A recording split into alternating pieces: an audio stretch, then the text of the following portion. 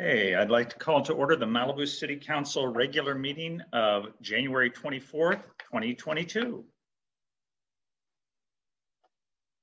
This meeting is being held by teleconference due to the COVID-19 pandemic, and we appreciate everyone's patience as we navigate this Zoom meeting process. Members of the public can participate in the meeting or watch it by going to malibucity.org forward slash virtual meeting. At this screen, you can click on a tab to either just watch the meeting or to sign up to speak on particular items. Those who wish to speak during the meeting should follow the instructions at malibucity.org forward slash virtual meeting early to sign up to speak and download the Zoom application. The city clerk will call on those who have signed up to speak when the item is called. So you must be present in the Zoom meeting to be recognized. May I have a roll call? Councilmember Fair, Here. Councilmember Pierson, Present. Councilmember Uhring, Here. Mayor Pro Tem Silverstein, Here. Mayor Grisanti. Yes, here. You have a quorum. Do we have any public speakers on the closed session item? I'm pulling up the list right now, and no, you do not have any speakers on the closed session item. We will now recess to the closed session to discuss the item listed in the closed session agenda.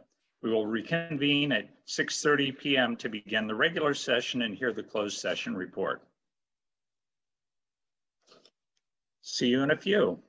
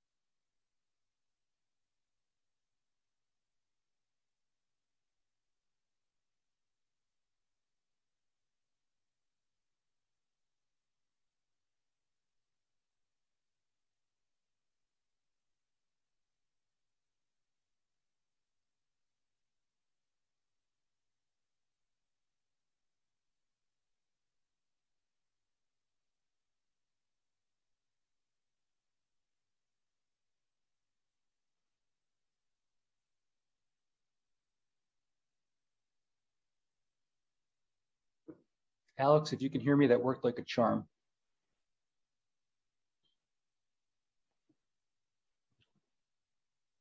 Okay, we are back. I'd like to call to order the Malibu City Council regular meeting of January 24th, 2022. This meeting is being held by teleconference due to the COVID-19 pandemic, and we appreciate everyone's patience as we navigate this Zoom meeting process. Council members and city staff are participating from remote locations, and all votes will be taken by roll roll call. Members of the public can participate in the meeting or watch it by going to malibucity.org forward slash virtual meeting. At this screen, you can click on the tab to either just watch the meeting or to sign up to speak on particular items. Those who wish to speak during the meeting should follow the instructions at malibucity.org forward slash virtual meeting. Please make sure you visit malibucity.org forward slash virtual meeting early to sign up to speak and download the Zoom application. The city clerk will call on those who have signed up to speak when the item is called, so you must be present in the Zoom meeting to be recognized. Council members, if you have comments to make during the meeting, please raise your hand electronically, and I will call on you in turn so we can make our discussion clear for the record and the public. May I have a roll call?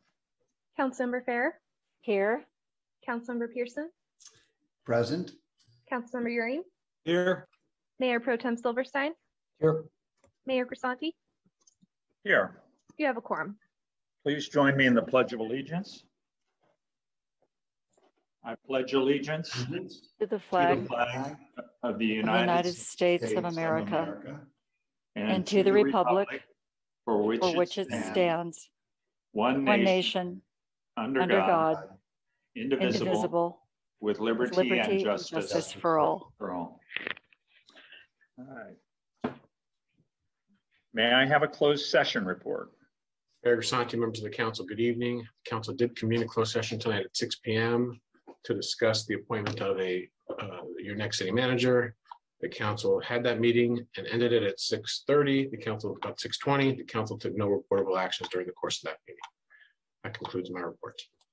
Thank you very much, Mr. Cotti. May I have an approval of the agenda? I move to approve the agenda.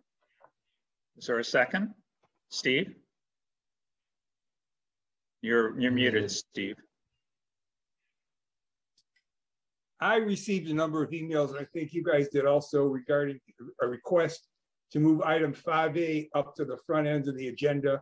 Uh, There's apparently a fair amount of trepidation of what's going to happen with this release.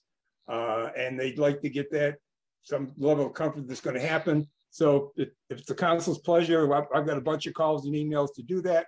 I got no problem doing that, but I'm not the only person making that decision. What position in the agenda are you, are you talking about moving it to? uh, right after we get to the consent, after the consent calendar. So that would be before four A. Yeah, For what it's worth, I probably got more emails on four A than I got on five A. So, you Yeah, know, who wins? four A is gonna take some time though. Five A should be relatively quick if we do what we say, what we say we're gonna do, so, whatever that's worth. I think There'll be a lot of public comment on both. So I'm not, yeah, I don't know. I don't know the answer. I'll make a motion, move it up, see what happens. Karen, was Karen's motion to uh, approve the agenda seconded? I'll second it. Okay, So now the question is, is, is Karen willing to accept a friendly amendment, I think, along the lines of what Steve is proposing? In our meetings, there's no predicting how long any item will take. Um, and I'm willing to accept that. I, I apologize to everybody who wrote uh, about 4A. I got dozens and dozens of emails about that. Um, and I hope those people don't mind sitting through another item to get to that one. So, Can I okay, s- I'll accept it. can I suggest a compromise? Yeah, because I'm a little worried that some people aren't seeing this coming, and so they won't be here in the right order. So, and I, I don't know. My, my compromise would be to, uh, if we move five A, can we cut the people, the comments to a minute apiece? How many speakers do we have? I have no idea. Kelsey, how many do we, how many speakers do we have signed up for five A and how many speakers do we have signed up for four A? At this moment, you have eight speakers signed up for 5A and nine speakers signed up for 4A, but members of the public can sign up up until the item is called. Right. And given that And that's they- not, Often raise their hands too. and given that's not an inordinate number of speakers, I would suggest that you keep to your three minute. Yeah. minute With whatever you do, otherwise, in other words, that's not a good reason to, to limit. You don't have a, an an excessive volume of speakers to where you might need to limit it. Okay, Okay, I'll accept the amendment. Friendly amendment. all right. So we have a motion and a second to move five A in front of four A. We are not changing the amount of time. If we get to five A and we have forty people who want to talk, it's going to a minute, or at least I'm going to try to put, do that at that time. So uh, we have a motion and a second. Kelsey, will you call the roll? Councilmember Farrer, Yes, Mayor Pro Tem Silverstein, Yes. Councilmember Pierson, Uh, yes, Councilmember Uhring, Yes, Mayor Grisanti. Yes. May I Motion have a, re- may I have a report on the posting of the agenda? The agenda for this meeting was properly posted on January 14th, 2022, with the amended agenda posted on January 20th, 2022. Thank you very much. Do we have any speakers signed up for 2A? Yes, you have six speakers signed up for 2A. Our first two speakers are Bill Sampson, followed by John Johannesson and Jeremy Walker. We'll hear from Bill Sampson first. Hey, Bill, how you doing? Well, pretty well, thank you. Good. Uh, I'd just like to uh, remind everyone again of a portion of municipal code section seventeen point zero two point zero three zero. I will not read all of it. It Says Malibu is a unique land and marine environment and residential community whose citizens have historically evidenced a commitment to sacrifice urban and suburban conveniences in order to protect that environment and lifestyle and to preserve unaltered natural resources and rural characteristics. The people of Malibu are a responsible custodian of the area's natural resources for present and future generations. That's the end of the quotation. Um, Thank you. some of you, it's the end of the quotation. It's not the end of my remarks. Thank you, if, if you don't mind. Um, uh, Some, nowhere does the word monetize appear in here. To my knowledge, it does not appear within the municipal code at all. Uh, In my opinion, some of you have become more interested in real estate and the fortunes that can be made in at least one instance have been made in that business instead of what we've got here. What we've got here is very special. Uh, I have been informed by um, at least one person who should know, and I don't want to breach his confidence, who was a male, um, that there are about six hotels on the drawing board, including one you'll be considering tonight. Uh, I do not see how that is consistent with our vision statement. And I would urge all of you to closely uh, follow it. I believe that Bruce and Steve are dedicated to that. I'm not so sure about Karen. I'm not so, I'm pretty sure Paul is far less dedicated. Mikke, I, you strike me as being on the precipice. It's why we're here. It's why we moved here. Let's not forget that. As a matter of fact, all of you took an oath to uphold what I just read to you. Thank you. Thank you, Bill. Our Who do we have next? We have John Johannesson, followed by Jeremy Walker and Norm Haney. Hi, John. Are you available?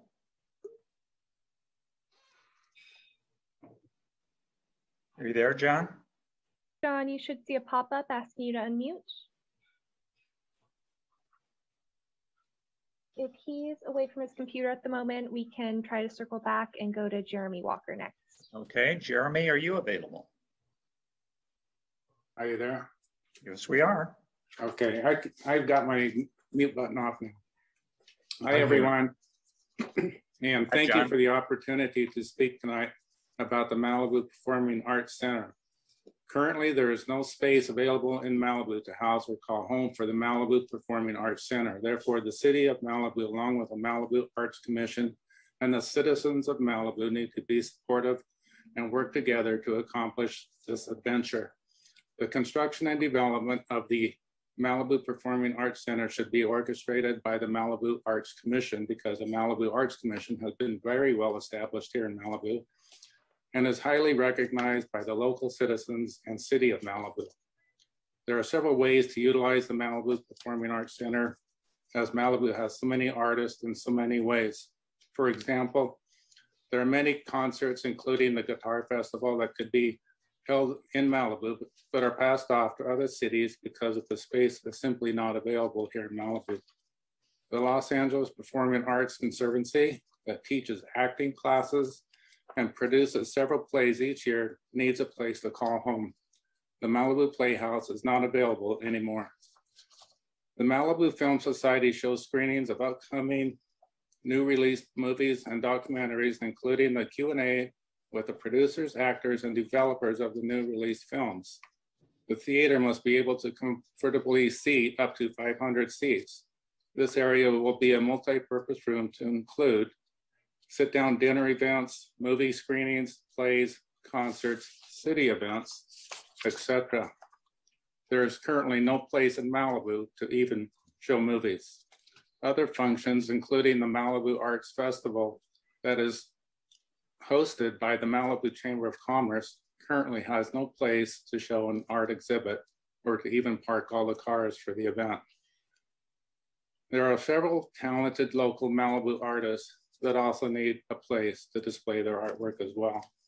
Malibu needs its own performing arts center to feature the local artists, the local talent, and encourage young adults to reach their dreams in the art community, including singing, producing music, movies, and artwork of all, of all kinds. I encourage everyone here today to leap forward into our new year, establishing and assisting with the Malibu Performing Arts Center. The city of Malibu owns several acres of land throughout Malibu, and we need the city to donate at least 15 acres of land for the Performing Arts Center and the adjacent parking lots. For example, the parcels of land located on Pacific Coast Highway between Heathercliff and Portshead Road has been recently discussed, as well as land in the Civic Center area. Thank you very much. Thank you, John. Thank you. Next, we have Jeremy Walker, followed by Norman Haney and Scott Dietrich. Hello, Mr. Walker. Are you available? Hi there, I'm here. Can you hear me? We can hear you. Fantastic. Um, I just want to say that I'm submitting a, I submitted a letter uh, uh, through um, Kelsey, and you can all read that. I hope you've read it. Uh, but I wanted to say that it's submitted in the spirit of something I saw the President of the United States. Uh, he met with mayors recently from all around the country, and he said, there's all this money right now. Use it. The time to use it is now. And then Hans Laetz reported on KBU that the city of Malibu is actually awash in money right now. And I can't, well, I mean, these are relative things. If you can bust a move to uh, try to buy off Santa Monica Unified School District for, for $40 million, it occurred to me that maybe you could bust a move and for $40,000, explore the idea of uh, the city of Malibu acquiring a herd of goats for uh, land use to clear, you know, land literally around property and around neighborhoods. Um, uh, I would love, I've all, I, I would love to be a part of planning for that move to be busted. Uh, I hope you'll refer it to staff, and I'd love to meet with staff about that and figure out how to move forward. Thank you guys so much. Keep rocking it. Thank you, Jeremy. And next we have Norman Haney, followed by Scott Dietrich and Ryan. Good evening, Norm. Are you there? Uh, yes, I am. Uh, good evening, planning commissioners. Um, there was a bit of an error made here. I uh, asked my associate to sign me up for the planning commission and not the city council. But when I get in front of the city uh, planning commission, I'm going to ask them to uh, be willing to hear a, um, a discussion from Reg Brown, who's one of the foremost uh, ocean engineers and structural engineers in the city. And he has offered to make a presentation on sea level rise, what the probabilities are uh, of, of um, sea level rising and uh, over time. And it's not, uh, it's not fettered with uh, politics or environmental uh, issues or objectives. So I will be calling each of you uh, when that, uh, assuming that the Planning Commission is interested in hearing a presentation from Reg Brown, I will be calling you so that you can uh, listen in and perhaps request the same type of presentation. That's it. Have a good night. Thank you, Norm. Our next speaker is Scott Dietrich, followed by Ryan and Lynn Norton. Scott, are Uh, you available? Thank you. Yeah, hi, Paul, um, and council. Uh, it, it's come to my attention recently that our staff is under really a lot of stress right now. And I, I think it's a lot resulting from uh, social media. People we all know will say stuff on social media that they'd never say in person. They cast insults and call people names and all kinds of crazy stuff. And that really doesn't help when they're trying to make a point to our staff who, you know, works hard and trying to navigate the whole work at home thing, which works sometimes to their benefit and sometimes not. But I just like to urge people to, well, feel free to contact staff. They'll respond very quickly. Um, most of the time, they have a lot of experience, but just hold back on trashing people. That uh, that's just uncalled for, and it doesn't help in our little city to do that. Um, whether you know, sure, disagree with Paul, the other council members, whatever, that's fine. But hold off on on the name calling and you know the conspiracy theories. And I think we'll all be better off. Thank you. Thank you, Mr. Dietrich. Our next speaker is Ryan, followed by Lynn Norton. Are you ready, Mr. Embry? Uh, Good evening, council. I wanted to um, discuss the uh, rent that the city gets from the lumberyard projects because in the mid 2000s, um, I and many members of the city were asked, we donated cash money to the city to make up for the lost grant funds that the city did turn down or didn't finish applying for for the Clean Water Project, which is Legacy Park. And we lost several million dollars. I don't know how much we raised from community donations, um, but the Legacy Park operations are supposed to be supported by the minimum base rent from the lumberyard lease. And that lease uh, has been amended a few times, and I think the caps have been reduced. Uh, the amount of increase is, is half what it was um, at the last, uh, the third modification. And uh, we just heard from another speaker that explained, you know, the vision for having some type of a Malibu Performing Arts Center or a center of some kind. Maybe it would be a multi-purpose, but um, we also are funding, the certificates of participation for the purchase of the building, uh, City Hall, which was a performing arts theater. And a few rows of seats were ripped out of the back to put in a closed hallway to the Public Works Department. But the theater component was promised to the community to be, become available and to continue these types of arts in the Malibu area. We don't need to build a whole new theater. Uh, that'll take five years, I'm sure.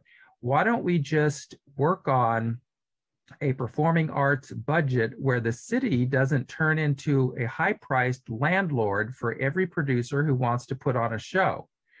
Now, you've got uh, an obligation to um, use the funds that come in from Legacy Park for clean water projects and so forth.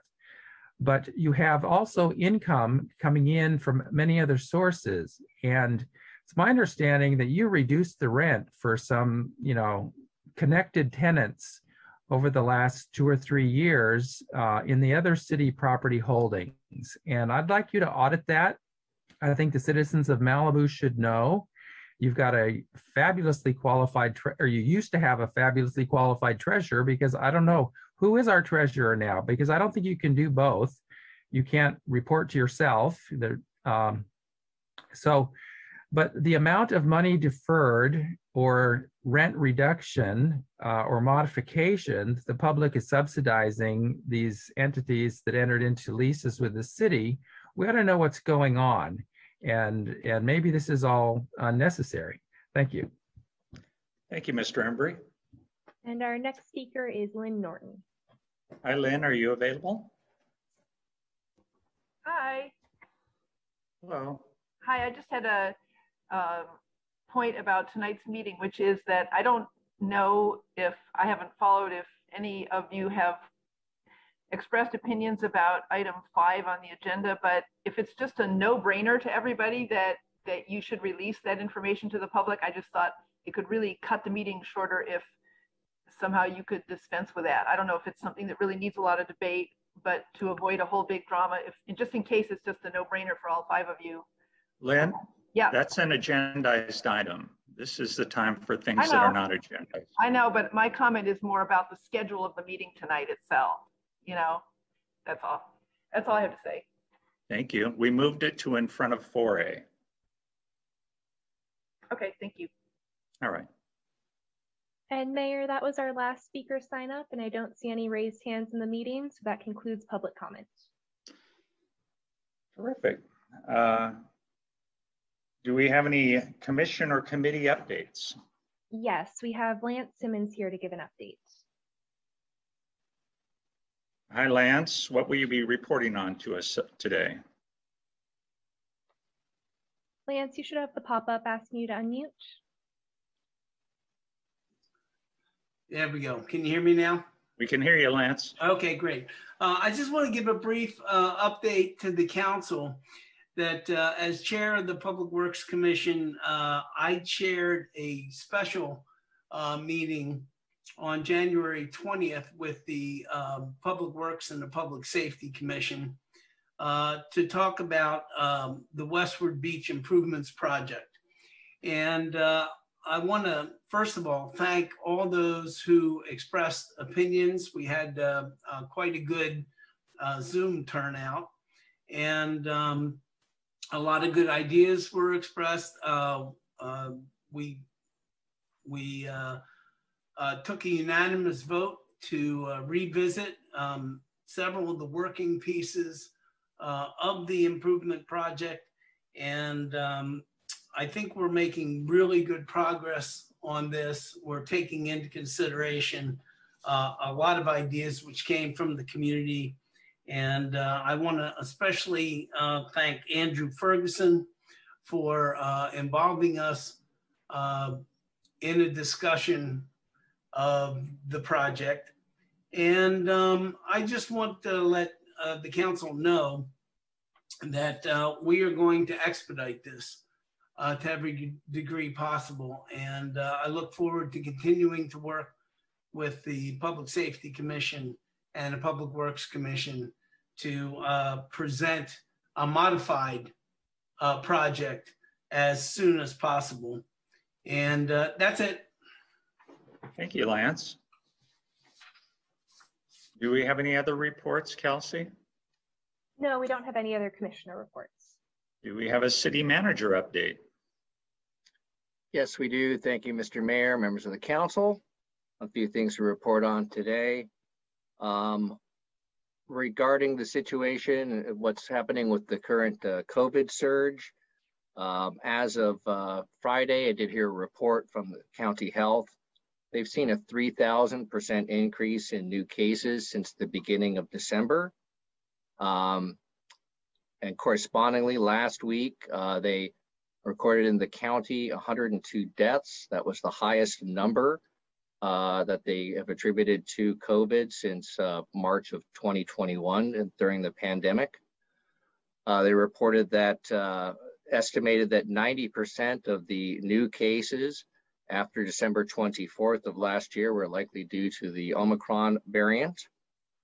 Um, they are seeing some concern in terms of nearing capacity at local hospitals um, and admissions to hospitals in the County of Los Angeles are up about 1,000% since December 1st. Um, still seeing levels of very high transmission. Uh, I think it's pretty well known that the, uh, the variant uh, appears to be highly transmissible, even higher than some of the, um, the previous variants that had been circulating in the community. Um, and while many persons are vaccinated, uh, and uh, especially those who are vaccinated, or many of them are having uh, mild symptoms, uh, the public is still urged to uh, consider this as not a mild illness. It still has the potential for very severe health impacts, especially to those persons who are unvaccinated. Uh, moving on to the uh, through the COVID theme, um, City Hall remains closed to the public. Um, we had an, announced that closure through Friday, uh, January 28th. I will be uh, we will be reevaluating that this week and uh, determining whether or not to extend that closure. we'll be making that decision and announcing that prior to Friday. Uh, because of the uh, surge, uh, the current surge to the Omicron, uh, the homeless count that was originally scheduled to take place in this month has been delayed. Uh, that has now been rescheduled to February 23rd, uh, beginning at 6.30 a.m. Also uh, wanted to report that this Saturday, we will again be hosting a COVID testing site here at Malibu City Hall. Um, we had the that, that will be this Saturday from 10 a.m. to 2 p.m. Uh, here in the parking lot. Uh, this is a repeat of uh, the event that was held last Saturday, also at City Hall. I want to thank uh, Malibu Medical, uh, the Malibu CERT team, and our city public safety staff for their coordination and for running this event. Um, also wanted to report regarding uh, the Malibu High School and um, the EIR. Um, the city had submitted uh, comments uh, to the school district re regarding uh, their comments back to the city's comments on the EIR. Uh, and uh, we had asked for some further consideration and the school district was gracious enough to grant that. they have rescheduled the matter of considering the certification of the EIR for the high school uh, to this Wednesday, January 26th. Uh, the city will be submitting uh, a letter um, noting that uh, the school district has addressed the city's concerns and we will have city planning staff in attendance at that meeting. Wanted to report that I attended uh, meetings uh, the last couple of weeks for the um, Malibu and Las Virgenes Council of Governments and also last week for the uh, uh, PCH task force. A lot of topics were covered there. Um, just also want to report that we did not have any significant issues either from the tsunami, although we did have some impacts from the uh, windstorm over the weekend. Uh, we did have some local impacts from the winds and a couple, some trees down and some wires down. Uh, but fortunately, we didn't have any major incidents to report. That's the extent of my report. Thank you very much. Thank you, Steve. Is uh, Jim Braden available? Do you, is he in the room, Kelsey? He is. We'll get him unmuted for you right now. I would appreciate that. Thank you. Never frozen and always cut to order. Download the app and enjoy. Hi, Paul. Can you hear me? We can hear you. Okay. The uh, I'm sorry if some of you didn't know, I'm uh, off work with a hip injury, and I'm going to Oh, have no. some month. I'll probably be out for a couple months. So I believe Chuck uh, assigned uh, Lieutenant Chad Waters to take over while I'm off. So if he's not on there, I apologize, and I'll check into it and make sure someone's on there. So I've been off since December 23rd. And uh, so I don't have a lot to report because I haven't been being in the loop of being updated on everything. But I will be back after my uh, hip injury. So Thank you. I, I'm uh, so sorry to hear that you've been, you have an injury and uh, I, I thought we had defended you. So I'm glad that wasn't the case. And I wish you a speedy recovery.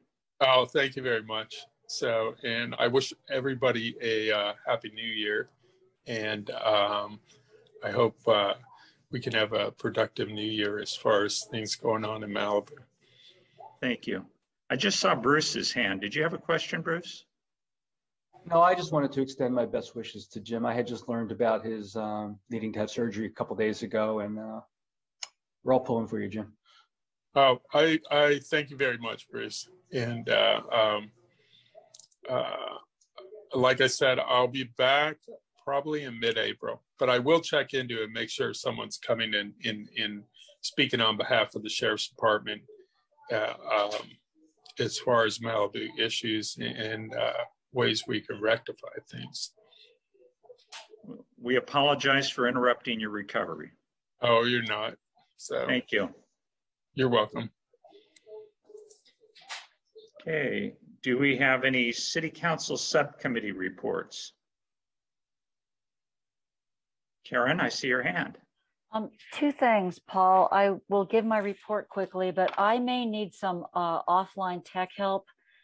I have a problem with my computer charger and I'm realizing it's not the outlet, it's the part that goes into my computer. And right now I'm at 9% and I don't have another charger. So I don't know if anybody can help me offline with this. Uh, but I can give my report quickly and then maybe we can work on this other issue. Um, I will quickly acknowledge the public speakers. Uh, yeah, I, I agree. We need a performing arts center. I don't know when uh, we'll be able to put that into the budget, but I'd love to see it happen. Um, Jeremy Walker, uh, regarding the goats, I've asked about that in the past myself. Um, the city can only use goats on city property, and there's not a whole lot of what I would call goatable property owned by the city. Um, so that might be something that neighborhoods would want to get together and do. Um, and maybe there is more goatable property owned by the city than I'm thinking there is. Um, Norm Haney, great. I'd love to hear a, uh presentation on sea level rise, but we'll let the planning commission uh, deal with that first, if that's the order you'd like to have it happen in. Scott Dittrich, I agree. Social media is an unusual uh, entity, isn't it? Um, Lance, thank you for your work on the Public Works Commission. And I, I know that's a, a lot to consider with that project with Westward Beach Road. And I appreciate your commitment to um, bring back a modified project as soon as possible. Uh, that's it for me, and I'm uh, I'm in battery. Oh, I'm up to eleven percent. Hey, maybe I'm improving here. Are you on Okay. laptop or, or PC? Laptop. So the city laptop, so I have that cord here if you want to send somebody over. Okay, thank you. Karen, if you're having difficulties, it might be best if you left the meeting for a few moments and called Alex. He's ready to help you. And then um, when you come back during the rest of the council comments, we'll just note it. Okay, thank you. Could I make Okay, one other I'll suggestion for, for what it's worth, Karen? When, this happened to me once before where I I just wasn't able to use my computer. I got on with my phone until I got my computer issue fixed. So you might want to consider that. Okay, thank you. I was thinking that would be my backup. Um, but Alex, if you're ready, I'll log off for a minute so we can talk. Okay.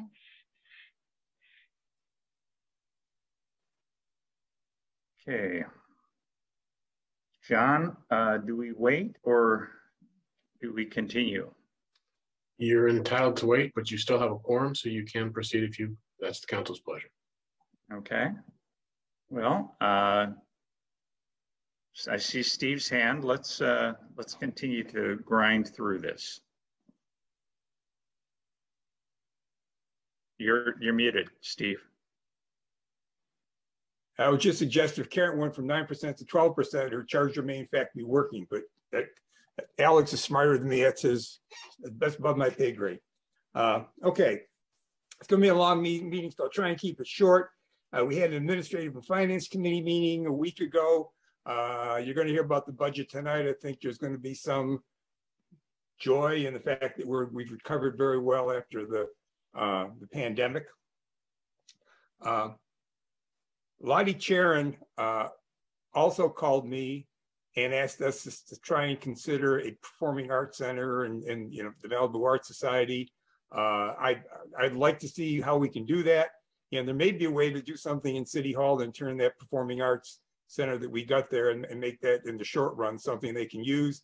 Uh, but hopefully we can get some people to take a look at that. And then the last item I have at city council meeting a week or two weeks ago, I think it was. Uh, Councilmember Silverstein made a recommendation, said, you know, to sort of help some of these people who are trying to rebuild, is, is there any advantage to, for us to take and prioritize the houses, rebuilding the firehouse, the burnouts for those residents who live in Malibu uh, and really focus on that. And at the same time, maybe put some of these commercial projects on hold for six months until we sort of get a, a good handle on that. Uh, and I brought that up again at the Administrative and Finance Committee meeting. And I'm just wondering, you know, and- Steve, if you could have somebody take, I don't want a huge study on this. I don't know if that's a good idea or a bad idea. Uh, you know, and, and maybe if you could just sort of ask uh, Richard and Yolanda whether they think there is some benefit in doing something like that. If the answer comes back yes, then maybe we can get the city council to take a look at trying to get a presentation, see if that's really something that will help us move some of these fire rebu- rebuilds, you know, through a little bit faster. Uh, but I don't want to do it unless we know, unless the people who are doing this have a feeling that actually is going to provide a benefit. So if you could do that, don't- you know, I don't want a long staff report, just some ideas. If it looks like it's good, we can bring it back and do some more work on it. So if you could do that, I appreciate that, my friend. Happy to do Thank so. St- Okay, Thank you, Steve. that's it, Paul. Okay. Uh, Mikke or, or Bruce?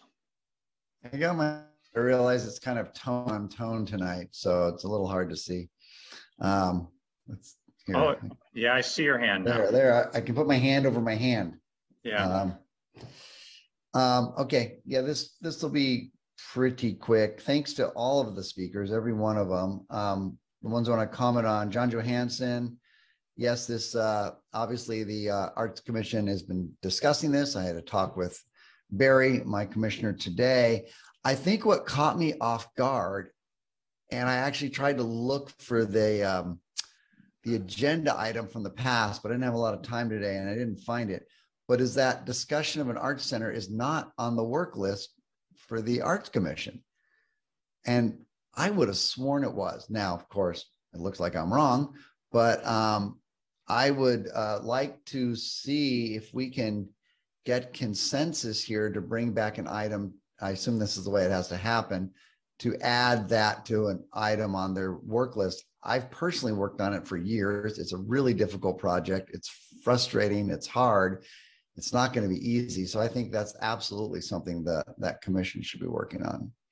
So I don't know. out of the four of us. Grisanti, I might be able to help. The council is scheduled to discuss the mid-year commission activity reports and work assignments as item six B. Oh, I didn't know we got to go over the work assignment, so thank you. I will shelve that and move on. Um, thank you, Kelsey. Thank you, Kelsey. Uh, Jeremy Walker, I gather you live in Malibu West where I live. Um, I would love to meet you and discuss goats. I am fascinated by the idea. I've watched videos on it. We've we've struggled in this area. A lot of people are interested. I'd I'd like to get a better understanding. It sounds like you know a lot more about goats than I do. I just know about the cute little ones on TikTok that dance around and all that. So I'd I'd like to learn more. Um, Norm Haney, yes, would love to hear that presentation. Scott Dittrich, I'm starting to just echo Karen here. Yes, social media nationwide has been really, really tough on a lot of different people and institutions. And um, I agree. I wish we could all somehow just be nicer and get along better. Um, Ryan, I will say um, it's a public document on all the finances for um, the lumber yard. They have had significant financial issues. I'm not defending it. I'm just pointing it out.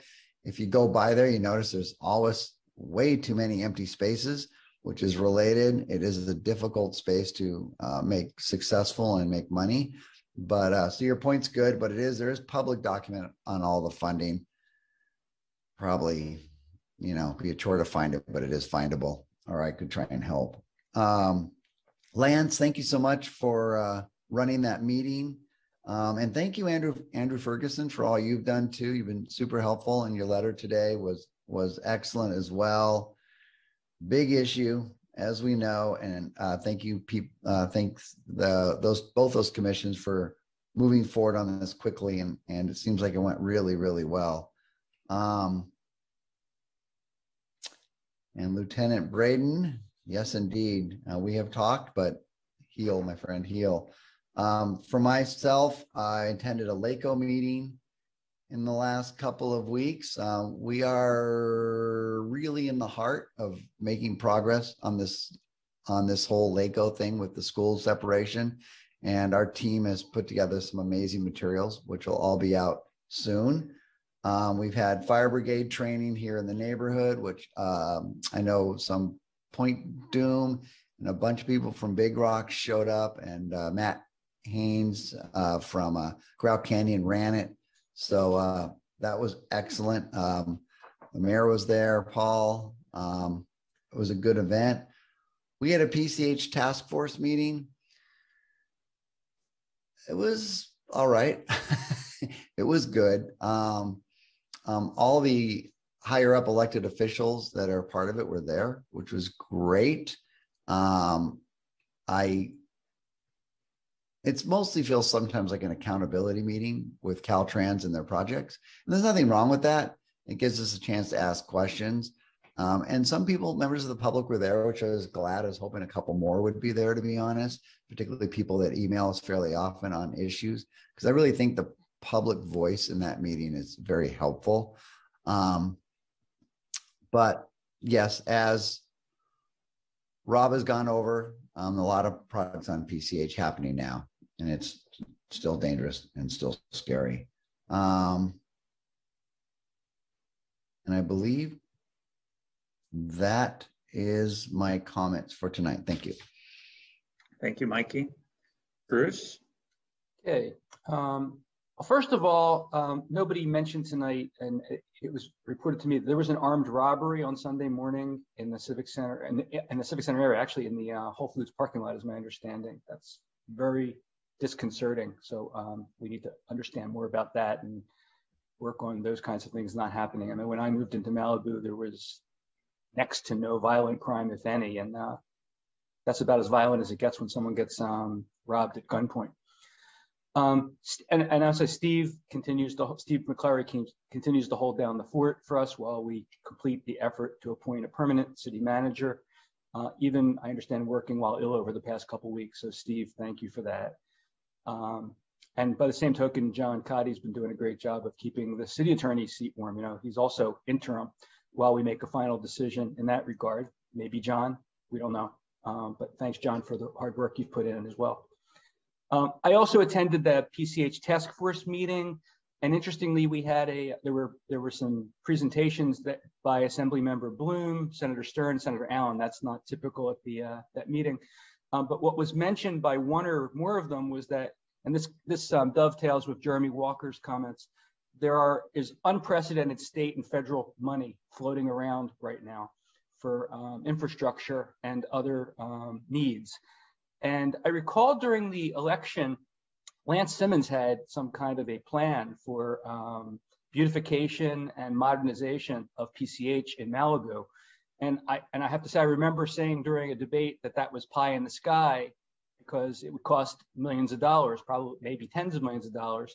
Uh, well, you know, mana may be falling from heaven, and um, this might be the time to start looking into that pie. So if Lance wants to dust off his um, his work that he had done, um, I'd be interested in talking to him, and maybe we could even have him work with the city to pursue some kind of a project where we can tap into some of that money and beautify and uh, modernize the P PCH. Um, other, I've been on calls with California Strategy. Um, I don't really have much to report with respect to that. Uh, I've been watching recordings of Planning Commission meetings and homelessness task force meetings, working on the city manager recruitment effort, um, had discussions with some people about the ADU ordinance. Um, on the Woolsey fire rebuilds, what Steve raised, Steve, Steve, didn't completely accurately describe what I had suggested.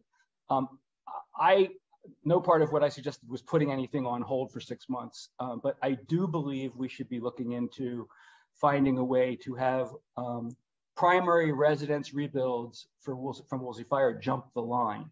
So when it's time for an inspection or time for a permit approval, they go to the, they get to the front of the line, even if they're fifth, sixth, seventh, eighth in line at the moment. Um, and what got me thinking about that was watching um, planning commission meetings where um, it's not unusual for a Woolsey Fire primary residence rebuild to even get bumped from being heard that night because there's not time to do it after other things are, are heard. And to me, that's just not the way it ought to work. If anything's going to get bumped, it ought to be something that's not as urgent. And I know everybody's project is urgent to everybody, but um, the Woolsey fire rebuilds are, are, are different and special. Um, the other thing I say, I just want to talk briefly. Well, I'm going to respond to the comments. Bill Sampson, and, and this was done in the past also, the, the question of the, the vision statement and the mission statement. I, I was going to talk about this later during the um, the the, country, the, the um, hotel proposal, but I think it's more appropriate now. You know, many people have reached out to me over the past few months, and I see it on social media as well, stressing the importance of the mission statement and the vision statement. And I've um, I've done the same during a lot of the appeals, especially appeals from commercial development. Uh, and I did the same before I was even on council. As a member of public, I would I would speak about that. You know, the, the staff often tells us, both publicly and when we ask questions of them in advance of hearings, that many provisions of the LCP, the Local Coastal Program, and the MMC, the, the Malibu Municipal Code, um, are open to interpretation. There's no, there's not a clear result in many circumstances. Sometimes there is, but many times there isn't. And when that happens, it's up to the city council to decide how to interpret our law. Um, I agree with that. What the staff doesn't say, and I, and I don't mean this intentionally, but what they don't say is that the mission statement and the vision statement are a part of our law. They're a part of our local, local coastal program, and they're a part of the municipal code. And because of that, they inform the interpretation of our other laws when it comes to matters that are affected by the vision statement and the mission statement, or which implicate the vision statement and the mission statement. Um, and that's not just rhetoric. Um, so, you know, uh, just real quick as a technical matter, I've wanted to explain this in the past, but the Coastal Act defines the local coastal program as including a local government's quote zoning ordinances. That's section 30108.6 of the Coastal Act. Malibu's local coastal program defines the term zoning ordinance. It defines it as Title 17 of the Malibu Municipal Code. Well, Title 17 is where the mission, mission statement and vision statement are codified. They are in section 17.02.030. So they're they're a part of our municipal code by virtue of the Coastal Act. They're a part of our local coastal program, And they're not just um, something to aspire to, they're the law. And I don't think we talk about that enough when we have to interpret the code when it comes to LCP issues or municipal code issues with respect to building. There is a preference when things are vague to preserve our rural, um, all the characteristics, everything that's in those two statements. So I, I think that's a great point that Bill made again. Um, real quick, the, the, Performing Arts Center, as well as perhaps a Fine Arts Center, um, I, I, agree. I've, I've been reached, people have reached out to me about that. Peter Jones, Barry Haldeman, as well as hearing tonight from John. Um, I, I think the Civic Center property that the city owns would be ideal if we could find a way to otherwise fund a building there. Obviously, we need to get input from the public, but I, I think that would be an ideal use of that large parcel we have. I also um, have thought that perhaps there's a way to utilize library funds. We have 10 plus million dollars of funds for a library, which might be able to be melded together somehow in some grand program that would provide both arts as well as tech traditional library service. So, you know, it's, I think it's something that definitely deserves a lot of attention and thought because that's that would be a great addition to our city. Um, Jeremy's point about the $40 million for the um, school separation. So what, you know, obviously we're flushing money. That, that, I think that's a result of a misunderstanding. We don't have $40 million to throw at, at Santa Monica for school separation. That's money that is coming from the state or the county um, towards the schools. And it's just money that our school district wouldn't get, but their school district would get if we could negotiate a separation. So it's not like we're taking $40 million out of Malibu's budget and throwing that at Santa Monica. If anyone thinks that, that's a misunderstanding it's an understandable misunderstanding, but it's a, misunderstanding. Um, Scott Dittrich, I, I, agree. You know, I've been accused of um, of being a little harsh on social media, maybe perhaps to say it lightly. But you know, I, I I don't talk about staff members that they're not they're not they're not public figures. They're not even quasi public figures.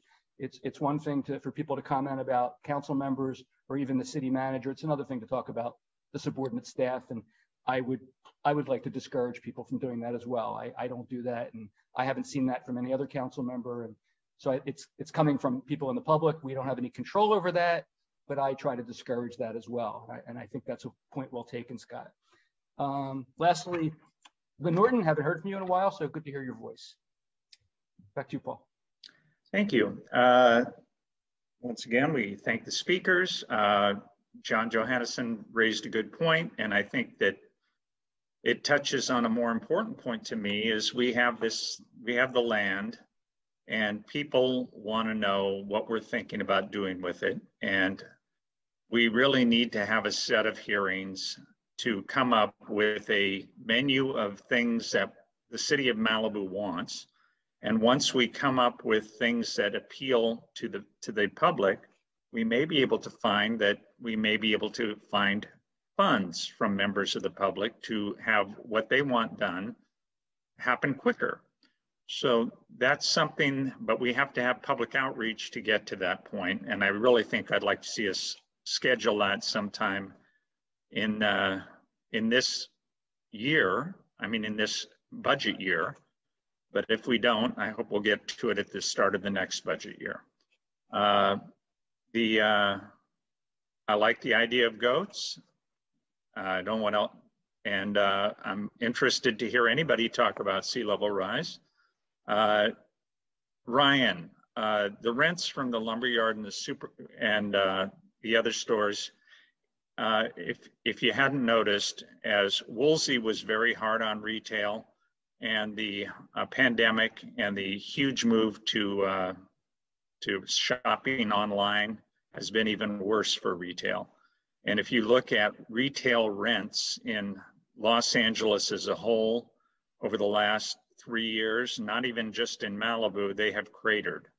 So you have places in uh, Santa Monica, Melrose that used to be getting over $20 a foot and they're getting about $5 a foot now. And that's that's part of uh, us trying to, the city of Malibu trying to keep our uh, property properties operating. So we didn't make any of those decisions. Those decisions were all made more than a couple of years ago, but still, that that uh, is the only practical way to to make those centers continue to function. And uh, the uh, and I've been on an awful lot of uh, webinars about everything in the world, but I won't bore anybody with it. And I'd love to get to the next, uh, to the, I'd love to get to the uh, consent calendar. So thank you very much for the opportunity to speak. And Karen, we're glad to see you back on on, on board. And I hope that everything is going well with your computer. Have any items been pulled from the consent calendar? Yes, items 3B6 and 3B7 have been pulled by the public. 3B6 and 3B7 Correct. by the public. Do any members of the council want to pull something from the consent calendar?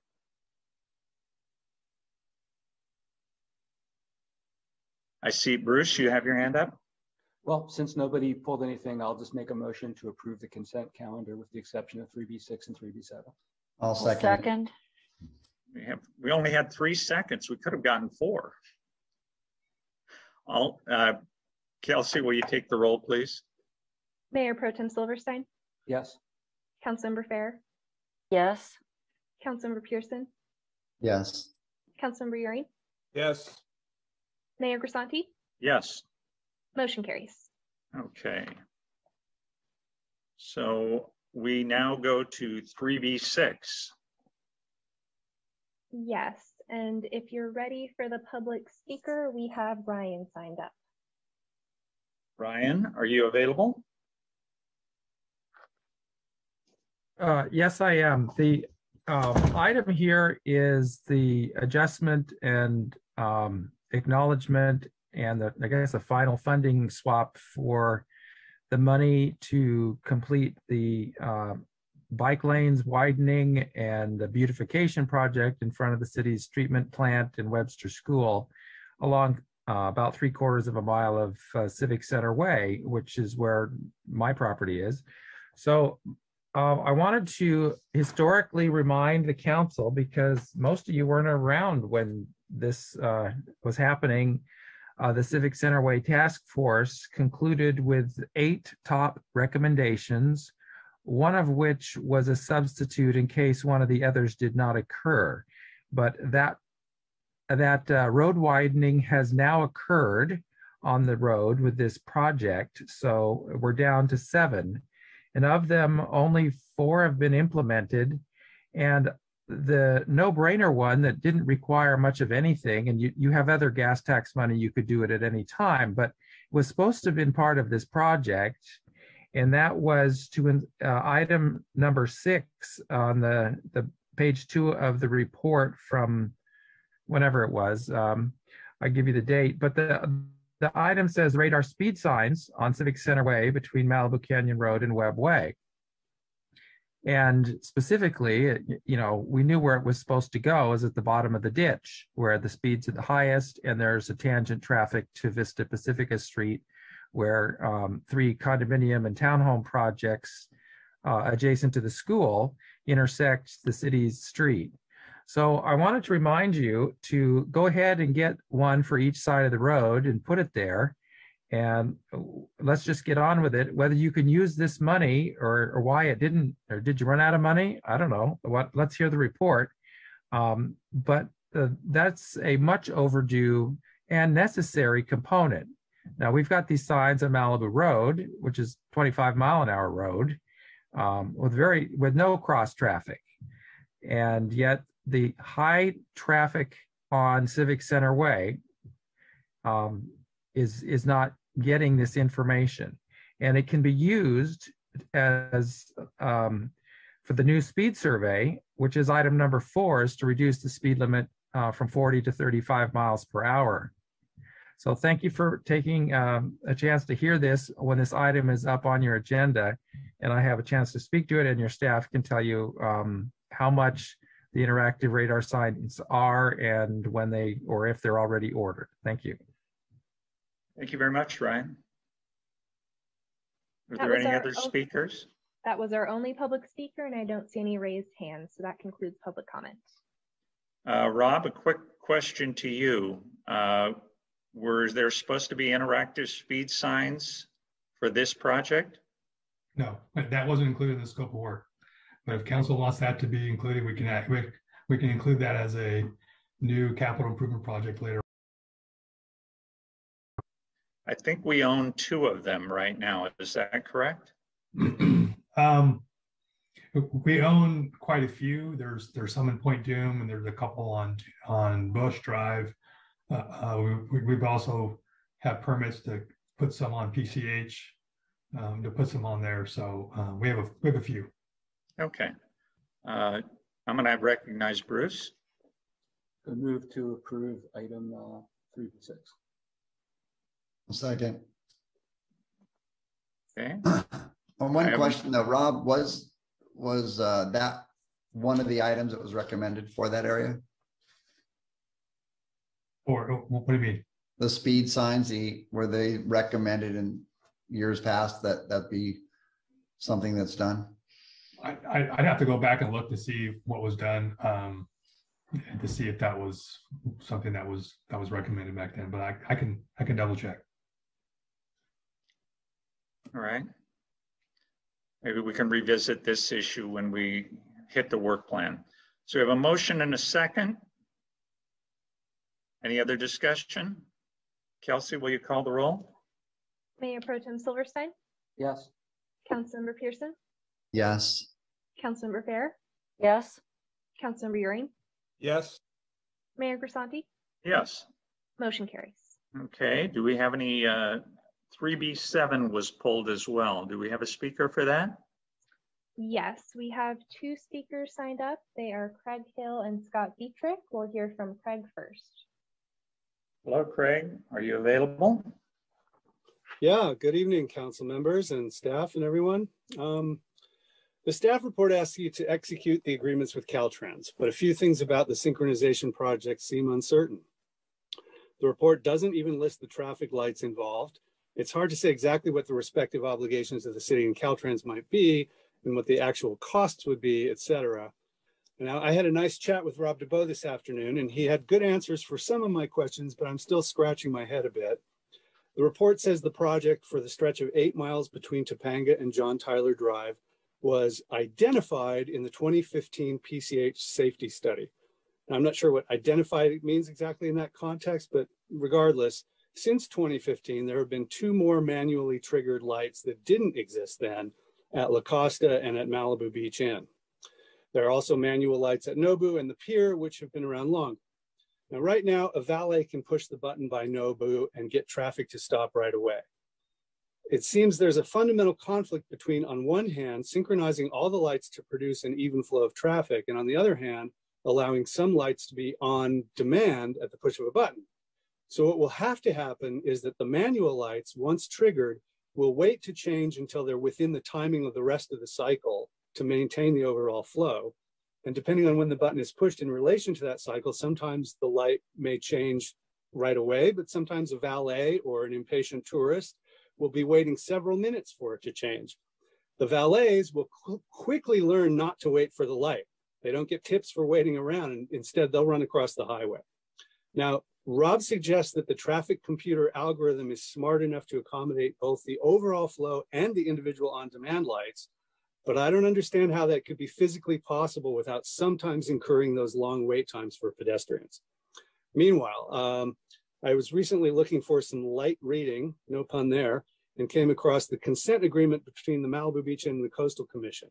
In it, item 4.3 expressly requires that the signal there shall be linked and coordinated by fiber optic cable and smart controller to the existing crosswalk signals to the east and west to improve traffic flow and safety. So synchronized with the lights at Nobu and the pier. But the public has been told that light is independent on demand. I shared that language with Rob and he wasn't sure offhand whether those three lights are currently synced with each other. Maybe he knows now. Regardless, that half mile stretch is at the heart of PCH traffic, whether it's busy beach days or during rush hours. So if any of those three lights aren't part of the greater eight mile synchronization, there's little point in trying to synchronize anything. Now, I hear this will be coming to the Planning Commission. We're not sure when. Uh, I hope it comes soon enough in the process that the community can have a meaningful say in how these kinds of issues are worked out. And there are a few others, but I don't have time. Um, and that the public will be well notified so they'll know when to show up and weigh in. Thank you. Good evening. Thank, thank you, Craig. Our next speaker Scott? is Scott Dittrich. You there, Scott? Yeah, thank, thank you, Mr. Mayor. Um, I think Craig really covered it in much more detail than I would, but eh, yeah, I, in general, of course, it's a great project. And we on the Public Works Commission have been working on it. And, uh, but there are some questions that Craig raised in terms, are there going to be certain lights that are going to be manually activated? And, and I think before it goes to planning, we, and you guys vote on it eventually, we need to know that. Thank you. Thank you, Scott. Do we have any other speakers? Yes, I see we have a raised hand from Joe Drummond, so we'll hear from her next. Hi, Joe. Are you available? Hi, how are you? I just had a question. I know that um, one of the lights, the more recent lights put in is the one at Big Rock. And if you stop at the bottom of the light, depending on the time of day, it's either 30 seconds or 75 seconds before it changes. So I'm just wondering if that's one of the things that Craig is talking about and if if that'll be affected by the synchronization project. That's all. Thank you. Thank you. I see Steve has his hand raised. And I don't see any other raised hands from the public. I'm so that does sorry. Conclude public comment. Thank you, Kelsey. Steve? Yeah, and I don't have an answer to Joe's question, but uh, this this is to Rob. Rob, this I think this is a good project. All right, and I think it's something that the community will be will embrace once they learn how it's going to work and what it's all about. So I do encourage you to you know bring it to the planning commission, uh, publicize it so the community's got a chance to get out and speak about it. If they've got some concerns, they can express them. Uh, I just don't want to have a repeat of Westward Beach where you guys do all this work in the beginning and then get to the end and somebody raises their hand and say, so if, just make sure you get it to the planning commission, let them get the public involved. And I think we've got ourselves a good project. Thanks, Paul. I want to take a second to respond to Craig. Uh, there is an on-demand light on La Costa Beach for the uh, beach club there. And the way they've worked that, somehow it is connected to the lights on either side because if you get there and push the button, the uh, signal is smart enough to wait for whatever platoon there is to go by. I haven't seen it stop a platoon yet. So hopefully that is a forerunner of what we're going to get. Bruce?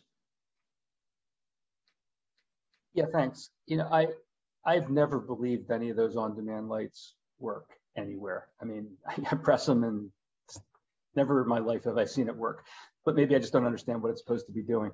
Um, I, I guess what I'm hearing is if the way it works is it doesn't give you a green light, but it informs the system that you're there so that when the next opportunity for a green light, there should be one. Otherwise, it should always be letting the traffic go. That makes sense to me, and that wouldn't affect synchronization. If what it does is it it gives someone who's at the light an ability to cross at a time that otherwise wouldn't be there in a normal cycle, that doesn't make sense to me. So I'd like, I guess, I'd like to understand which of those two it is, or maybe it's a third that I don't understand. Thank you, Bruce.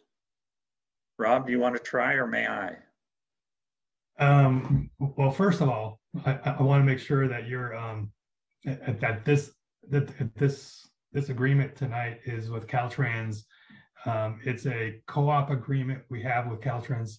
This, this project is a large project within Caltrans right away and requires different phases and agreements with Caltrans.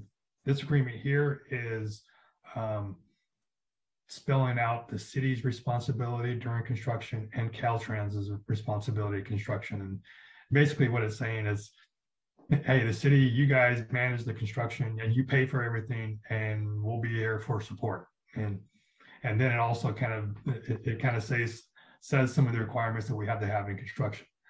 Now, so, so I'm go back to some of the questions that go along with this.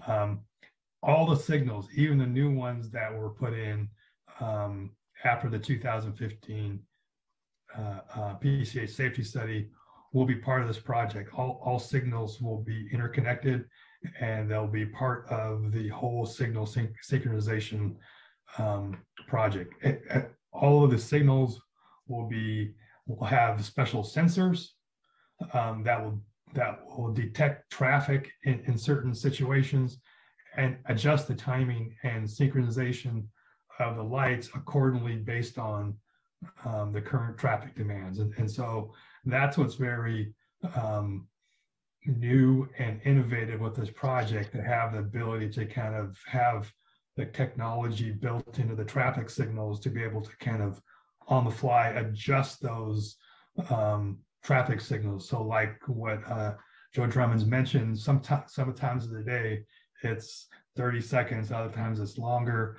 Well, um, the signal will be able to pick up the traffic and adjust that automatically. And so, so instead of only part of the part of the day, it, it will actually identify those times when it's it can actually allow those those turns to, to occur. Um, let's see.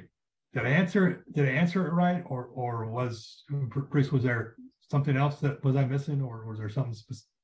Yeah, what, what I think Craig was asking and, and, oh. and I'm asking as well is um, will will a valet at Nobu, for example, yeah, yeah. be able yeah. to get the light to be different than it otherwise would have been based on the traffic because they want to get out of the parking lot? Yeah. So so Craig and I did have a conversation about that. Yes. Uh, what will happen was uh, uh um, the signal timing programs will will be put in place to where um, if a someone goes and hits the hits the um, the push button for pedestrian crossing, that will signal to the controller and timing and, and look at available gaps to go in. But it also has a timer to that will adjust to that and and, and it, it will take in consideration all the synchronization that goes on and and and find out a good time to do that. One of the things that we were talking about, Craig and I, was there's a period of time where if, if someone's sitting there waiting, waiting, waiting, waiting, and they get impatient and go, that's a problem. And and so what we were what I would what I told well told Craig was that this system is very, very flexible. It it will automatically make those changes. But if we see those things happening, we can make adjustments with with the programming and synchronization to to accommodate those um, the the wait time when someone presses a button you know maybe it's it's a shortened wait time so people can kind of kind of go. And then but also look at the signal timing and the time of the day and there's a lot of factors that can go into that. It's very complicated and engineering. And i'm getting all excited about it and, and uh, but um, yeah. Rob, I guess the, what I'm trying, and I know this is probably getting beyond what we're approving tonight, but what I'm trying to understand is like, so if you're doing if you're doing construction and you got a flag person, hmm and there's a major road that's traveling and then there's a there's a, a, a, side street like a residential street. Obviously the flag person doesn't bother to stop the traffic when no one is waiting to get out of the side street because that would be silly. But they also don't immediately stop the traffic just because someone shows up and wants to get out. They make an assessment as to how that's going to impact the overall traffic. Correct. Is this going to stop for every time somebody from nobu or beach inn or wherever wants to get a green light so they can get out? Or is this going to be like the flag person that says, okay, if no one's there, we're going to let all the traffic keep going back and forth. And if someone's there, I'm going to use my computer program, my, my algorithm to, to determine, algorithm, I'm sorry, to determine yeah. whether it's an appropriate time to let someone out or not. The second part, okay. that one, that's that's more like it. But um, what's what's triggering kind of um, the whole analysis and and configuration is the wait time for someone at that intersection. And so if the wait time is long, we have to look at that and maybe have to change up and kind of adjust and, and configure some of that just to make sure we, are not seeing people kind of jaywalk and do that, which is unsafe too. And so, you know, it, like I mentioned, this has a lot of flexibility. Um, but you know, but I do uh, um, also want to respond back to uh, Commissioner or uh, Councilmember Uhring is that yeah, I'm looking forward to kind of bringing this to the Planning Commission. We brought this countless amount of times to the Public Works and Public Safety Commission and gone through and, and gone through over kind of comments. But but yeah, the more people kind of come in and, and do this, it, it's better input. Uh, um, it, it's helped out with with me getting to know what things are kind of we need to kind of work on and whatnot and getting public input. It, it's it's a good process. Thank you very much. Mhm. I'm going to call the question. Do we have a motion to? Okay. We have a motion and a second to approve uh, item 3B7. Kelsey, will you take the roll, please? Mayor Grisanti, Yes. Mayor Pro Tem Silverstein, Yes. Councilmember Farrer, Yes. Councilmember Pierson, Yes. Councilmember Uhring, Yes. motion carries. Okay, I believe that takes us to item 5A. Do we have any members of the public who've signed up to speak on this item? I, I was recused from the vote on doing this underlying investigation, so I'm gonna recuse myself from this conversation as well. I'll drop off and I'll come back when you're all done. Okay. So do, how many members of the public do we have to speak? Let me get that updated number for you. You have 10 speakers for this item. Uh, Will anybody vote with me to reduce it to two minutes a person? Looks like three minutes it is. Who do we have to speak? Who's first? John, did you need to make any comments before we jump into public speakers? Uh, Mayor Grisanti, members of the council, I'm happy to give you a staff report. The, the staff report, uh, the written document was fairly detailed.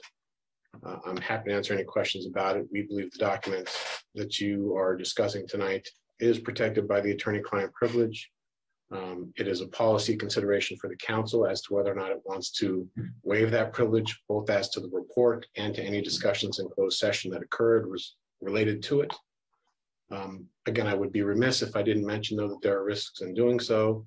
You did enter into a sep- separation agreement with Ms. Feldman that had a uh, non-disparagement and non-disclosure provision. Arguably, this uh, falls within the ambit of that, uh, that document. And I would caution you that once you waive the attorney-client privilege related to any document or any closed session uh, discussions, that that uh, waiver is forever, at least as to these items that you're intending to uh, or potentially releasing tonight. Again, I'm happy to answer any questions. I would just note that there are risks in doing so, but again, it's a policy consideration for you. Again, I'm happy to answer any questions. Thank you, John. Okay, well, our first two speakers are Bill Sampson, Suzanne Guldimann, and Rosemary Ide. We'll hear from Bill first. Hi, Bill. Are you available? I am. Thank you. I may only take two minutes, but then that would be a first, wouldn't it?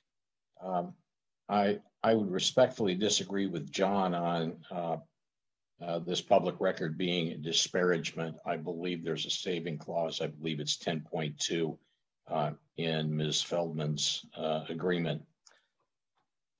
I would note that two of you, uh, Ms. Farrer and Mr. Pierson, recently sent a letter concerning two people who had a pretty obvious conflict, in my opinion. Believe it or not, I happen to agree with the two of you, at least as to the tone of your remarks. Um, I, I couldn't tell if you were making on behalf of the city or if you were making them on your own behalf because I it showed up in a bunch of places. Uh, nevertheless, uh, your remarks concluded with um, basically transparency, excuse me, being a fundamental aspect of our democracy and how we needed to demonstrate that to our kids. And I could not agree more. I paid for this. It happens to be my opinion that Ms. Feldman held us up. She, it was my opinion, she failed in her job as city manager. When her feet were held to the fire, she ran. You can disagree with that. She got three hundred thousand bucks of our money, plus I don't know how much, and it cost us all a lot. And the basis appeared, at least to me, and I think to others, that Mr. Silverstein was somehow harassing her, including gender-based harassment, which uh, I believe in previous uh, remarks I would have characterized as sexual harassment. I'm, I'm not sure I understand the difference between that and gender harassment, but um, that was one of the allegations. Uh, if they're true, I'll join you in pillorying Mr. Silverstein because he shouldn't have done it. I don't think they're true, but I do want to know. All of us want to know. Um, I hope that the five of you will unanimously say, okay, this is what we did. And if there's backup on why you did it, show us. We paid for it. It's our report. Technically, I suppose the attorney-client privilege applies to the council. Why it doesn't apply to us, I don't know. If it's three, two, it's pretty silly because Mr. Cotti can correct me. The next council would decide three, two the other way and waive the privilege. I suggest you do it now and let's get this behind us. Thank you for your time. Thank you, Bill. Our next speaker is Suzanne Guldimann, followed by Rosemary Ide and Joe Drummond. Hi, Suzanne Guldimann.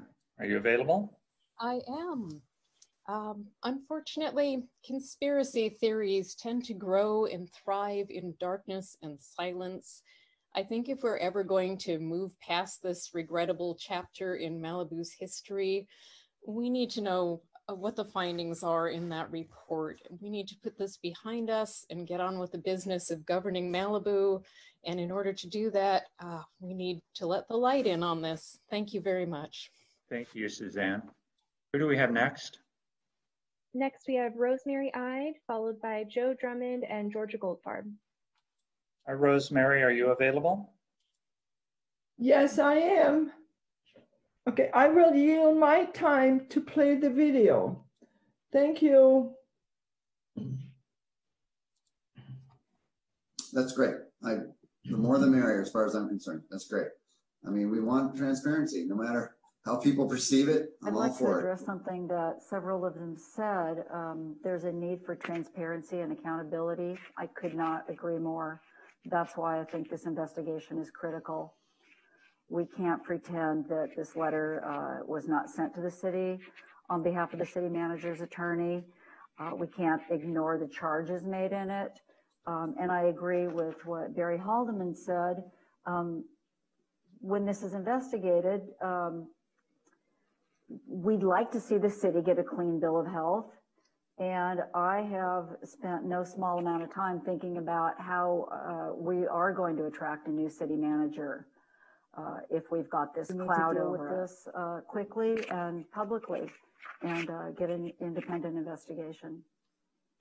My take on on what's gone on and, and how we should be responding to it is is pretty pretty closely aligned with Mikke. I too come from a business where if there is any kind of a, a uh, allegation like this, it, it gets dealt with very quickly, or we're going to lose both the people. They're both both the people who are producing members of the community end up walking out the door, and I I don't want to see that. And I, you know, I'm going to go slightly off off pace here for a second. In the last part, one of the things that, that they were talking about, uh, Jefferson Wagner's um, thing was talking about investigating was that someone was found doing something wrong and they were terminated. And to me, that is what you do when somebody is doing something wrong. You terminate them as quickly as possible and you, you know, you move on with life and, and try to restore uh, harmony to the to the firm. So I think that the investigation needs to get done. It needs to get done right away, and it, it shouldn't take a lot of money because everything is all out there in public. What happens? Mikke, let Mikke answer, please. Well, I guess then we know, it. I know, we know we're at risk and we're gonna need to have to deal with how we're gonna deal with being at risk. I don't know, maybe the voters want to recall that person. How do I know? Ah, so now we're coming up with a program that says, let's figure out how. I'm not saying you, you're pushing me in that direction. I don't know what you I, want I'm-. Mikke, I'm, I, I want to know what I'm you. following your lead. This is your proposal. I just want to know where you think this is going to lead us And apparently it's a program that says if we can, we can get somebody. I have no and say it's knowledge of- We can figure out maybe the, the residents will recall Bruce. And that was three minutes for Rosemary. So next we'll hear from Joe Drummond, followed by Georgia Goldfarb and Scott Dittrich. Joe, are you available? Hi, yes, I am. Honorable Mayor Grisanti and City Council, I hope that given everything said in that last video and the original intention of the investigation, that the results and all information leading up to this investigation will be released to the public, so no more questions exist. I call your attention to the letter to the editor of the Malibu Times that Mikke and Karen wrote jointly last week, in which they call for two members of the LA County Committee on School District Organization to recuse themselves. They close the letter stating, as our nation faces an unprecedented attack on dem- democracy itself, how can we expect our children to understand and embrace the principles of transparency, accountability, and the right to a fair process when we stand by as two members of the county committee trample on these principles of fairness? Please embrace and stand up for these principles of transparency and accountability as council members and release this investigation and all information having to do with it and the settlement agreement with Ms. Feldman. She has already left and been paid out, so there should be no reason for any disparagement upon her to come from this release, especially since it's an investigation into Mr. Silverstein and not into her. So it should not state that she did anything wrong and violate any terms of the agreement. There is also no reason why the Wagner investigation was released, yet this one is not released as of yet. Also, the residents of Malibu, Malibu should be seen as the clients and not the city alone. So we have every right to have access to this report and all confidential meetings having to do with this investigation. We'd also like to know how much this investigation cost. Thank you for doing what is fair and making the priority the rights of the public. Thank you, Joe. You're welcome. Next, we have Georgia Goldfarb, followed by Scott Dittrich and Ryan. Georgia, are you available? Uh, yes. I'm just trying to unmute there. You're unmuted. Okay, great. Um, dear Mayor and Council members, as I have said previously, I believe it is critical to our commitment to transparency and fairness that the report of the investigation regarding Reva Feldman's charges be released to the public. It will help mend some of the differences between council members and the public and will allow us to move forward to solve the challenging issues before us. Reva is gone. Let us put this matter behind us. Please release the report. Thank you. Thank you, Georgia. And next we'll hear from Scott Dittrich, followed by Ryan and John Mazza. Thank you, Kelsey. Um, you know, every time council goes into closed hearings, it grates on me, and I know it grates on a lot of people in the city. There's times when you have to do it, discussing staffing or punishments to uh, someone or salaries. It, it, we understand that, but still it grates. This does not rise to something that needs to be kept from our citizens. It just doesn't. Yeah, I've read Reva's uh, uh, NDA that we can't disclose, blah, blah, blah. But this isn't about Reva. This is about Bruce investigating whether he committed really sexual uh, attack on Reva. I can't see that. What happened, of course, we know Bruce ran on a platform that he wanted Reva gone, and a lot of reasons for that. We don't need to go into it. So he started asking for a lot of information. Reva fought him on that, didn't want anything recorded, didn't want to give him that information. And then, of course, it got ugly. Um, so I don't think that uh, Reva has anything to stand on because this is about Bruce. Were his actions over the line or not? So please release the report there. Two minutes. Thank you, Scott. Thank you. Ryan, are you available, Mr. Embry?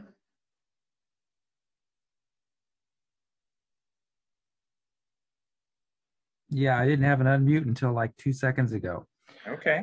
So my uh, comments are that we have to understand how we got to this point because city could get to this point on some other issue too, especially if the staff's going to withhold documentation, which was the impetus of um, a lot of the involvement of the requester. And I want to remind you that this was state law that was uh, voted into law as Proposition 59. And I'm going to read it.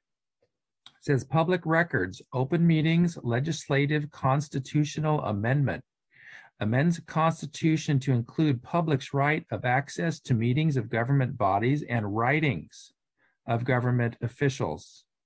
Preserves specified constitutional rights, retains existing exclusions for certain meetings and records, fiscal impact, potential minor annual state and local government costs to make additional information available to the public. And I want to put this in the context of the requests because there was an analysis of this by the First Amendment Coalition and by UC Berkeley. And this passed overwhelmingly by the citizens of the state of California and this obligation is your obligation to abide by the state laws and all the people who took similar oaths. And so it was the Public Records Act where, unfortunately, um, the city did not comply and fell down. And I'd like to know, and you know, the requester, which was uh, Bruce, um, was very gracious and he waived timelines that are required for performance and production under the state act. And the requests that he made were not unreasonable because you know he was posting copies of this stuff on social media and the the strange um, what would I call it denials and pushback from the city started to reveal a dynamic in our leadership was not capable and willing to comply with. So I would like to see in this not just the the interpretation of of whether the, you know I saw the the counterpoint was the letter. When you can't do your job and you want to negotiate a, a golden parachute, you send in a letter, throw in some you know innuendos and see what you can get. I want to know the city's statistical performance of complying with the Public Records Act of the state of California. And if it failed to do so under Reva Feldman's leadership, I want to know why you rewarded uh, that person so graciously with a package. Thank you. Thank you, Ryan. Next, we'll hear from John Mazza, followed by Howard Redsky and Lynn Norton. Hey, John, are you available? I am available. Um, I think I want to put this in perspective. The general public doesn't trust our government. Not all of them, but a significant amount because of things like this. And transparency, as Mikke and Karen and Paul said, is very important. And without transparency, you are not going to get the trust of your constituency. And you need that to govern. Now, what's happening is we're going to have a new city manager soon. How would you like to come into a city where the general population doesn't trust you're going to be honest? And how'd you like to come into the city and deal with an item that was handled way before your term? Uh, it's not a good thing. You, we have to come in and clean the slate, have our citizens believe that it's an honest government, and see all the facts. I've read the section that where it's it's Bill Sampson quoted, and it's clear to me, and now it's not clear to uh, Mr. Cotti, but we're, we don't have a problem. But just as in the Jefferson case, everything was released. I found out what you think of me. I found out that I'm a buocron. Okay, well, that's what you think, but at least I know it. It's not hidden. And the public needs to know that you were honest in the way you dealt with this. Remember, you you denied the mayorship. You have talked about taking all the committee away from Bruce, and you're not telling the public why. And you're not telling the public what was alleged and what was true. And it's very important for the public to do that. People talk about what goes on in the social media, but it goes on because of this, not in spite of it. And you have a very significant part of the public that is not happy with what's going on in Malibu. And you should do the best you can to at least make them look at it with open eyes rather than thinking there's some conspiracy or there's some documents that are hidden for no reason. Uh, and there is no harm. It's over with. We've got our money. She's gone. Bruce got elected. He's here. We have an election coming. Our problem in Malibu is there's a fundamental disagreement about a lot of things that are happening, and the public does not trust as the government and as the city council why it's happening. So they want to know. And there's no reason why you shouldn't, and you promise to let them know. And they paid for it, as Bill Sampson said. So please release all the documents and be over with this. Thank you. Thank you, John. Our next speaker is Howard Redsky, followed by Lynn Norton. Hi, Howard. Are you available? I am. We uh, can hear you. Oh, okay. There it goes. It was a different pop-up this time. Good evening. I just like to say three things. The report's probably going to be released. Nobody's mind's going to be changed. And if there is another payout to Reva, people will complain. Thank you and good night. Thank you, Howard. Lynn, are you available?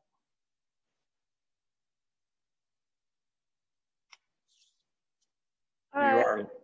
I'm here.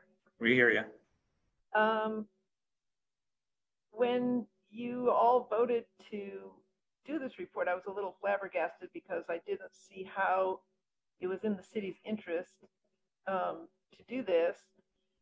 And it was really an investigation of Bruce, and especially if the if the report exonerates Bruce, it would not it would be honorable to make that public because really what you did was you investigated Bruce. So um, I know that John said there's risks in putting it out, but there's always, I, I bet there's very few decisions that you guys make where there isn't a risk of saying yes and a risk of saying no. There's very few things that you make where it's just all on one side of the equation. And and the risk of not putting the report out is is having a distrusting citizens. You know, it would be nice to, you know, it's always good to get the truth out. You know, even if some of it's rocky, it's always just still good to get it out. You know, and then just go on from there. So I just think it would be good for the city, uh, good for the citizenry if you would release the report. And I actually hope it's a no-brainer and you just all say yes. Okay, thank you. Thank you, Lynn. And Mayor, that was our last speaker sign up, and I don't see any raised hands from the public, so that concludes public comment. Okay, we're going back to the council. Uh, Karen, I see your hand. I see Steve, Mikke's hand is raised against the non-contrasting background, and then the Karen's, followed by Steve's. Okay, sorry, is it Mikke Oh. first? Who's that? Yeah. Uh, Mikke first. Mikke's, according to the computer, Mikke did it before you. I'm sorry. Maybe I can come up with a red hand or something. I'm sorry about the background. I failed on the green screen. It doesn't work. um, okay. I come from a world where every organization to be to create any sort of culture people want to be involved in investigates charges of harassment. So how that translates is down. Uh, I mean, if we investigate, was on an you know it was an internal investigation, but it's a little different in this case, a little different than say two staff members accusing each other of harassment or something like that. So I thought the only way for full transparency was to do an HR investigation. And that's what we have here. And honestly, since day one, I've wanted this release. And Absolutely. And it took a while, but you just don't give up. And I believe not only did I bring this forward, I believe Karen seconded it. So you people asking for transparency, that's exactly what I think should happen. 100% always. I've said it before, I'll say it again. No matter how it looks or comes out, we absolutely have to be transparent and want to be transparent. I do agree with Howard. You know, it's probably, yes, it has to come out. Will it solve anything? I doubt it, but you know, everyone will have their take on it.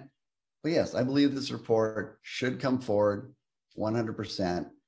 Um, the other interesting part here is I think Steve was asking to be able to talk about our conversations in closed session. I find that a lot harder. So, are we going to agree to release basically hearsay with nothing recorded? That's going to be just a war. These were hard, hard conversations both ways. I I'm much more comfortable with printed material that is verified. I don't really want to go to war. I want to try and work together and move forward if we can. Um, so I think you know where my vote is 100% that we should release the report. I think it's about time. I hear Mr. Cotti and respect him 100%. I really appreciate you as our attorney. You're great. But I, I do believe that this absolutely needs to be released. And those are my comments. Thank you very much. Thank you, Mikke. Karen? Okay, thanks, Paul. Um, if that was a motion to release the report, I'd like to second it, but I also have some comments. Um, so uh, for interim city attorney Cotti, uh, for anybody who hasn't read the report or has forgotten some of the details, the staff report on this item, there was a separation agreement report made to the public I think on April 27th, 2021, correct? Yes, that's correct. Okay. And that reflected a council vote on the separation agreement. So can you remind us, was that council vote unanimous? Yes, the council con- considered this item in closed session on April 27th. And at that time, the council approved the settlement agreement and I reported out publicly that the council unanimously approved the agreement. So yes, the- Okay. your vote was unanimous.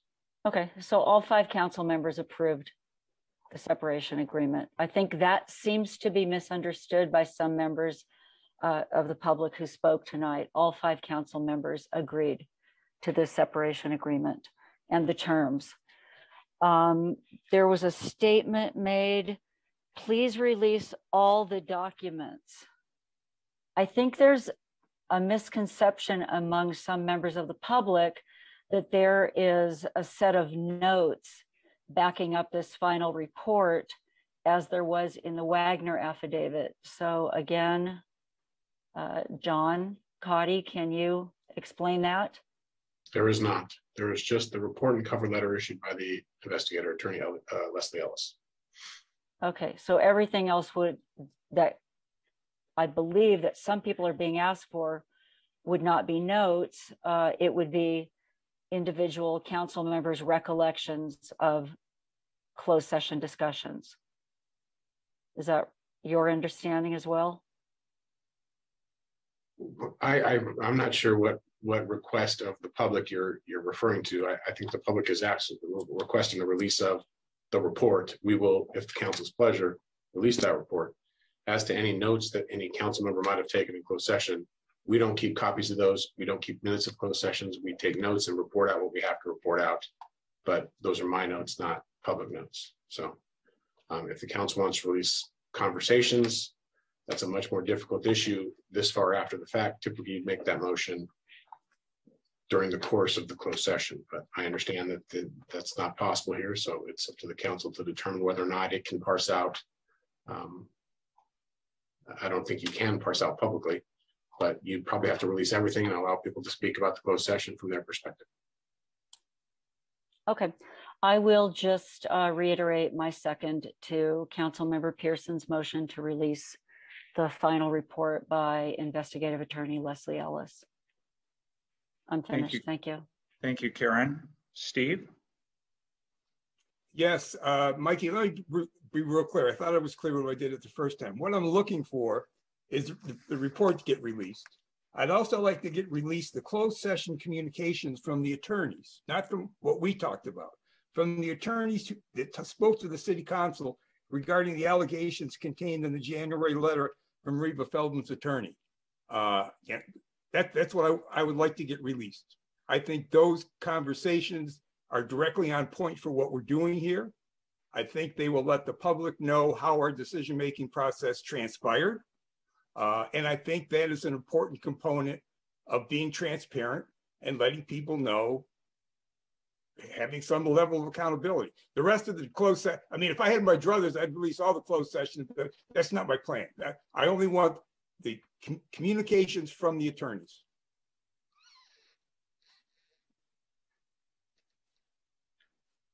Thank you, Steve.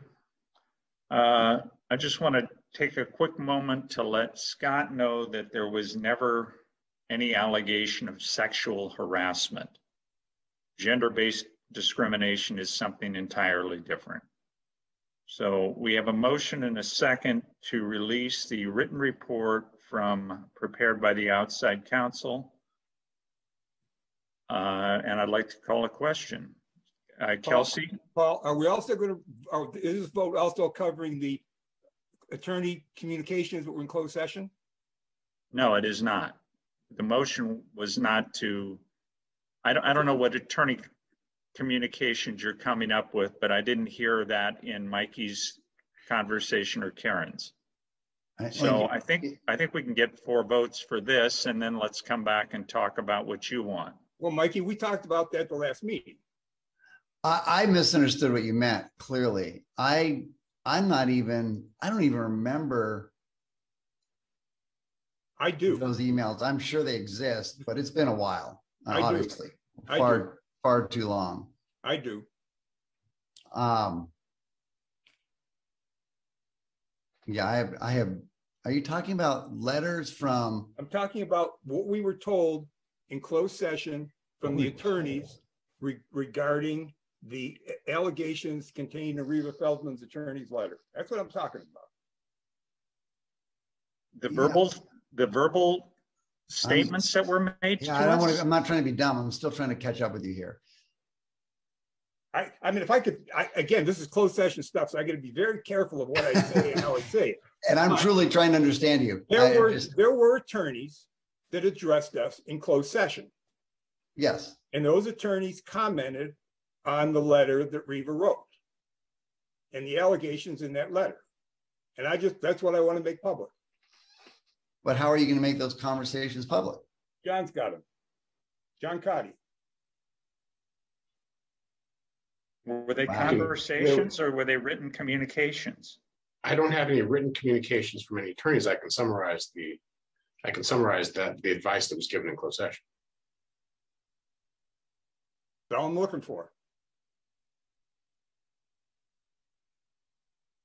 I, don't- I don't think, I, I'm unfamiliar of what those documents say or anything, and I don't care. They're not documents is what it comes down to.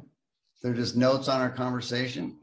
I, I didn't even know notes were available. If there's notes, I have no problem with that at all. There's, I have nothing to hide, zero. I just was having There- trouble understanding what you meant. There are no notes. It would just be my summary of the, of the advice given in closed session relative to the separation agreement and the allegations raised by Reva Feld. So with that, Paul, are we vo- voting on both of those things with this one then? I prefer we keep it separate. We've got a clear uh, desire to vote on whether or not we're giving the written, and I I prefer that we have a separate motion and we try to figure out asking, asking John to generate a, uh, a set of notes for us. No, John can just relate what he knows, what he has recorded. Let's, let's, I'd like to call the question on the motion that was made. And then we can talk about a second motion. Okay. So we've got a motion and a second. Kelsey, will you take the roll? Uh, yes, Councilmember Pierson, Yes. Councilmember Fair, Yes. Councilmember Uhring, Yes, Mayor Grisanti. Yes. Motion carries. Okay. I- I would say to, to uh, Steve's motion or his thought, I'm personally, I'm fine with it, but I think we should release the report first. And then he can, I They're mean, all the I don't same, know. Ricky. What's They're that? all- They're all tied together. Exactly. all- And so release them all at once. We can put it behind us. We don't have to play with it anymore. Like I said, I agree with Howard. This isn't going to make things a lot Well, better, you- but we yeah, need to well, release it either way. We need to agreed we re- need- Hey, hey, I'm, I'm, I'm speaking. Let me finish. Go We need to release it either way. I hundred percent agree. I'm Karen? sorry. I just wanted to finish my thought. You can, Okay. and someone else can No, speak. Go ahead, Karen. Karen? Uh, yeah, again, this is in the staff report for item five A, but, um, I would rather hear John Cotti comment, uh, on what we're talking about right now and releasing, uh, whatever report he made at that time and, uh, what he thinks the risks are. And, uh, and if that sets a precedent. And I, I'm not sure how I feel about it, but I would like to hear from John about this. I want to be clear, there is no written report from any of the attorneys that appeared before you in closed session relative to the advice that was given. It was given orally to you in closed session. I can summarize that. Um, it would be, you know, the advice was the same. I can, I can summarize that for you, put it in a written document and attach that with the press release, putting out the report.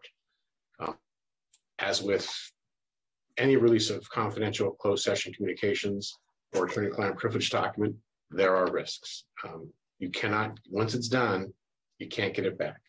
Um, Perhaps as a compromise, you can release the report and revisit this um, at a future meeting.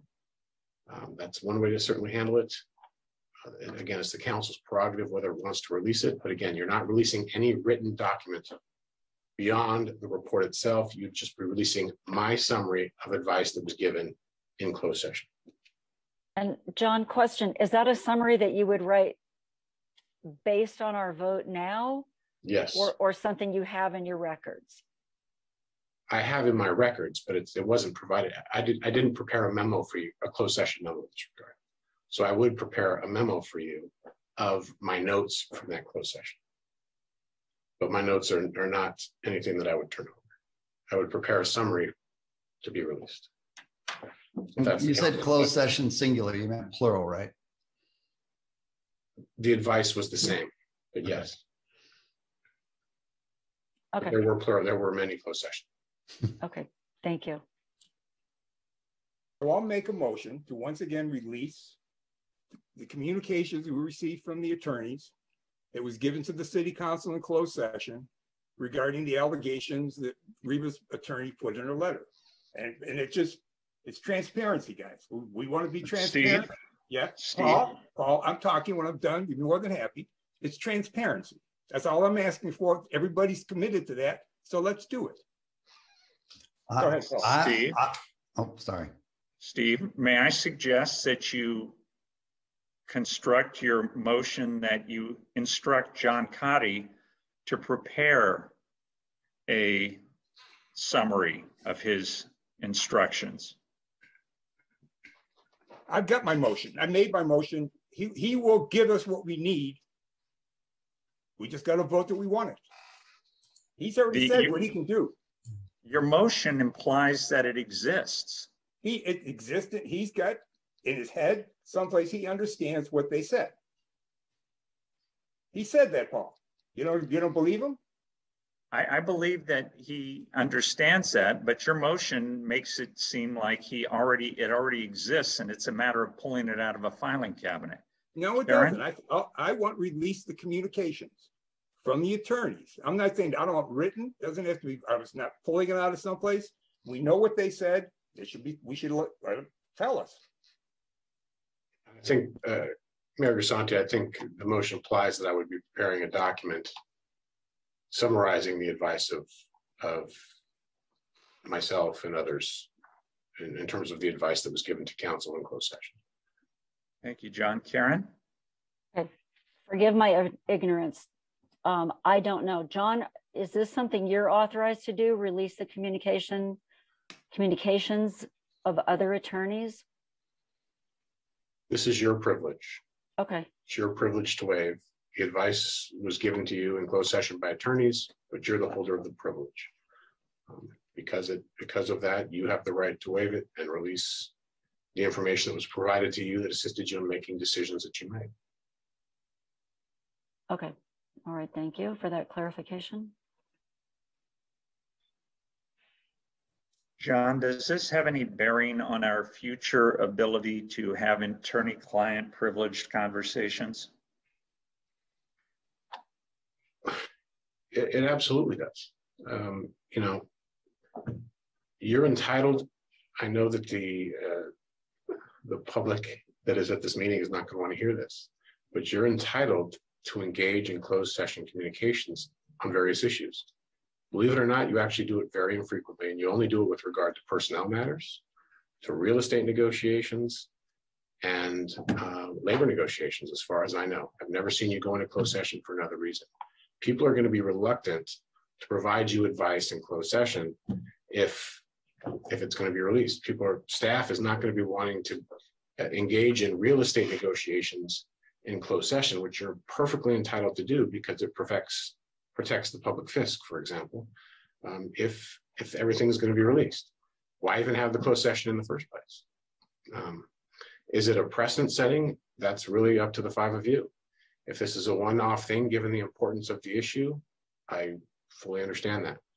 Um, if it's if it's something that's going to be continuous, it could lead to problems down the road. It, it it affects your ability to do to do business as a city.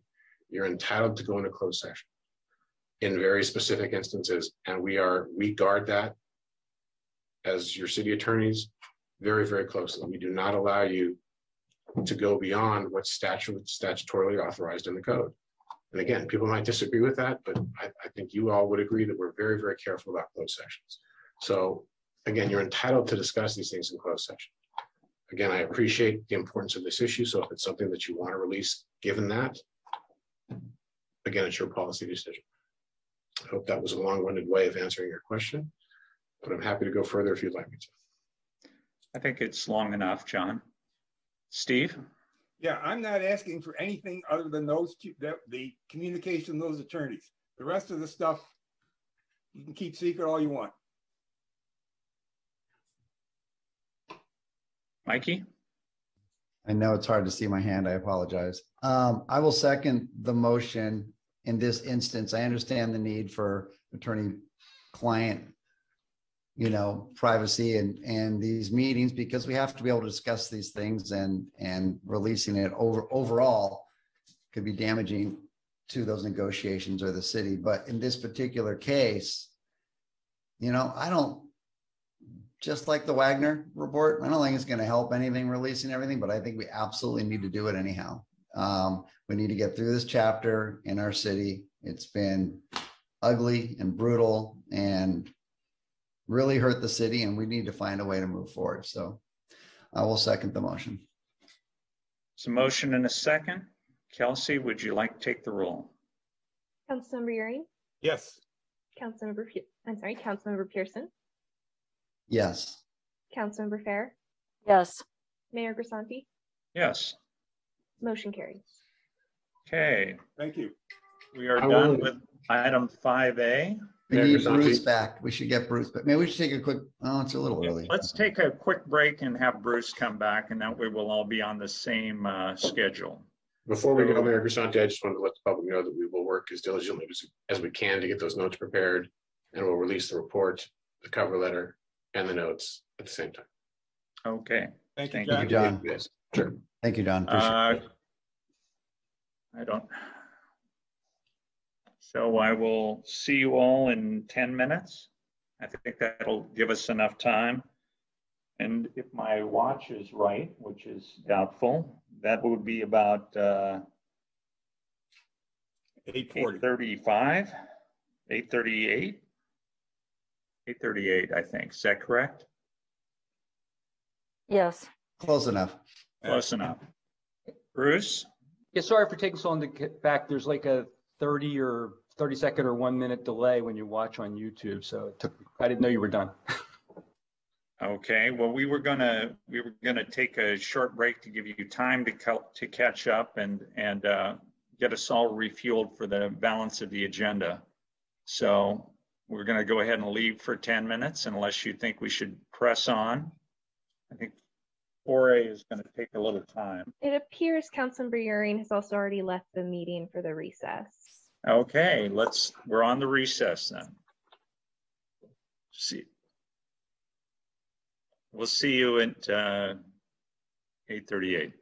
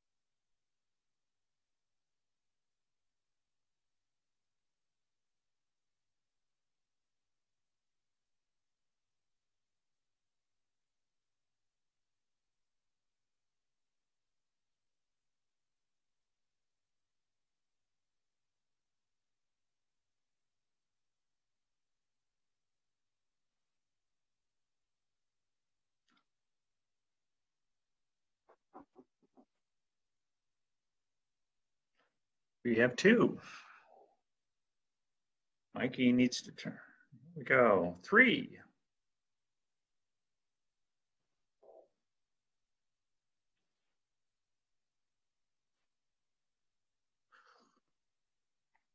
We have four.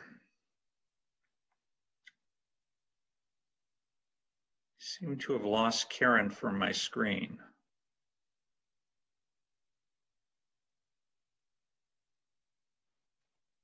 Maybe give her another minute. It looks like she's not connected to audio either. She's Okay. reconnecting right now. Good, thank you. Hey, Karen. Okay, we are rejoining and the agenda brings us back at this point to item 4A, which is a coastal development permit and a bunch of other things. And I'm going to jump right to the staff report. And I bet Adrian is going to help us with that.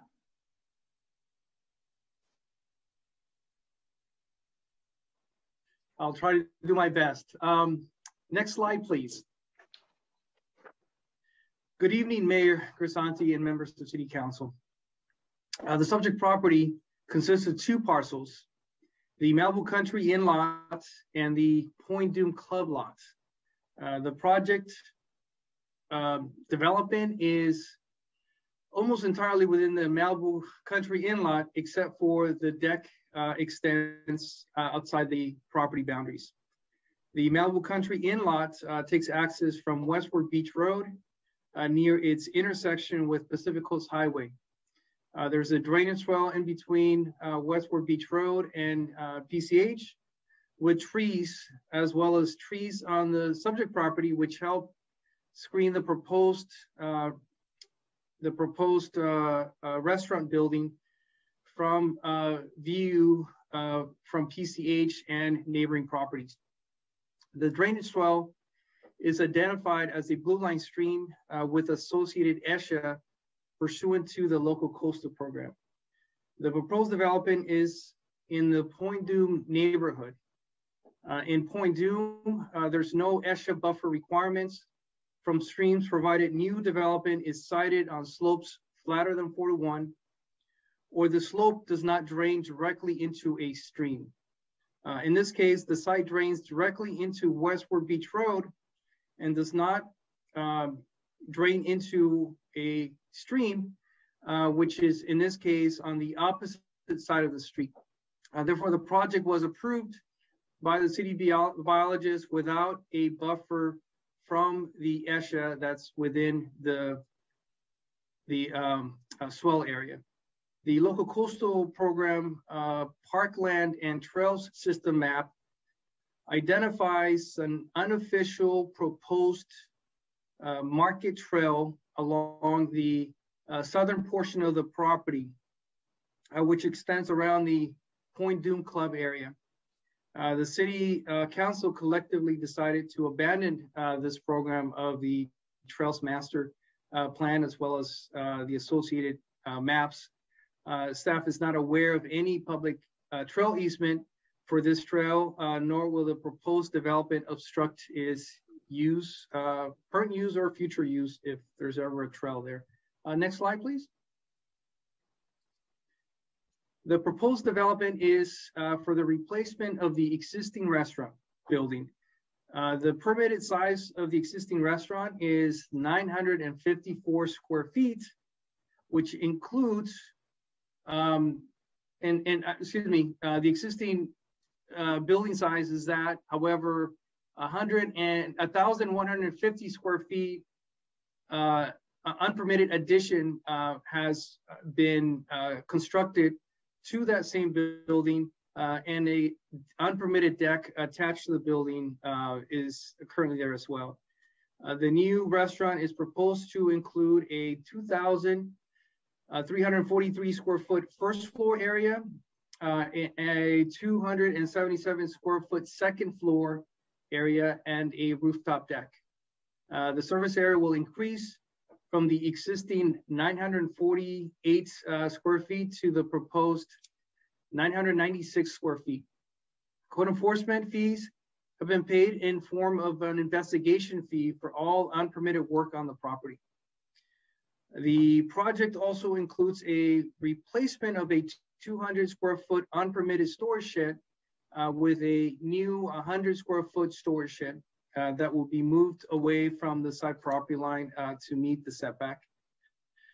Uh, replacement of an unpermitted ground level deck with a smaller deck in compliance with the setbacks and uh, reconfiguration of the existing parking lot to provide 40 parking spaces without increasing any nonconformities. Uh, next slide. So here's a list of discretionary requests uh, for the project. Uh, the applicant team is requesting a lot line adjustment between the Malibu Country Inn lot and the adjacent Point Dume Club uh, mobile home park lot. The Point Dume Club lot is zone mobile home residential or MH. And the Malibu Country Inn lot is zone CV1 or commercial visitor serving one. Um, both the Malibu Country Inn and the expanded land in the um, MH lot are proposed to be rezoned CV2, uh, and this is in order to re to allow the property use to be uh, reclassified uh, from the existing motel and restaurant to a hotel. Uh, this uh, reclassification is subject to a conditional use permit and a parking variance. Uh, the parking meets the parking provisions of the motel and restaurant, and the operation of the facility will not be altered uh, whether it is considered a hotel or a motel. A conditional use permit was previously issued for the restaurant, um, but the motel remains a legal non-conforming use as it requires a conditional use permit in uh, the existing CV1 zoning district. Uh, variances are also requ uh, required for the construction of a staircase to comply with fire department access and deck, and for the replacement restaurant not to comply with the city's geotechnical standards for factor safety. A site plan review is uh, required for the second floor and portions of the uh, restaurant's first floor to uh, exceed 18 feet in height, but uh, to maintain a maximum height of 24 feet uh, for a flat roof. A minor modification is requested for the restaurant to maintain the same general location, which requires a uh, reduction in the front yard setback. Uh, a demo, uh, demolition permit for the replacement restaurant, removal of on-premise storage shed, and partial demolition of the existing deck is also requested. Uh, all the same uh, discretionary requests would uh, would be required for the for only uh, the permitted portion of the restaurant building to remain, uh, since the existing building would need the foundation to be altered uh, or um, retrofitted, which would make the building a replacement building per the local coastal program. Next slide. Here's a site plan showing the location of the replacement restaurant over the existing uh, restaurant and staircase, uh, proposed staircase over the steep slope. Uh, the existing motel consists of three separate buildings uh, and existing parking is located along the entry uh, driveway and angle parking spaces behind one of the motel buildings. The parking will be modified to comply with the most uh, recently approved site plan, uh, which was approved around 1996. Uh, 12 of the existing parking spaces are non-conforming due to size and aisle width. Uh, next slide. And here's a, a color-coded slope uh, analysis showing uh, the steep slopes all around the existing development. next slide. Uh, and this is the lot line adjustment exhibit showing uh, in shaded gray uh, the proposed area into Malibu uh, Point Dume Club lot. As stated before, the shaded area areas are currently zone MH. Uh, and should the lot line adjustment be approved, the zoning and general plan maps would need to be updated to match the rest of the property. Uh, next slide. The uh, uh, these these are site photographs uh, that show the replacement restaurant building uh, with intermittent visual uh, obst- uh, obstructions from PCH um, because of existing mature trees along the street and on the subject property. The proposed uh, 277 square foot second story addition is also located towards the back of the building, which will be mostly obstructed by the single uh, portion of single story portion of the residence uh, from a line aside uh, from PCH. Uh, this exhibit, or excuse me, this uh, these photographs show photographs taken um, from the rooftop deck. Uh, it should be noted that conditions have been added to the project, such as condition uh, 31 uh, that requires no existing lighting on the restaurant's rooftop uh, deck is permitted. As part of this application, a future request for rooftop uh, lighting uh, requires a coastal development permit amendment or a new CDP. Uh, the restaurant's rooftop deck must not be used after dusk. Uh, other than the roof deck area, no exterior area may be used as the restaurant's uh, service area. Um, and this is uh, due to the limited parking requirements as they would be using all of their uh, service area within the building or on the rooftop. Uh, and then condition 35 uh, is no amplified sound may be used uh, unless otherwise permitted with a uh, TUP. Next slide. And again, these are just more photographs uh, showing the existing driveway and the motel buildings. Next slide. Uh, City Council member Uhring uh, pointed out that there was an error in the second floor bar area. Uh, while the chairs uh, were included in the service area calculation, the counter space was not. Uh, the applicant provided the attached sketch to show how the bar area can be modified to comply with the ser service area required for the property staff uh, proposes the following condition uh, of approval uh, should the council chooses to accept this this change. the second floor area must be revised in compliance with the service area provision provision presented to the city council during the January 24th, 2022 meeting, the total uh, service area may not exceed 996 square feet, and the portion of the counter used for payment and uh, drink pickup may not be used for drinking or eating. Uh, next slide.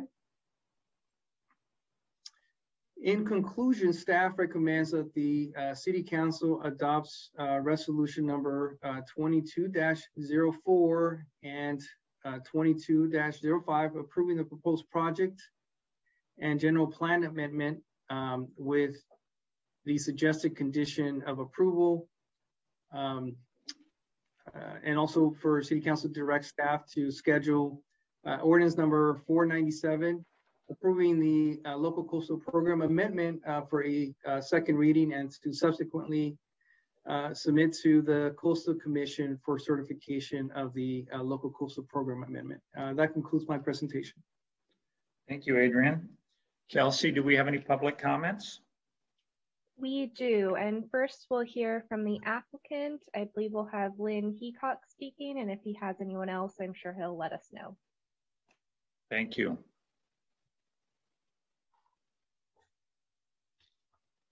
Mr. Heacock, are you available? Yes, I am. Can you hear me okay, Mr. Mayor? We can hear you. Uh, Mr. Mayor, council members, I'm pleased to be here. Thank you very much for your time. I also thank uh, Mr. Fernandez. Um, we get along relatively well. He's got different ideas than I do sometimes, but we, I think we're pretty much consistent with one another on this particular project. I also want to thank city and county staff. Um, I have provided each of you a brief summary of the items I wanted to discuss. The first being the a very simple a very simple statement regarding the proposed replacement restaurant lot line, lot line adjustment. Um, we want to replace a restaurant initially built in 1955. We're also requesting a lot line adjustment to provide space for today's required setbacks. Some of our non-conforming uses We understand, however, that the city zoning ordinance allows all legal non-conforming structures to be maintained indefinitely and rebuilt. Um, the Coastal Commission has similar requirements.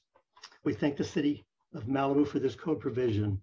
Now, the old restaurant and the replacement restaurant have similar footprints as depicted on some of the exhibits that Adrian has shown you, but the square footage cannot be directly compared due to some of the ADA, um, Americans with Disability Act requirements.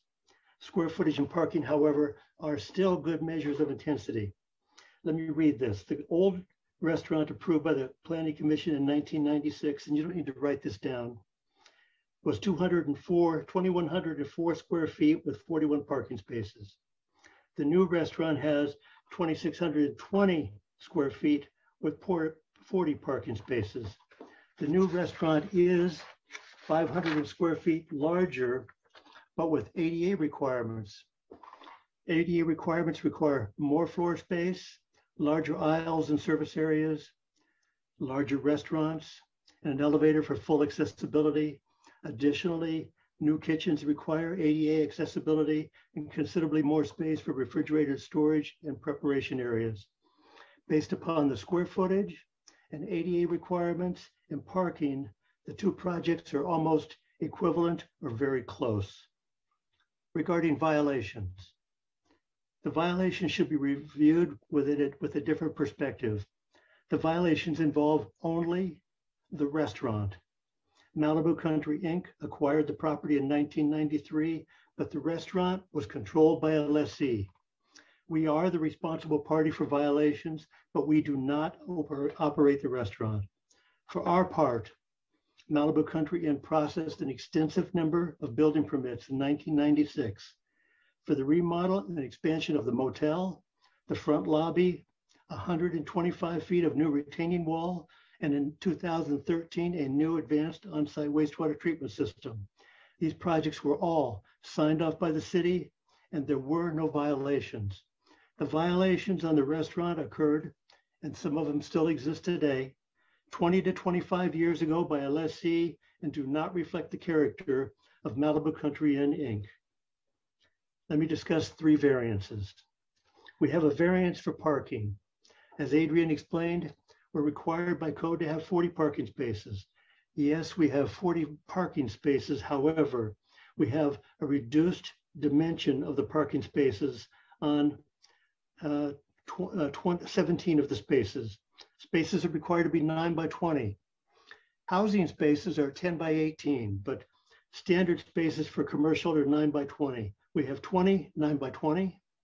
We have 17, 9 by 18, which is satisfactory for a house, but not for commercial. And we have three ADA.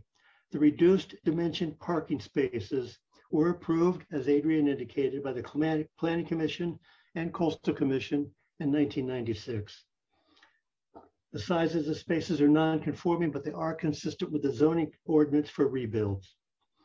Just for the record, I should mention that for the record, the code allows shared parking spaces, which would reduce the overall parking requirements to 30 spaces. We are not requesting shared spaces. We just want to be, make sure that the, the city council knows that we have adequate number of spaces on site. The second variance is for slope uh, construction on slope steeper than two and a half to one. The fire department is requiring us to build a second emergency stairway up to the restaurant on slopes exceeding two and a half to one, which is 40%. We're also making water, water improvements for the fire department. This is the stairway for public safety. The third variance, we're asking for a factor of safety of 1.268 that exceed that, excuse me, we're asking for a variance of safety that of 1.268 in lieu of 1.5. I do not think a variance is necessary. This is an option for the Building and Safety Department. The LIP, the Local Implementation Plan, references the geotechnical guidelines and the building code, and they do not require a 1.5 factor of safety to rebuild if the damage was not due to landslide, settlement, or slippage. Our damage was due to old age. The city building official has worked previously with property owners in the past to allow reconstruction of legal non-conforming structures to be, re, to be rebuilt if the damage was not due to, again, landslide, settlement of slippage. There have been many legal non-conforming structures rebuilt after fires in Las Flores Heights, Rambla Vista, Big Rock, and so on. Many structures were built with a factor of safety of 1.2. I believe many city council members, past and present, are aware of this. The Malibu Country Inn itself sits on a bench, cut bench cut 50 feet above Coast Highway and 50 feet below Point Dume Club with a row of homes at the top of the slope looking down on us. There have been no problems to the homes above us or property below us or, prop, or our property for the last 67 years. There have been no slope failures affecting Coast Highway in this particular area. The building official, Yolanda Bundy, and the city geologist have approved the restaurant with a factor of safety of 1.268. That is their discretion. Um, the issue has come up regarding the Zuma Canyon Creek buffer zone. We have been advised that our restaurant may be within the 100 foot buffer zone of Zuma Canyon Creek. The city biologist, Dave Crawford, disagrees. Our front setback from our property line is 37.3 feet and 97.3 feet from the western edge of Westward, Westward Beach Road. The city biologist made a site visit in 2018 and possibly again in 2021. The creek is over 20 feet beyond Westward Beach Road. We're over 100 feet from the creek. The city biologist approved our project in 2018 and 2021. We're not required, we were never required to go to the ERB, and he signed off the matter specifically in both 2018 and 2021. The restaurant service area, we've been advised by planning staff that we've done some errors in our calculations. Our architect has made some modifications and showed those to Adrian. Adrian didn't think those were, were reasonable. We will work with Adrian to complete the service areas to meet our requirements of the exact same service area that we're being approved of tonight. If Adrian doesn't like what we're going to do, we'll change it. We can't fight Adrian Fernandez. We can't fight City Hall at the staff level. They come up with reasonable conclusions, reasonable conclusions to me, in my opinion, and I accept them. Uh, the last issue was the septic system. I noticed on one of the pieces of correspondence, people are again talking about the septic system being concerned about the discharges and effluent and so forth.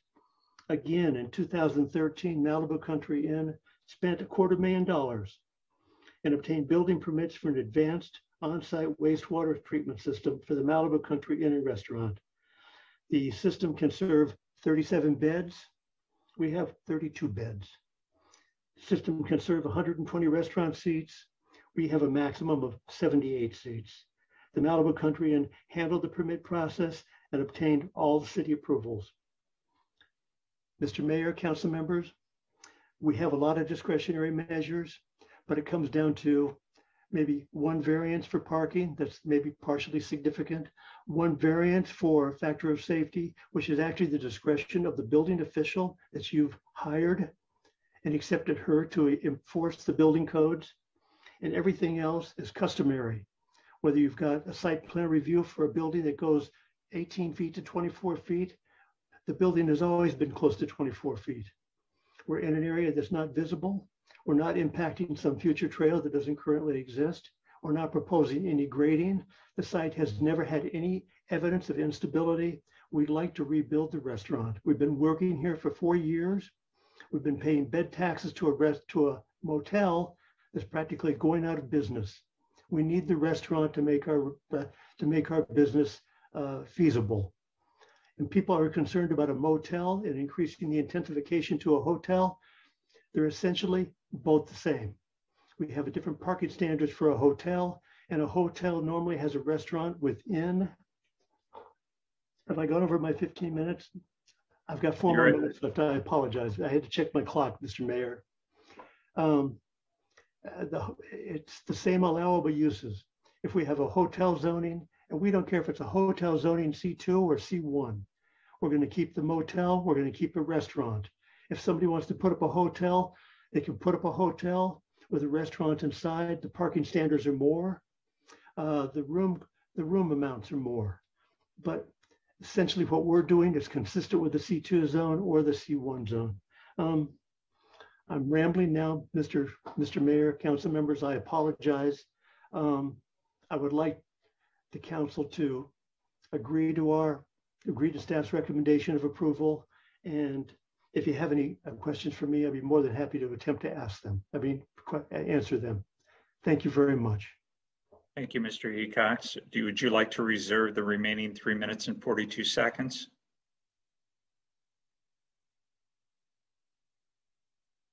I'm, I'm gonna, we'll reserve it if you want to come back. How's that? Do we have any public comment?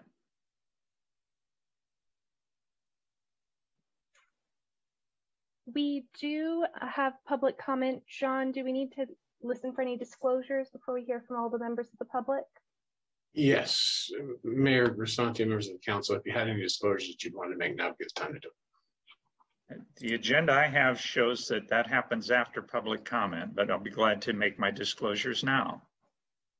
Uh, I have uh, I have uh, talked to Mr. Hecox today. Didn't learn anything that he didn't just say to everybody. And I have uh, written back and forth with with several members of the public who asked me about this project. And in the past, I'm friendly with a couple people in uh, Bonsall who have talked to me about this project. And their primary complaint at that time was uh, noise, which I believe has been addressed by the uh, the no amplified music thing. Other than that, I have nothing to report. Mr. Uhring? Uh, yes, I've been to the restaurant in the past, not recently. Uh, and I spent some time talking to Adrian, going through the uh, resolution and the staff report, and have made some comments and learned some stuff back and forth talking to him. Nothing that isn't there, just sort of getting a deeper understanding of what they were thinking when they did what they did. Thank you, Steve. Mikke?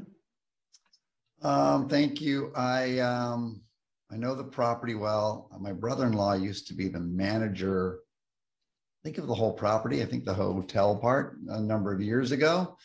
Um, no impact on now. I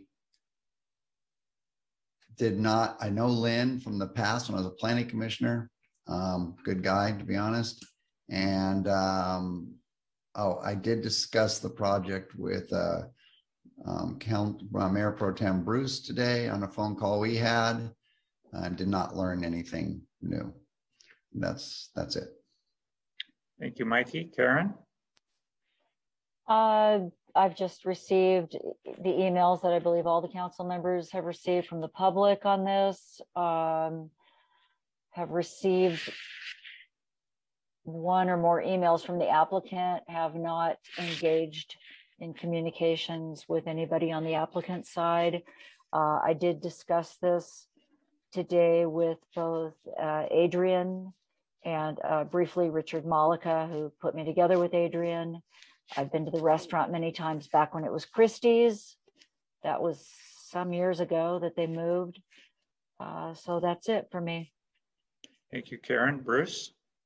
Yes, so um, last week, I had a call, Zoom call for about an hour, maybe 90 minutes with uh, Richard and Adrian, and also Trevor uh, Rusin and John Cotti to get a better understanding of the legal issues surrounding the um, proposed project.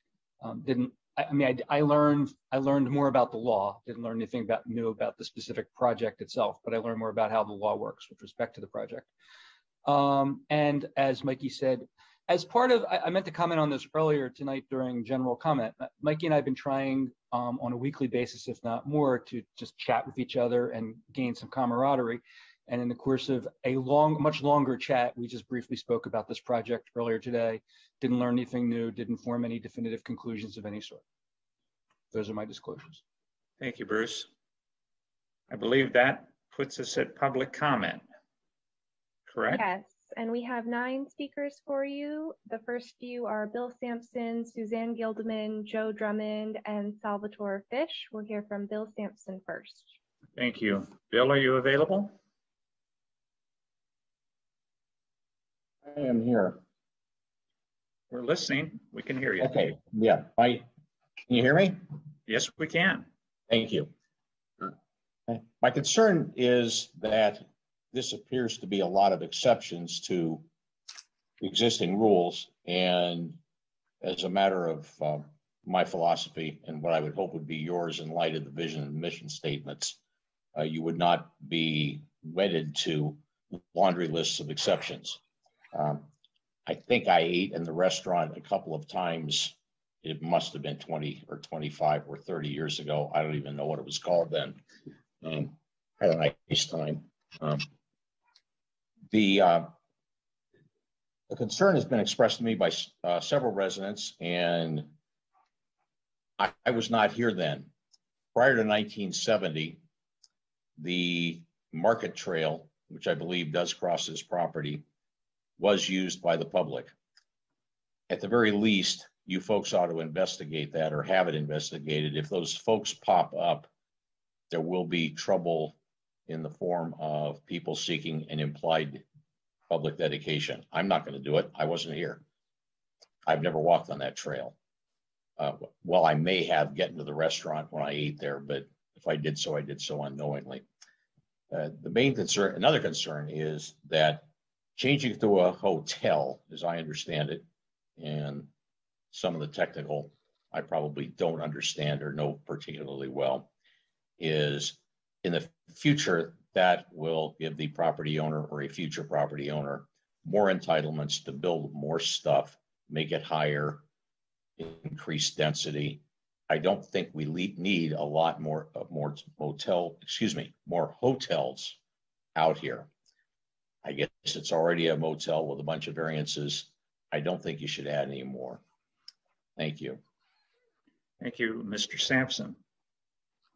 And next we'll hear from Suzanne Guldimann, followed by Joe Drummond, Salvatore Fish, and Georgia Goldfarb.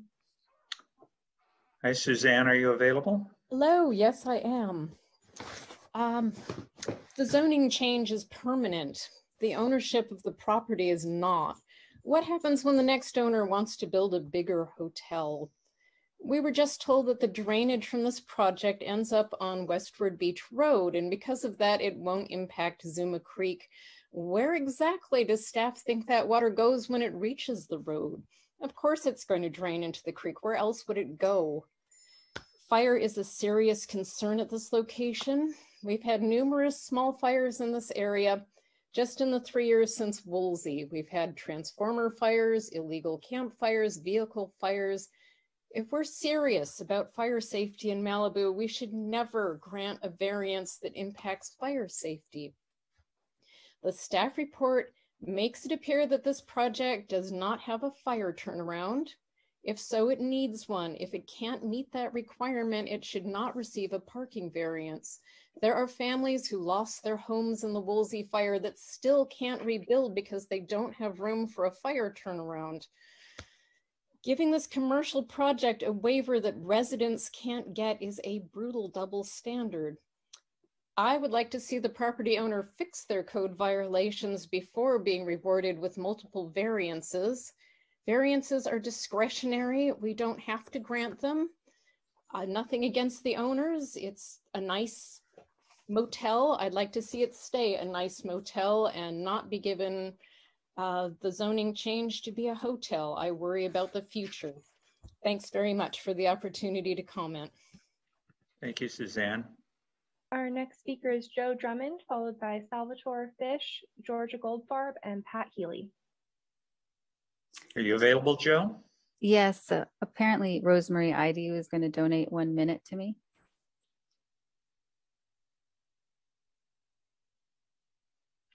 I don't think that uh, we're doing donating minutes. Oh, we're not? I don't think so. I don't think we changed that rule. And Oh. Bruce is shaking his head. So I don't know if he means he's e- agreeing with me Yeah. or, I proposed that we do that and I got voted down, so we don't do it. Oh, Okay, okay, we just do it in you. planning commission. Okay. All right. Sorry. Honorable Mayor Grisanti and City Council. This is yet another hotel and restaurant project with three variances, a site plan review for height and multiple discretionary requests, etc., that affect the safety and tranquility of many residents. The project once again cannot satisfy the factor of safety of building in the slope, yet city planning says it's okay to build when the codes say it's not. This is another after the fact build that is trying to push through while fire rebuilds and small projects can't even get off the ground for years. There are six major issues. It cannot satisfy the factor of safety requirement. It is a risk to homes and beachgoers. The slope above could slide onto buildings, risking the patrons and employees. We have had too many slides due to overdevelopment in Malibu, including Big Rock, and the city will constantly be liable. Two, it'll be too high and will block scenic views. Three, the staff report states incorrectly that no trails will be affected, yet there is a trail, the Market Trail. And the blue line streams would not be protected by the additional development in various applied for construction. California Coastal Act Section 30240 states that environmentally sensitive habitat areas shall be protected against disruption of habitat uh, values and development in areas adjacent to ESHA shall be designed to prevent, prevent impacts which degrade those areas. This property is clearly adjacent to the Zuma Lagoon wetlands. The staff report indicates that the proposed project is the least environmentally damaging alternative. However, this is not correct. The least environmentally damaging alternative would be for the property owner to upgrade the existing buildings and maintain the existing square footage and existing structures. Four, there is not enough parking for a hotel restaurant, urging more people to park on the street, taking up valuable parking and promoting more traffic in an already busy area. Staff noted sh should be more like 10 employees rather than only four, and the restaurant should have more than just 10 spots allocated. They are short at least 16 spaces. Neighbors point out that ingress and egress is already overburdened and operates at a standstill during the summer months, as does PCH at this location. Rewarding the project with a change of zoning to hotel investing future interests that could be expanded where there will be even more safety and traffic issues is wrong. This leaves open the possibility of increasing the size of every building. The hotel project requires CEQA review for environmental traffic, et cetera, and an initial study at least could address a number of these issues and potential impacts should be explicit about future implications of the hotel's des designation. Five, in accordance with the Malibu Municipal Code, the on-site wastewater treatment must be upgraded. Due to the geology and changes in environmental factors since 2013, the outsystem should be reinvestigated and any expansion prohibited. Six, the fire department in allowing a steep staircase fire escape in lieu of a driveway turnaround. This is not fair to fire rebuilds who can't get permits because their personal driveway, etc., does not have a large enough turnaround. Also, how is this disability and uh, elderly accessible? At the very least, a condition should be put on the project not to allow any future expansion. Given the regular code violations, it requires this at minimum. Thank you. Thank you, Joe. And next we have Salvatore Fish, followed by Georgia Goldfarb, Pat Healy, and Scott Dittrich. Hi, Sal. Are you available? Good evening, uh, Mr. Mayor and uh, city members, city council members. Can you hear me? We hear you. Oh, okay, great. You know, I think Susan and Joe uh, did an outstanding job. They're uh, obviously very intelligent and really spent a lot of time in reading the staff's report. I think what uh, I don't know of anyone that I've talked to, and I've talked to quite a few people. I've lived on Bonsall since uh, the early, actually 1978, we purchased here.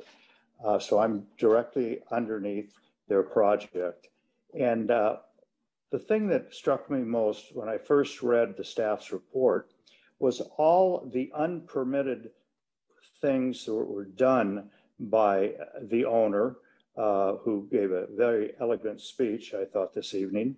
Uh, but he seemed to put the emphasis on someone else other than the fact that he was the owner. It was the restaurant's fault, or these things happened not because of him. But he is the owner, and he still is.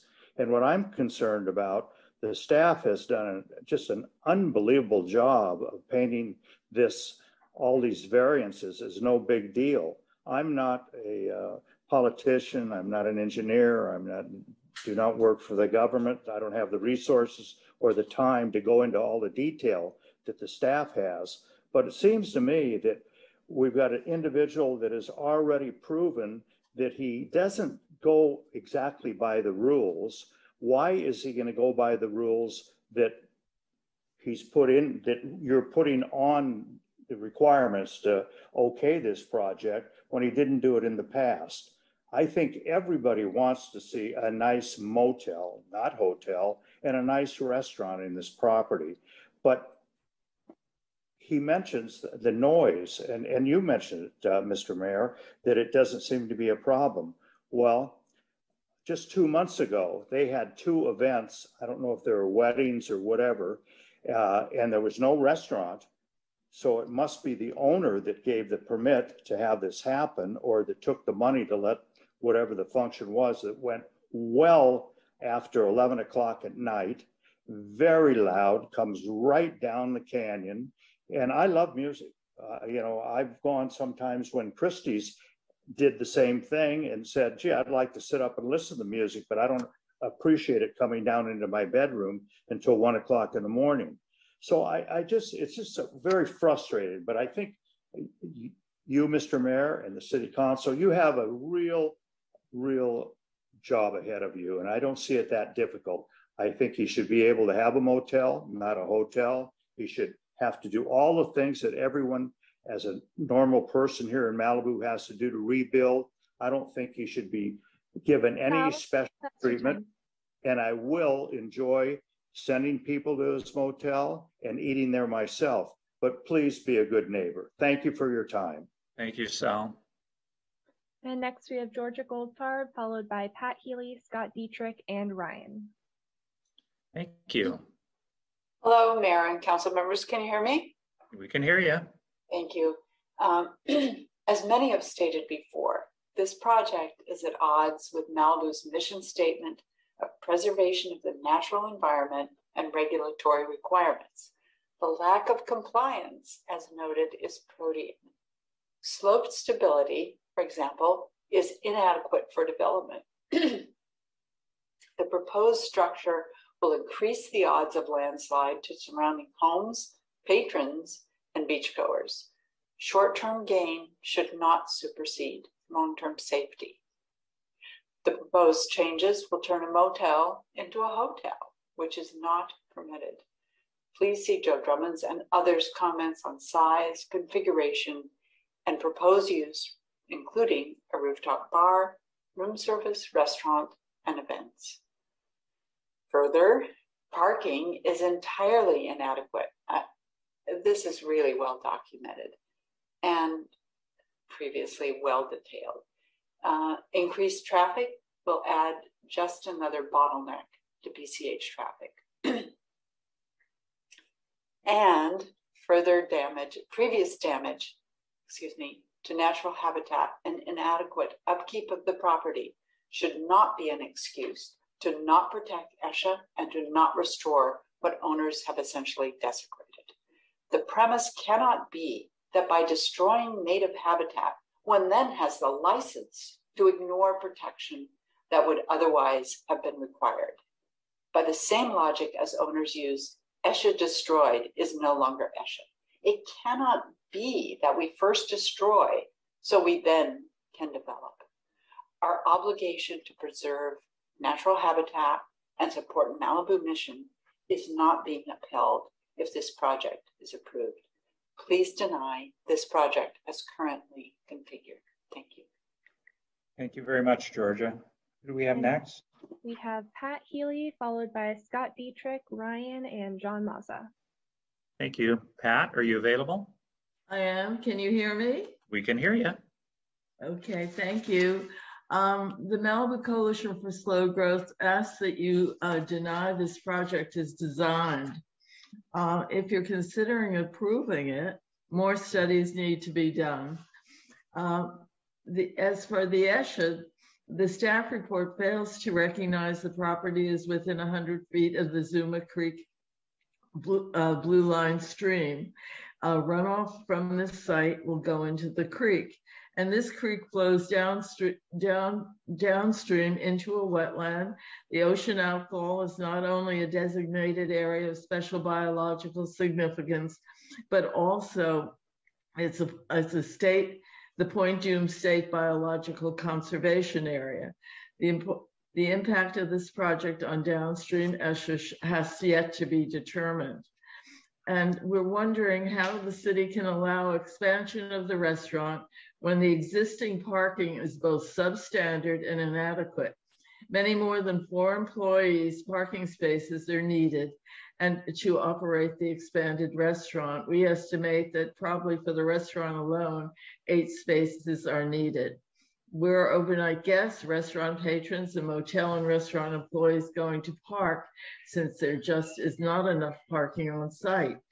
Um, also, a traffic study needs to be done because the ingress and egress to this site onto Westwood Beach is already overburdened and at a standstill during the summer months.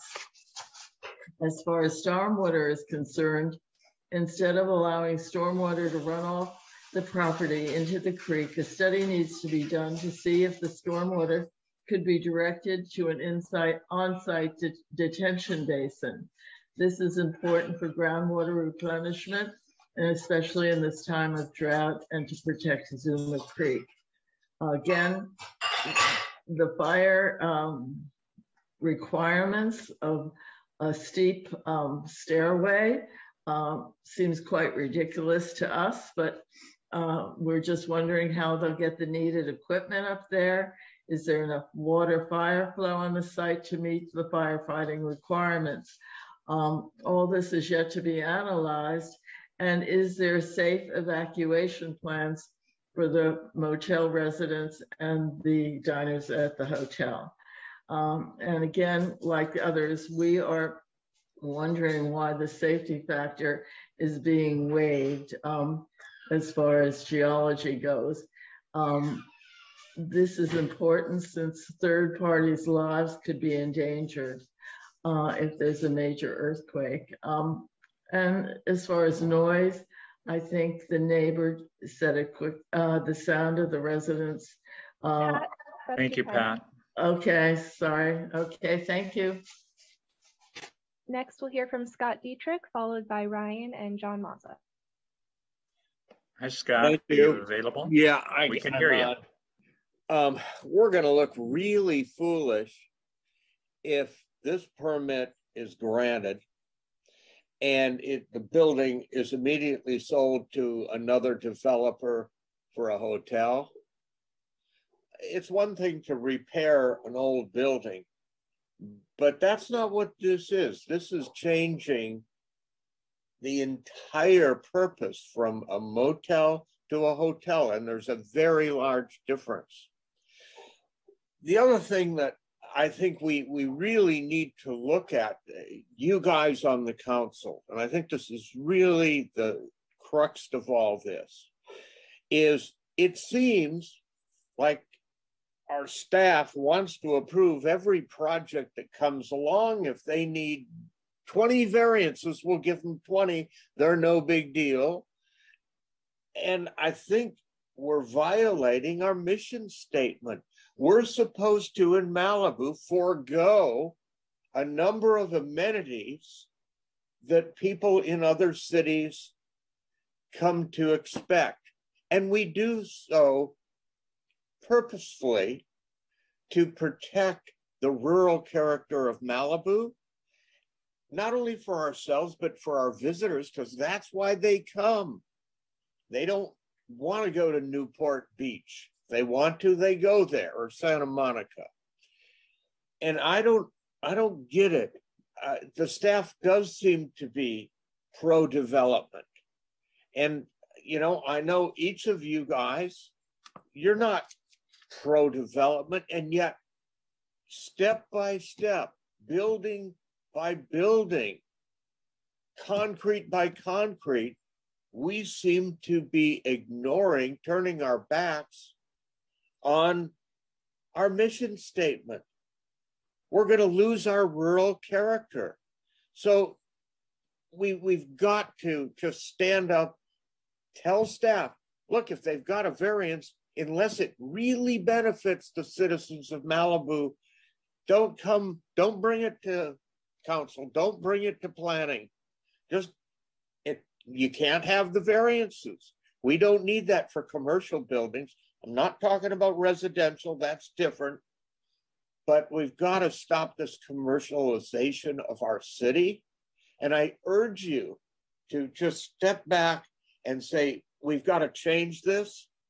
Let the guy, you know, rebuild uh, the motel to upgrade it. Sure, that's fine. But not with this crazy development after development after development. Thank you. Thank you, Scott. Our next speaker is Ryan, followed by John Mazza. Mr. Embry, are you there? Hello, I'm here. Um, I, I just wanted to mention to Salvatore, um, that wasn't the owner speaking. That was an extremely talented and well-paid expediter on the behalf of the applicant. Uh, I remember hearing Lynn Heacox 20 something years ago, and maybe he's the only guy who could possibly get this thing this far uh, because he's that good.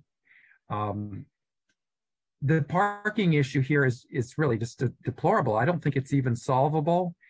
The gross parking area and the net parking area, you got to figure that out because the fire department needs to be able to get up there and they'll show up for medical emergencies. They don't, not just the place is on fire, but um, I don't think they'll defend it. If we had another event like Point Dume, it's not a dwelling.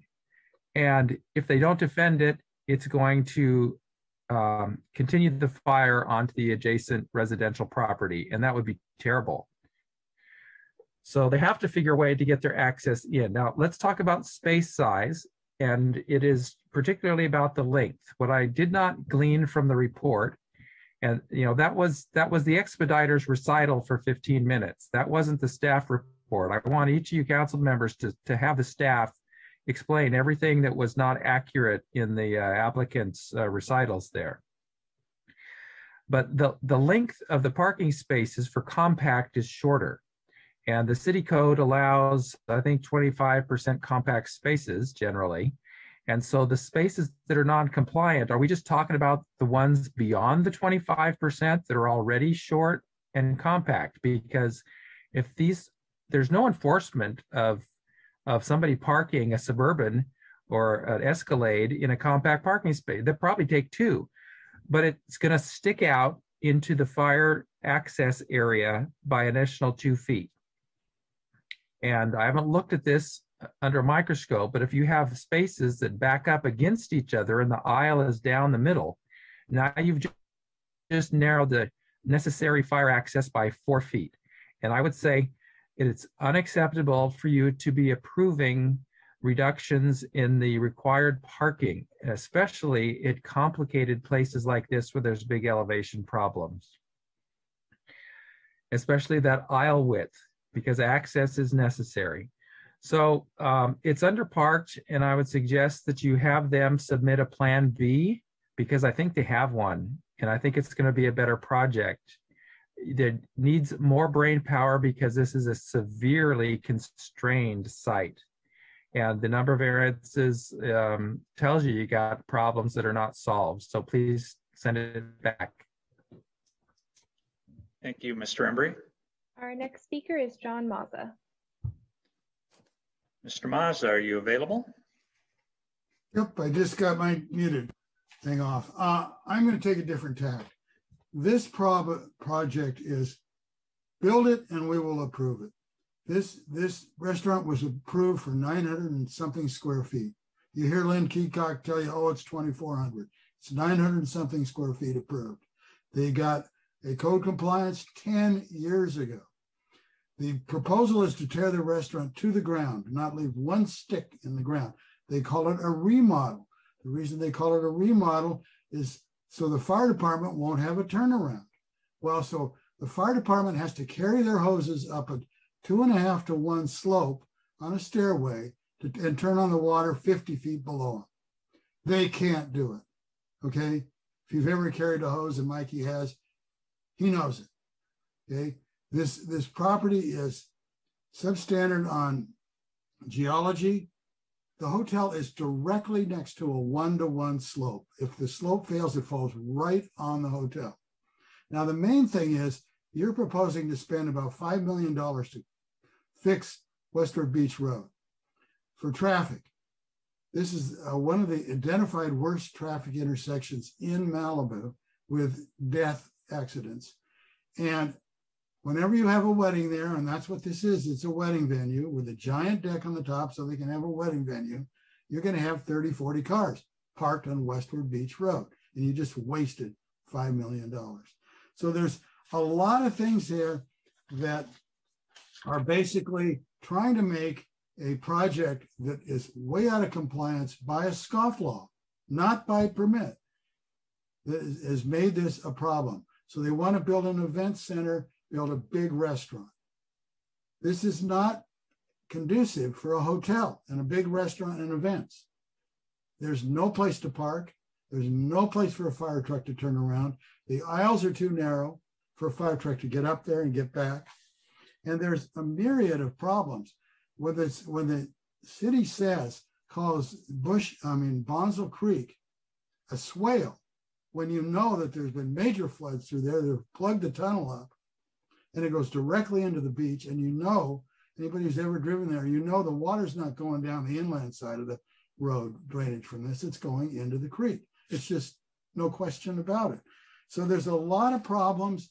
You could go into a million details, but the this should never be a hotel, ever be a hotel. It cannot take it. And it's planned so it can be okayed with a bazillion variances to allow a hotel, not to approve, not to fix a motel. And that's what the plan is. That's why you have so many variances.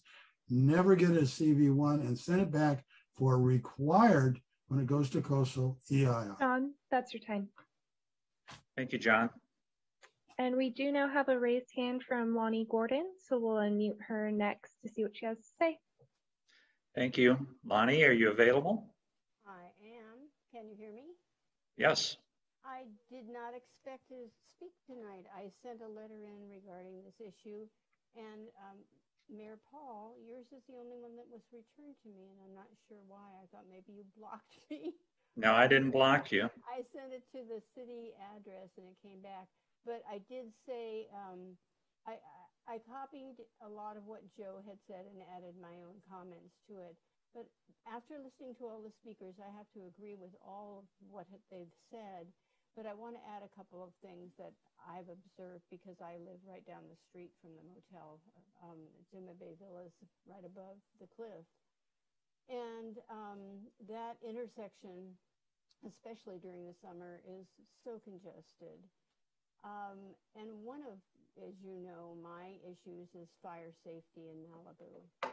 Right on that corner, on that right-hand turn that goes from Westward Beach Road to PCH, is a very large 5G uh, telecom installation with two to three large boxes hanging down. Across the street from the motel is a very dry brush area. In fact, I've wanted to contact someone from the city to see if we could get that cleaned out. There were a lot of homeless people living in there and they're not there anymore, but it's it's tinder. It's just tinder dry. My concern is also about the fire department being able to reach that motel if there's a fire that's a very steep incline to have to run up or go up, and there is no turnaround, and there's no way for handicapped people to get down. So um, basically, I agree with what everyone said, and I'm just adding that on. And thank you for giving me the time. I appreciate it. Thank you, Lonnie. Do we have any other speakers? That was the final public speaker, but we should circle back to Lynn and see if he has any other response with his three minutes and 40-ish seconds. Thank you. Lynn, are you available?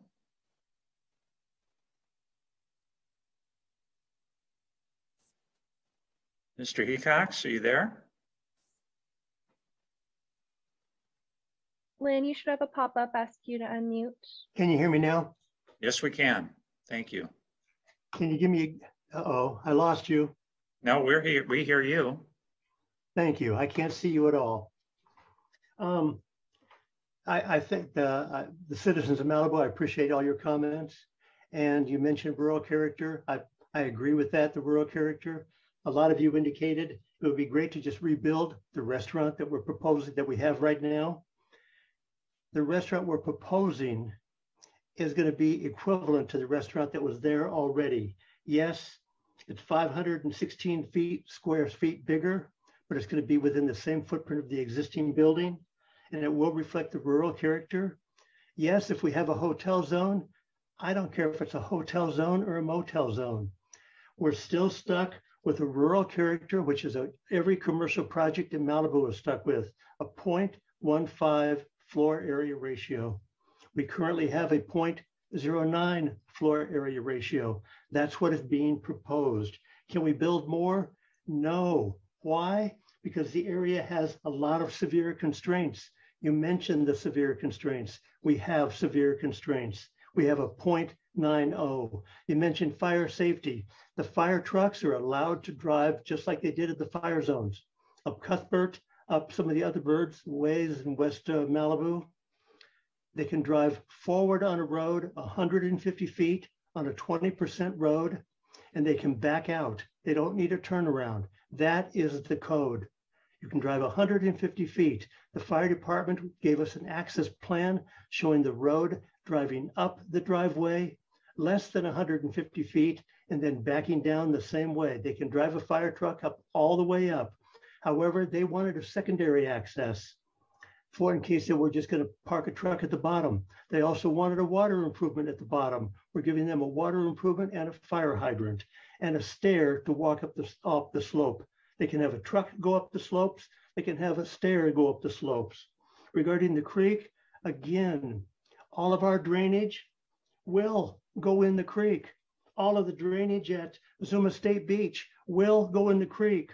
All of the drainage from the homes across the street on Busch and Bonsall will go in the creek. All the drainage from Coast Highway will go in the creek. However, once this restaurant is approved, we're complying with the water quality mitigation plan being approved by the water quality by the Regional Water Quality Control Board.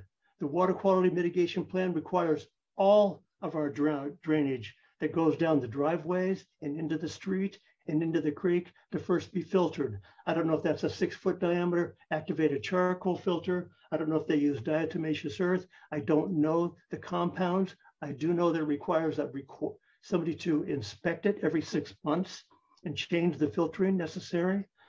Um, Again, you have about 50 seconds, seconds left. Violations. In 2011, when I was hired, I went and looked at a plan. The last plan I looked at was one in 2011. And I started going through all the archives and I said, What is this?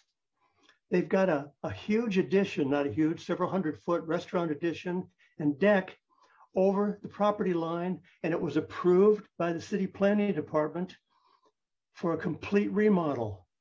I went through the records and realized that the records weren't that readily available. Staff was looking at an interior remodel. They didn't know there was a violation extending over a property line. I told it to the property owner. I told it to Malibu, uh, Malibu Country Inn Inc. I said, do you know that, that somebody has put a building over the property line? It's been approved. They go, it's been operating by uh, Christie's restaurant for the last five years. What do you mean it's a violation? I said, it's a violation. That's your time. Thank you. Thank you. I see, I see Yolanda Bundy's uh, hand is raised. Hi, Yolanda. Hi, good evening. Um, just adding to the record and uh, setting up the record straight. Also, there was a statement done at the beginning of Mr. Heacox's uh, presentation stating that the building official and the geo team had to approve a variance for a safety factor. Just to make the record straight, um, this project was never presented to us as a replacement of a restaurant nor a hotel. Um, the scope of work that I have for our review, um, we have done two reviews, one in November 8, 2018, and one on May 20th, 2019. The scope of work for under those reviews, then that's was for the geo, uh, geo team, was a lot line adjustment to an existing restaurant, a remodel, and a minor addition. That was the scope of work. So just want to clarify um, that we never approve nor give a variance for a complete replacement of a restaurant or a hotel. And I have also the geotechnical team in here just in case you have additional questions. Thank you. Thank you, Yolanda. Steve, I see your hand. Yes, uh, Yolanda, thank you very, very much. And thank you to all the speakers. I mean, I think you guys did a superb job. Uh, you know, finally getting some references back to the general plan, the vision and mission statement, I think is, is exactly direct the direction we want to go. Now, I've been on the planning commission for four years prior to getting up here, and I don't think I've seen a project with this many variances or discretionary requests. I mean, I, want to borrow a line from Suzanne Guldimann. I mean, the only thing the staff is not giving this guy is a pony. Uh, everything else is included in that staff report. So it is it is really an amazing process. Let me just run through a couple of things that give me some heartburn, and then I'll pass it along. I, I had more later on. Uh, I took a look at the assessor's office for this project, this property. The assessor lists this property as being 4,139 square feet. If you go to the staff report, the staff report says it's 9,790 square feet. That's a difference of 5,651 square feet. Now, I don't know if all of that was illegal development. I don't know why all that hasn't been reported to the assessor's office because they're certainly not paying real estate taxes on it. Uh, but but that kind of stuff is just very difficult to explain to a resident. I mean, how come these guys get all this discretionary stuff and I can't get my house built? I can't get the. I spoke to a, person today that bought a house on, on the, the beach that has probably been revised, I don't know how many times, six times, five times, you know, 15, 20 million dollar house. And staff went out there and took a look at it and found out that her garage had been converted from a garage to a pool table room. And they red tagged her house. All right. I mean, why explain that to these people? It, there's there's no explanation of why we let the commercial guy get away with this much stuff, and we're taking our residents who are you know living in the city, helping us out, and we're, we're penalizing them for that kind of stuff. Um, the quality of, and Scott Dittrich, I think, brought it up. Some of the quality of the staff decision making we're getting in this stuff is questionable. And I'm not going to go back to talk about what Scott did. Let's take a look at what the staff report says.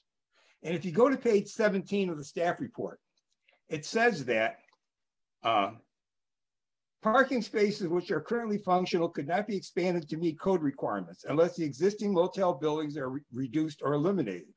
Additionally, as stated above, other hotels in the city have reduced parking spaces, and they're using that as an excuse that says we're not granting special privileges to this piece of property.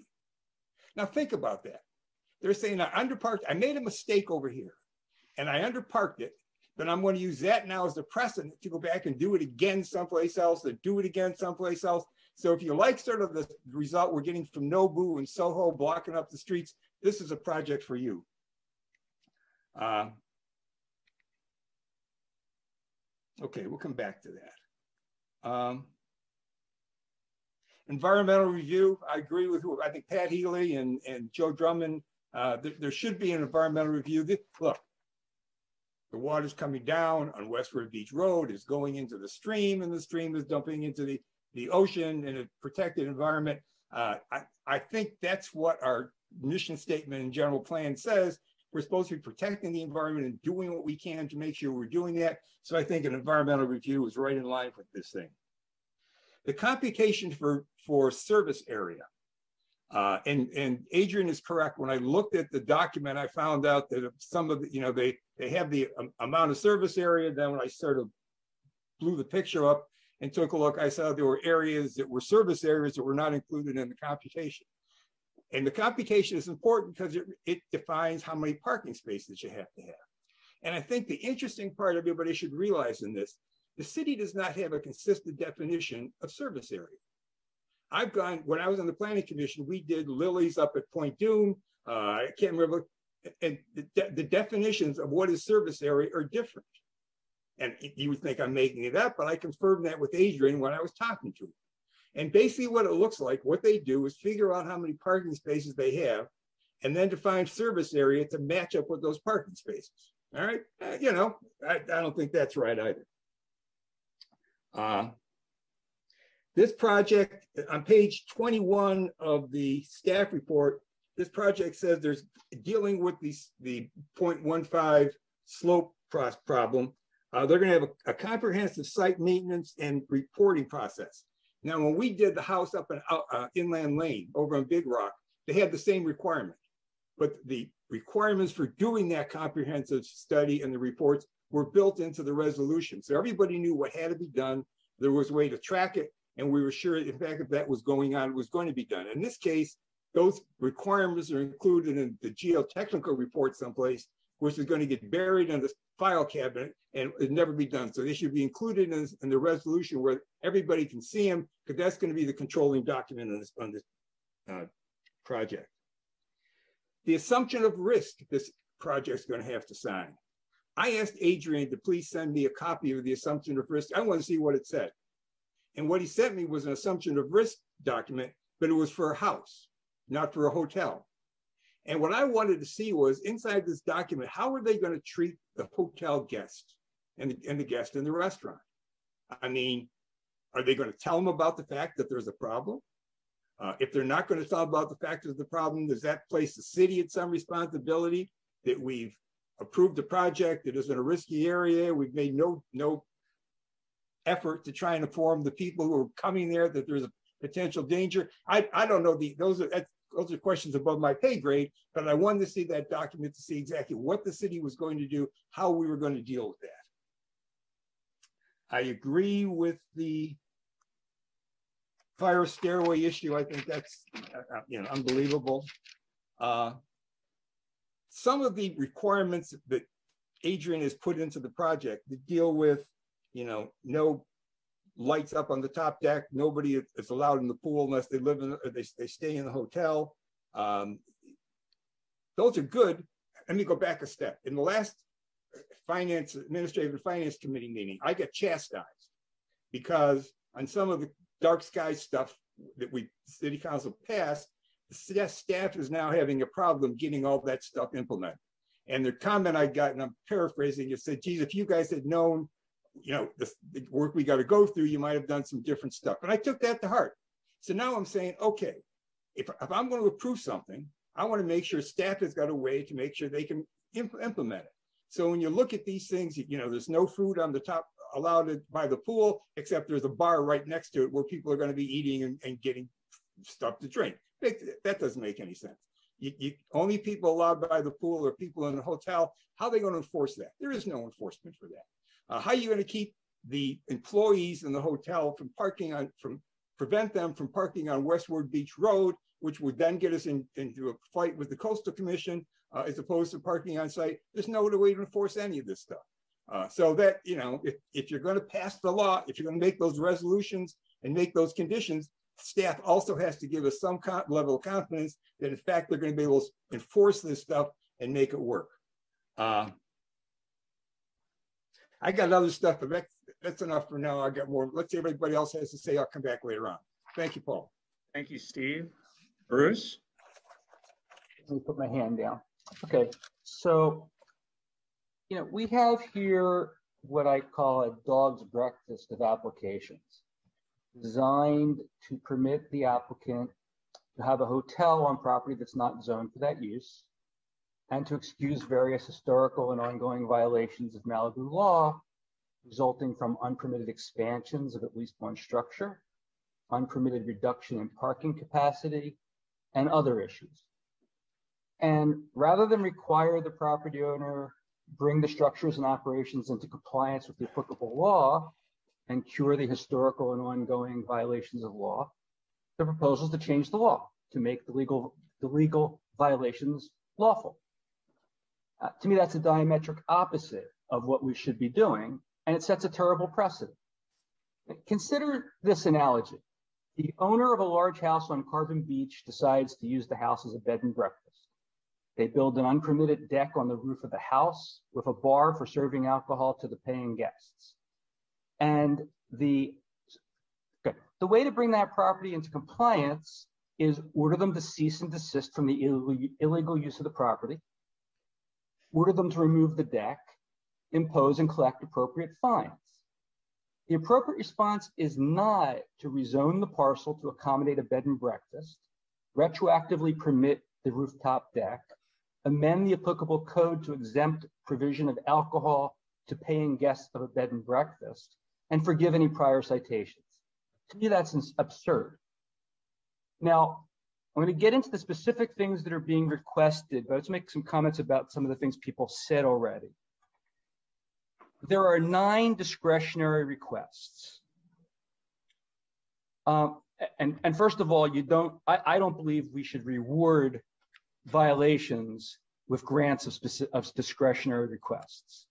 It, it, I'm not saying it's an absolute rule that that would never happen, but we ought to be doing that only where there's a clear benefit to Malibu and its residents from doing so. And by the way, we have a, we have a very quaint rural motel here and a very quaint little restaurant if it weren't illegally expanded. And that fits with the vision and mission of Malibu. The property owner, it's been said, the property owners don't have rights to the variances. I'm sorry, they have a right to request variances. Everyone has that right. You can request anything you want. And the staff should not, I agree with this, should not prevent anyone from presenting a request for a variance if they think they're entitled to a variance. But discretionary requests and variances, they're not discretionary to the staff. They're discretionary to us. We make the decision as to whether the variance requirements are satisfied. We make the decision as to whether we want to exercise our discretion where we have it in favor of granting a request. The staff should be presenting the facts. Applicant wants A, B, and C. Here are the facts. Not we believe they should get this discretionary application granted because that's not the staff's job.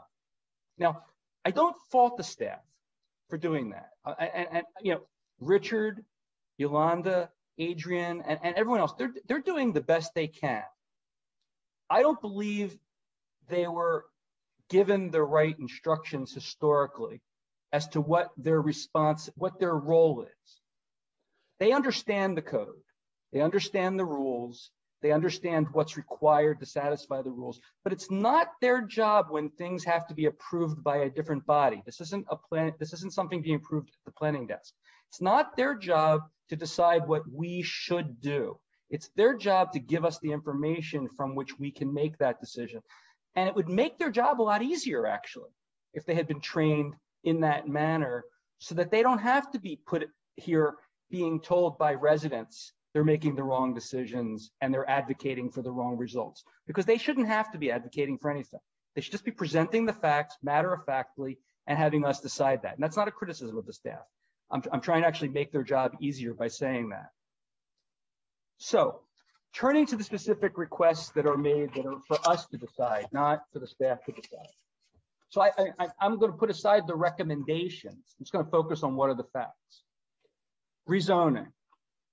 As I understand matters, rezoning is being proposed by the staff, and I get this because they believe, and, and again, rezoning is not for the staff to do or to, or to even recommend.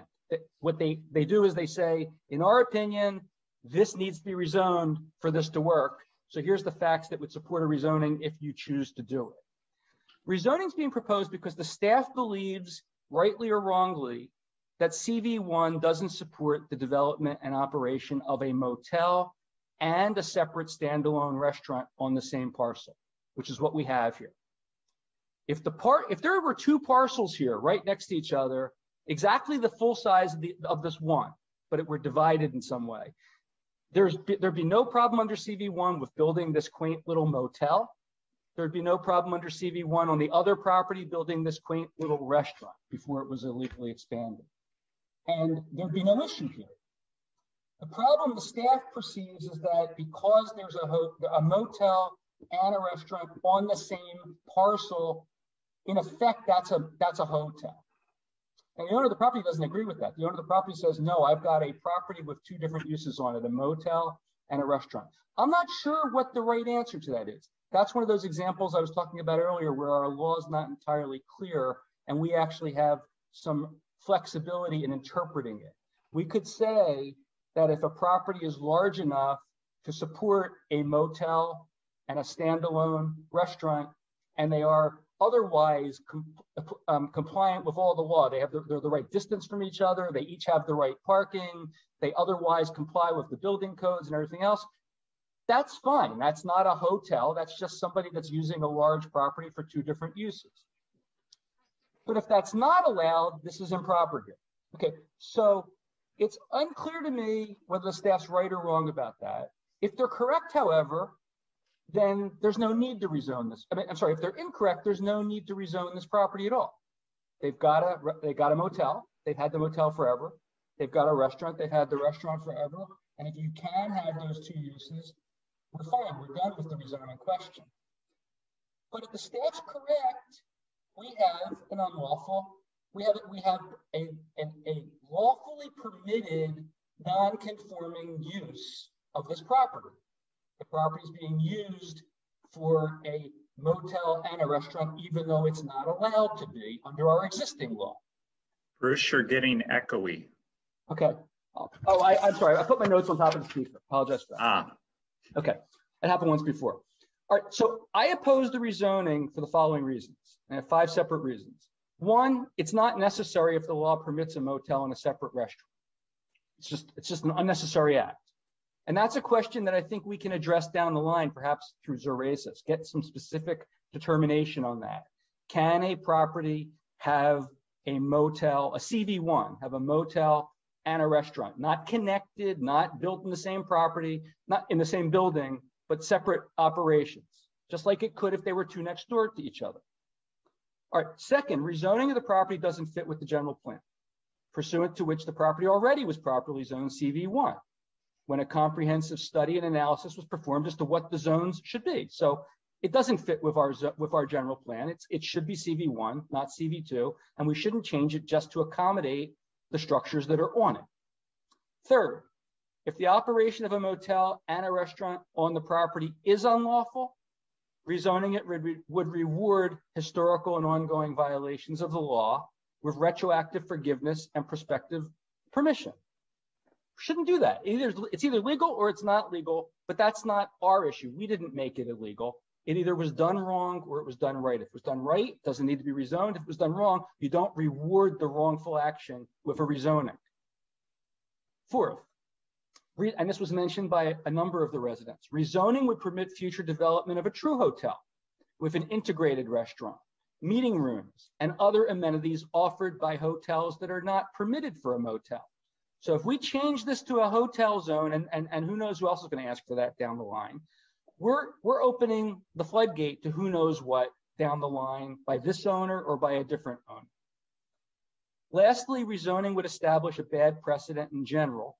Other parcels will want to be rezoned as hotels if they only have currently motels and non-conforming uses. People who own a property with a non-conforming use will want to be rezoned to eliminate the non-conforming aspect of the impermissible use. They'll say, look, you did it for them, do it for us. And I understand there's already an application coming down the pike by the Nobu Motel, I think it is, to be able to have similar benefits. So it's not like this is an abstract concern. All right, so, that, so I, don't, I don't think we should be rezoning this. If there are non-conforming structures or uses on the property that were not lawfully permitted prior to their construction or use, they're just illegal. They need to be brought into conformity with the existing law. The, the, the pitch by the owner was all of my non-conforming structures and uses were lawfully permitted. Maybe they were, maybe they weren't. If they weren't lawfully permitted, the, the owner's entire argument sinks because the argument was based on our code allowing per, legally permitted historically non-conforming structures and uses to continue. Our code does not allow non-law, non-conforming uses and structures that weren't lawfully permitted. But so the owner says they were lawfully permitted. I don't know if they were or they weren't. But if they were lawfully permitted, as the owner has said, then they're fine. They can continue with their lawfully permitted non-conforming use and their lawfully permitted non-conforming structure. subject to the structure that is not only non-conforming, but also illegally expanded, needing to be brought back into the proper size. Now, if an application is made to repair or improve a non-conforming structure that was lawfully permitted, that can occur pursuant to Municipal Code 17.60.020. That was mentioned by the owner also. That was something that came up after the Woolsey fire. We, we changed the law to say that if you've got a lawfully permitted, there was a permit under old law, structure or use that's now non-conforming, we're going to treat it for purposes of maintaining it or improving it as if it's permitted, as if it's conforming. You can you can improve it, you can keep it. What you can't do is tear it down and replace it. I, th I think that was a mistaken statement. I don't know if it was intentional or unintentional, but the statement by the owner that they have the right to tear it down under that code section because it's old that's and, and then replace it with another non-conforming structure and non-conforming use. I think that's flat out wrong. And if I'm wrong about that, I'll, I'll ask the staff to correct me. But my understanding is that the exception there is if it's destroyed like by a fire or an earthquake or a flood, something outside the control of the owner. So just because you let your property fall into disrepair by not maintaining it, that's not natural causes. That's not outside your control you don't get to then tear down your non-conforming structure and retain the right to rebuild it. You lose your non your, your right to retain non-conformity at that point. So there's a lot going on here. Um, last, the applicant says, okay, move on next one. If variances are required and warranted with respect to otherwise permissible repairs or improvements to a non-conforming structure that was lawfully permitted, then the variances should be granted, but they should be limited to the repair or improvement, not to a new development. So you've got a motel. If the motel, and, and, and actually the motel is perfectly fine. My understanding is the motel is a permitted use, it's a permitted structure. You got a restaurant, maybe the restaurant is a um, non-conforming use because it shouldn't be on the same property with the motel, or maybe it's okay. But in any event, they if they need to make some repairs to the part of the restaurant that was permitted, not the part they illegally expanded, and I don't care if it wasn't the owner, the owner is responsible for the property. If they want to make repairs or improvements, and improvements I understand means less than 50% of the structure is being fixed. That's okay if they need a variance in my mind, as long as they otherwise are entitled to the variance. But the variance doesn't go beyond that to give them a whole new structure that's different than the one that's there. And, and by the way, they're mixing and matching, like the parking example. Um, the statement was made that they're only required to have 40 spaces. But if they have a hotel, my understanding is they're required to have many more spaces. So, and I, and I heard the applicant say, I don't want a hotel. I, I really just want to keep my motel and my restaurant. And I say, actually, fine, keep your motel and your restaurant. But if they get a hotel, if they get a rezoning and this is called a hotel, then they're not in the legal number of spaces because hotels require more spaces. And they're not proposing to come into conformity with the number of spaces required by a hotel. They want to still look at the number of spaces they would have needed for their motel and for their restaurant, but get the benefit of a hotel and then maybe expand other things. It's it's it's an apples and oranges thing. All right. Lastly, if the applicant still desires the proposed lot line adjustment, I have no objection to that. If they want to acquire some property that they need to make their deck lawful, as long as they're entitled to have that deck, um, and they need that additional space rezoned CV1, not CV2, and that's not the application before us, I don't. I, I tend to think I would have no problem with that. Again, subject to them curing the historical and ongoing violations and payment of appropriate fines. And by the way, I don't understand the statement that code enforcement fees have been paid based on an investigation fee. So in other words, they should be fined, but since they paid us to look into what they might be able to do to be allowed to have this property, that's satisfied. I think they have to pay for that anyway. I don't get why that constitutes a payment of a fine. Um, lastly on this, without regard to whether the property is left as is or a new project of some sort is proposed, again, I, I, I think the existing violations need to be cured. And if there are fines, they need to be levied. Now, actually, I, I said lastly, I got one more thing. You If said the- lastly three I- times so far. I, sh- I shouldn't have said it at all then. Um, if a majority of city council is nonetheless inclined to permit the property to be rezoned, then I'm, I'm going to vote against that. An environmental impact study should be required to assess the cumulative impact of similar requests throughout the city.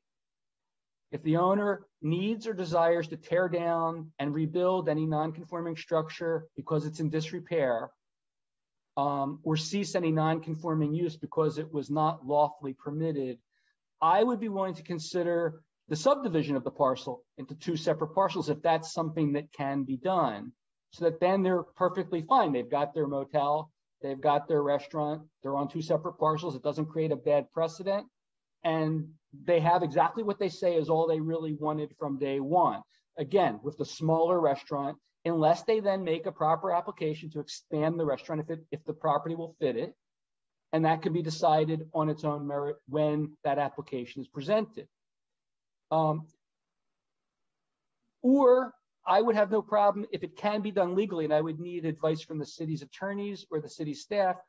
I would be okay with actually making a one-time decision to say, even though it's impermissible to have a motel and a restaurant together on the same parcel, because this motel and restaurant have been together on this same parcel for all these years, this one property is going to be allowed to continue to do that. But that avoids calling it a ho- changing the zone to a hotel zone so that someone in the future, or even this owner in the future, might take advantage of that new zoning and do something dramatically different. Again, subject to curing any historical and ongoing violations and payment of appropriate fines. Bottom line, I don't support the project for all the reasons I've now explained and for which many of the residents have spoken up. I do want to find a way to let this property owner keep what they've always had, a quaint motel and a quaint little restaurant in the, in this rural zone. But if that can't be done, you know, that's unfortunate. I'd like to see us get there, but this goes way above and beyond anything that we ought to be considering to be permitted, and it sets all kinds of bad precedents. Thank you, Bruce. Mikke? That was a lot, Bruce. I was taking notes, but it was hard to absorb it all, but uh, well done, I guess. um, I have a lot of notes too, but I'm gonna try and pick through them as uh, Steve and Bruce have really picked through a lot of things. First of all, I want to thank a couple of the letter writers for really helping zero in on this project, and that would be Sal and Barbara Fish for the email that many people copied that really detailed things, and uh, and Lynn's email. It's nice to have a couple people really detail what their you know their their concerns and what they're trying to do. So I, I do appreciate that, that actually. Um, those are two emails I kept coming back to. Um, I just want to hit a couple of points here. First of all, with I, I'm assuming, I guess this is for probably Adrian or Richard. I'm assuming even with the increase in the size of the restaurant being fairly minor, that no traffic study was required. So a traffic study was not required for the project because um, they're not changing the service area uh, except for uh, they're going from 900 and uh, 948 uh, uh, square feet of service area to 990 uh, 96. So about a 48 square foot increase. Um, however, that so that's one additional parking spaces per our code. And so uh, the building is getting bigger, but the way we calculate parking uh, pursuant to the parking regulations is uh, based on uh, number of rooms, based on employees uh, for the um, motel or, hotel. Um, and then also for the restaurant, uh, it's based on service area. And so as those things didn't change, they are not, per our code, they're not generating an additional increase in parking demand. And therefore a traffic study was not warranted for this project. Okay, thank you. Um, with the request to put on a rooftop deck and um, obviously maybe following that, a lot of complaints about past sound issues. Was a, was a sound study ever considered? So the reason why we were very conservative in our conditions is that there was not a tra- uh, there was not a uh, noise study uh, prepared for the property. So instead, we uh, added conditions requiring that again the restaurant closes at 10, um, that they um, don't use the rooftop deck uh, after dark, and uh, no amplified music is used, which is a condition the Planning Commission added to the project. Okay.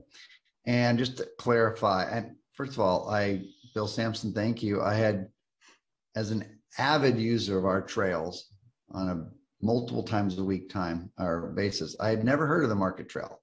Um, so I was excited to hear about it and try and figure out if it exists, because if so, I want to be on it.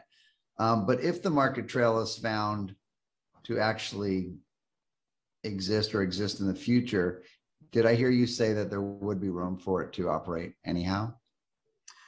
Uh, yeah, so the trail as shown on the map, and again, this map um, shows where a potential trail could go. So whether the trail is there or not is, is, is hard to know. Um, but it shows it to be in line with the southern property. Um, and so, um, and it doesn't come anywhere close to the existing development as there is a slope between the existing development area and the property line. Uh, so the trail seems to be at the very top of um, the slope uh, before it plateaus uh, for the uh, mobile home units are at the top of, of that slope. Um, so it doesn't seem like it would conflict uh, with the use of that trail, uh, current or future use of that trail. Um, and if there is a public trail there, um, the the LCP uh, does require that we do an assessment of visual impacts. Right. And um, you know, as you're as you would be at a much higher elevation looking down at the property, uh, the proposed building is not going to obstruct uh, any impressive scenes. It might obstruct some views of the road or some views of further landscaping, um, but it is not expected to obstruct any views. So um, I think that would be like the only concern if there was in fact a trail. And again, I looked at the survey for the property and I, I looked at any other maps to see if that trail shows up anywhere and I couldn't see it. So uh, currently I don't have any evidence that there's a public trail that the public can go ahead and use. Understood, but uh, interesting that it was there historically, and I, I don't know the reality of it, but very interesting.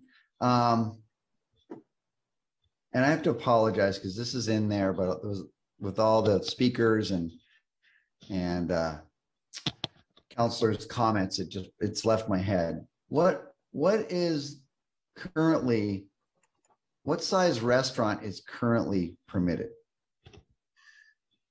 So um, without violations, act, actually completely commit um, permitted. Yeah. So the only thing is, that we were able to confirm is that there was a 954 square foot uh, building, and, and that was based on that 1996 approval.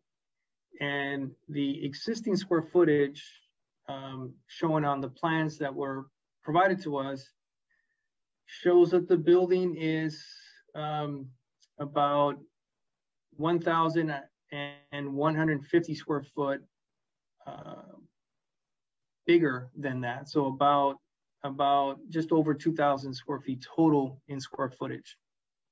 Okay. So it double in size um, without the benefit of permit. Understood. Um,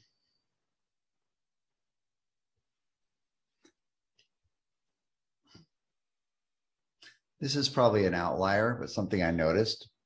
Um, this project um, is asking to take property that's in zoned mobile home and change it to a different zoning. It just occurred to me because we just went through it that our housing assessment needs report, one of the parts of it is not to diminish the amount of mobile home zoning in the city. Um, now I know it's probably an outlier as it's on a side of a hill, but that was notable to me. Do you have any comments on that? Um, I, don't, and, and you're right, this is a hillside, so I, uh, I think there's expectation that, you know, uh, this probably won't be used for, you know, future units. Um, and the area we're talking about is about half an acre of a, a much larger parcel. Um, they did have uh, an email provided to them by HCD that uh, basically said that they don't they don't need their approval for this, and they have the owner's permission to purchase the land from them.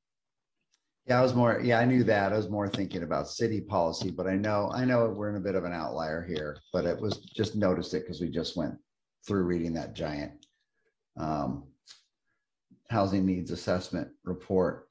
Um, what, if it's known, is the factor of safety at the property now? Um, I, I don't, I don't have the number uh, offhand, but it looks from what Lynn said, it, it was somewhere around uh, 1.25. I think is the number he gave us. Well, that's what they, that's, that's the, that's what the target is with the new development. What's it currently? at? No, the requirement is 1.5. So the, the code requires a 1.5 factor of safety. Um, and then a pseudostatic 1.1 factor of safety. So this this this is 1.25, which doesn't meet the the 1.5. And the casings they want to put in for this project don't improve it? The casings won't improve the factor of safety, unfortunately. It would give stability to the building, um, but the areas that's unstable is the areas around the building itself, uh, which uh, it would take a lot uh, for them to stabilize and you know the it looks like the slope uh, massing and maybe Lauren can can weigh in on this uh, I believe is is likely larger than the lot itself so um, so I'm not sure if they're able to feasibly um, be able to bring the factor safety to meet our code. I see Lauren popping up there. Did you have a co- comment you wanted to make on that, Lauren?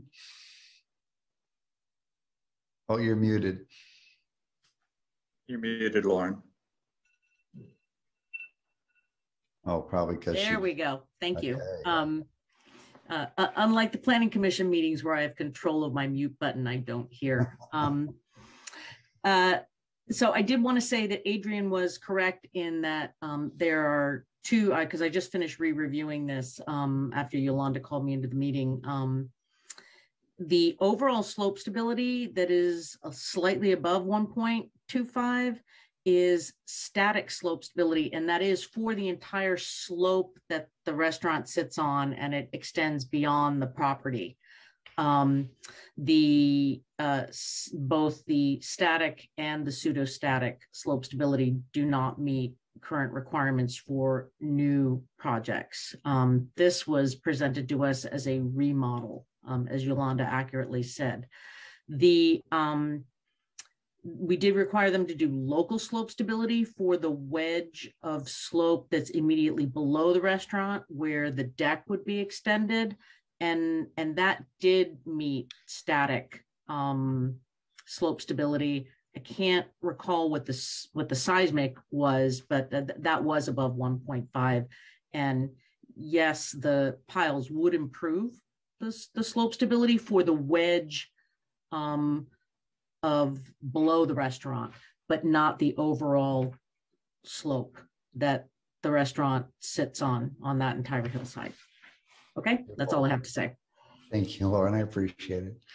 Um, okay, so I'm, I'm gonna just make this quick. So much has been said already. I don't need to repeat a lot of the other things, but here's, here's the positive things if some version of this project's done. Project will make the, uh, it'll make this property dark sky compliant. I like that. Um, there's no grading needed. I like that. Uh, factor of safety is not unimproved. It's theoretically a little bit improved. Um, it's ADA compliant, just better fire department access. Those are good things. I, at this point, you know, I'll listen to everyone else, but I struggle from doubling plus the size of the restaurant. Um, I don't know how it's warranted. I see that a remodel is perfectly in order here on this motel. I struggle on the zone change um, from moment one. I just, I, this is, you know, a legal non-conforming project, basically, with some exceptions in there. And yeah, I think it's a cute little 16 room motel. I spent a lot of time at that restaurant, um, particularly discussing the Dark Sky Initiative years ago when I was a planning commissioner. Um, I don't know why. It's why we where we ate. Um, I am all in favor of the remodel and the benefits to the owner and the benefits to the community and making it safer and all the other positive things I just said, dark sky, um, fire safety, ADA, et cetera, all of that. But right now, and at this point, I um, would not know how to vote to change the zoning, and I would not know how to vote to increase the size of the restaurant at this point, uh, based on what I've heard. And those are my comments for now. Thank you very much. Thank you, Mikke. Karen? Thanks, Paul. Uh, as Mikke said, so much has been said about this and there's no need to repeat it. Uh, but I want to also acknowledge Victoria Hand for emailing us today. Uh, she lives in the Point Dume Club right above the restaurant. And um, that was the only person I heard from in the Point Dume Club, but I, I, uh, I appreciate her concern about the noise uh, and Sal Fish, the same for you and your neighbors.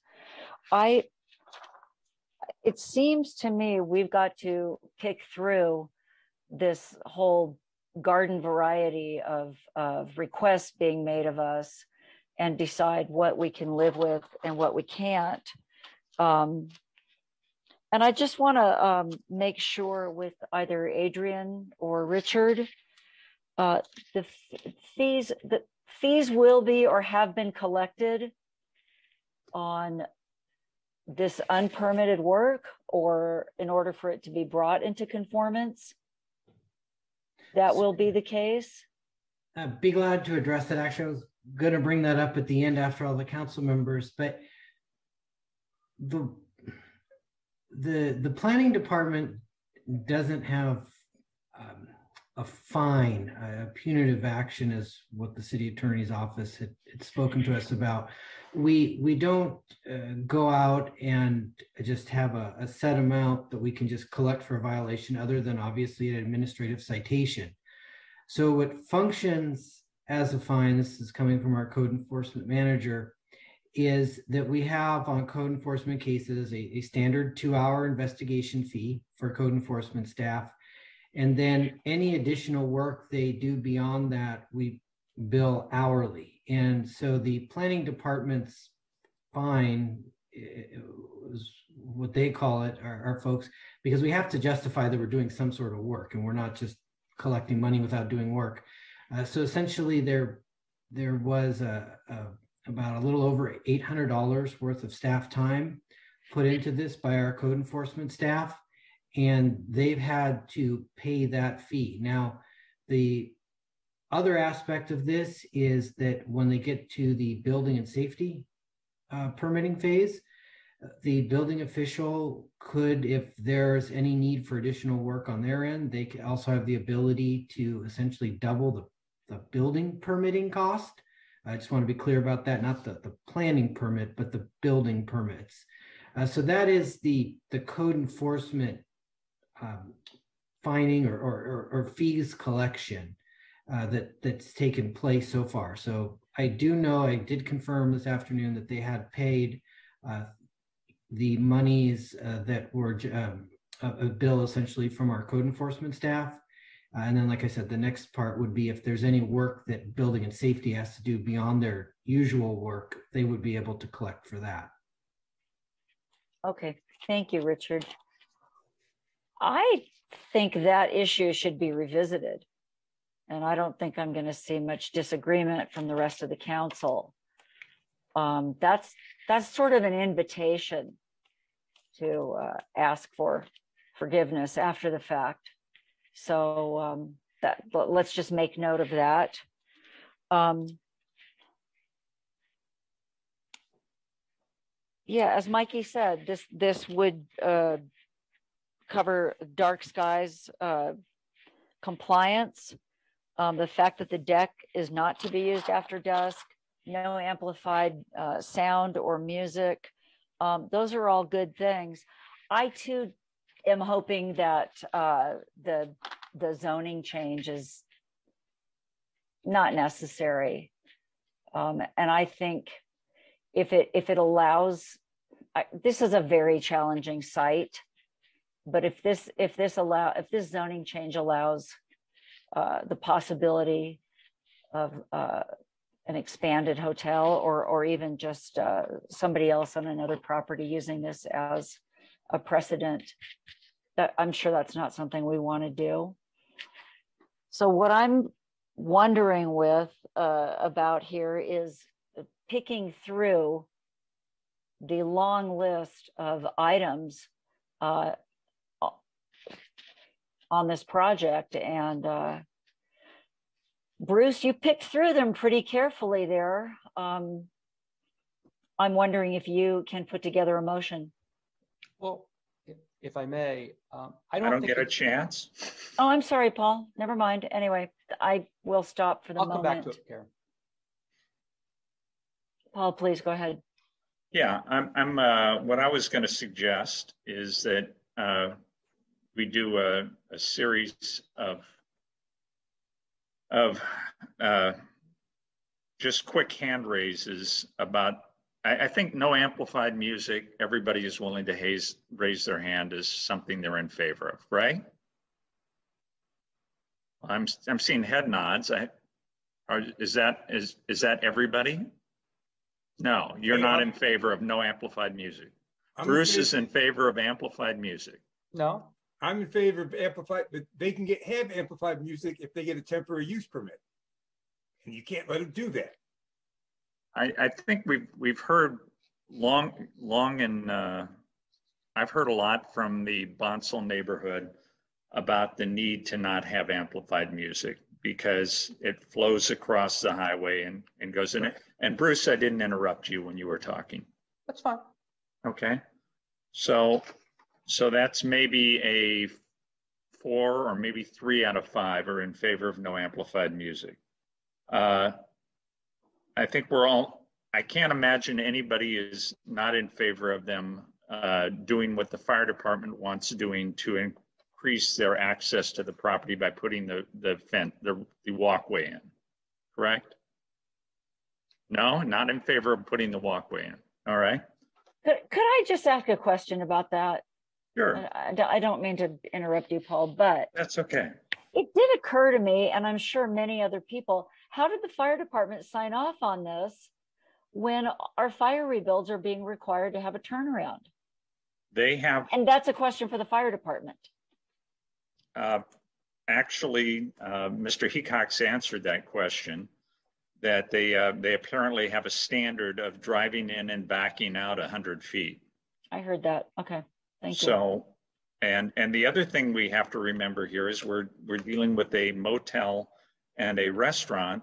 The original ones were built in the 50s, which is 75 years ago. And that's, they're part of the rural character that was referred to in our general plan. And uh, so I'm not in favor of there not being a, a motel and a restaurant there. Uh, and uh, I think everybody would probably be in favor of requiring them to filter any runoff from the site. Okay? So, and where we differ or where we have things to discuss is what do we do about the fact that there is a restaurant that was expanded without benefit of permit? And uh, what do we want them to do? We, if we ask them to tear it down, which apparently has already been asked, they've said, how about if we replace it with something that's properly engineered and has a good foundation and is ADA compliant? And that's the question before us, as I understand it, basically. Is that correct, Mr. Mollica? Yes, they are. That that's what they want to do. It's and Okay. the the scope of the remodel. Um, I, I just want to be clear so everyone understands that um, what's going on here is that given the scope of how extensive the remodel is, uh, it, it it's as Bruce mentioned, uh, sorry, excuse me, Councilmember Silverstein, it's as much as he mentioned, they are losing their non-conformings. Uh, this this is going to be a new building just because of how far they're going.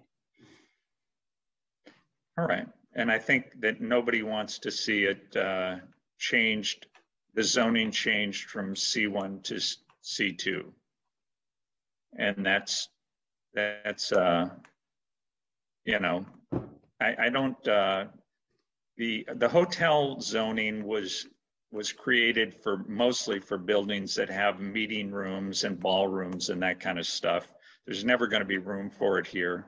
It's not, uh, and the slopes would, would uh, rule it out. And then the other thing is that uh, I'm, I like the idea of fixing their violation of going over the property line by buying more property.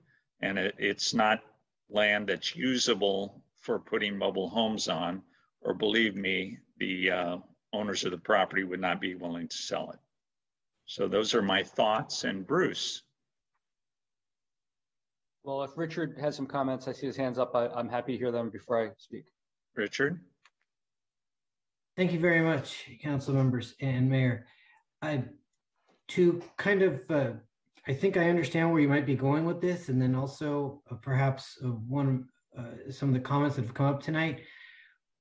If there is an appetite that we allow for essentially the, these two separate buildings, uh, two separate uses to be in, in this existing zoning district, uh, or the boy, the parcel zone, we, we don't necessarily have to go to uh, ZORACES to have a policy. What we could do is bring a policy directly, uh, we can get some guidance from the council and bring a policy directly back to this council.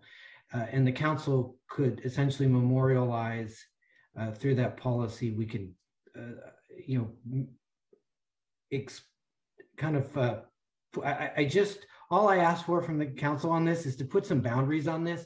I would prefer not to be left with a situation where folks are, uh, some of the other motels in the city come to us and try to find some way to now get a restaurant on their property. Um, so I just want to do something here that we all can agree so that there is a, uh, some good direction on this and we follow the council's wishes.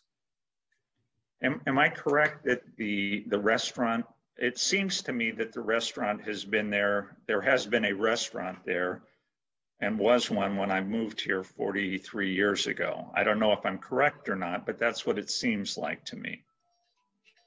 So, uh,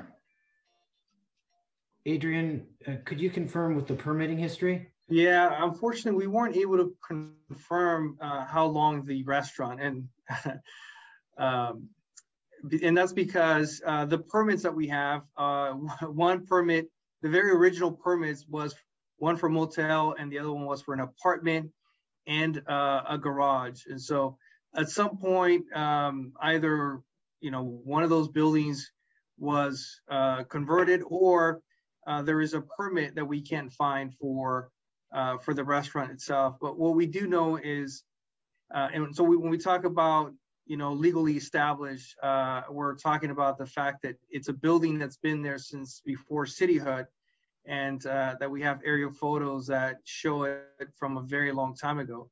Uh, but we can't confirm exactly when it was constructed. We believe it was in the 50s, and uh, we do believe, it, based on the age of uh, the state it's in, um, again, that it was in the 50s and it was probably constructed at the same time the rest of the uh, motel buildings were constructed. And the city of Malibu had a policy when we became a city that we were going to grandfather everything that existed as of that date. And I know the city flew the uh, community at that time to put a peg in the ground, so to speak, about what was pre-existing. Bruce? Okay. So first of all, I, I, I, would like to suggest that we not use the term grandfather. There's some racial undertones to the history of how that came into play from the Civil War. Um, it, it, it, we agreed to retroactively authorize those things.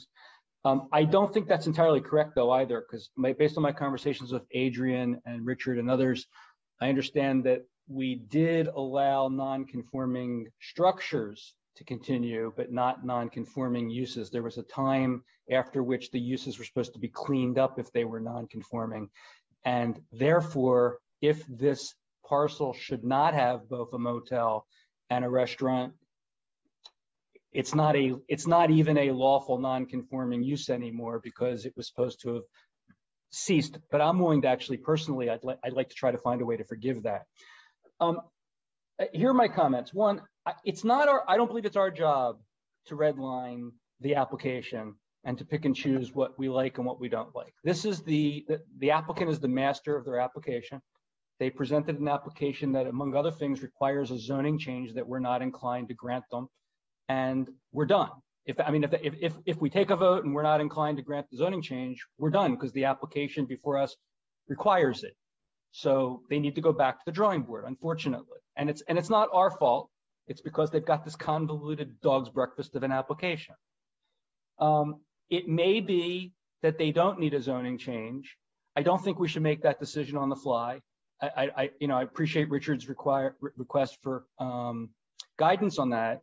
I think that that's a very complex question that needs to be answered by, among other things, looking at all of the other properties in town that might end up trying to use a motel and a restaurant on two parts of one parcel and find out what the consequences would be of that interpretation versus the staff's current interpretation, which that is that this is a hotel.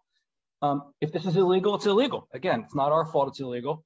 Um, it just is what it is. We should be trying to find a way, though, to let them keep their 900 foot restaurant and their motel, which is what they had legally or illegally as of 1995. Um, the dark sky issue, I mean, I, Karen and Mikke, I agree with you, but you know, by the time they ever get around to doing this, they're going to have to comply with the dark sky laws anyway. They're coming into place in 10 months. So it, that's not a benefit of this project because this project won't come into play until after they'd have to be dark sky compliant anyway. The fines. Um, administrative citations are not meaningless, and this is a misdemeanor. My understanding is that any violation of our code is a misdemeanor. So I, I, it's not correct that we don't have the ability to fine somebody who's a scofflaw. Um, they've been doing this for years in violation of our law. It's time that we put our foot down, and if we have, I mean, either do it administratively or if we have to go to court, go to court. But you don't just say we don't have the ability to um, impose fines through the planning department. That may be correct but the city certainly has the ability to impose fines or obtain fines. And as Karen said, it's just it's just an invitation to do the wrong thing if all we're doing is saying after years of nonconformance and illegal extensions, you got to pay $800 for us to investigate what's necessary for you to fix it. Um, again, I, I don't see how we can approve anything tonight. I mean, we can, we can we can create all kinds of convoluted motions, but the bottom line is this project doesn't doesn't put, and we should just say no, and then let some in let some subordinate groups make those decisions going forward. Because otherwise, if every time somebody comes to us and wants to start redoing their whole project, and we're not supposed to negotiate it over what the project should be. The project was given to us. We either agree with it or we disagree with it. Sometimes you can knock a piece out and not change it dramatically, but that this isn't that case. This is a very complicated nine different discretionary requirements, variances, zoning changes, I think we just say no. So I'm, I'm going to make a motion that we reject the um, project and send it back to whatever they can do next. I'll second that motion. You, we got a motion right. in a second. You're right, Bruce. We're not, our job is not to redesign projects. A motion in a second. Any other discussion? Kelsey, will you take the roll? And just to clarify, that's directing staff to bring back a, a, resolution to deny the project at a future meeting. Yes. Excellent. Mayor Pro Tem Silverstein? Yes. Councilmember Pierson? Yes. Councilmember Farrer? Yes. Councilmember Uhring? Yes. Mayor Grisanti? Yes. Motion carries. Can I make Okay. one, one request? Could, could, could we please receive a copy of the proposed resolution before it becomes a part of the agenda report? So that if we have comments, we don't need to then be criticizing what's been put before the public. We can work it out among our, you know, not among ourselves, but with the staff. And then what's before the council can be what we've already commented on.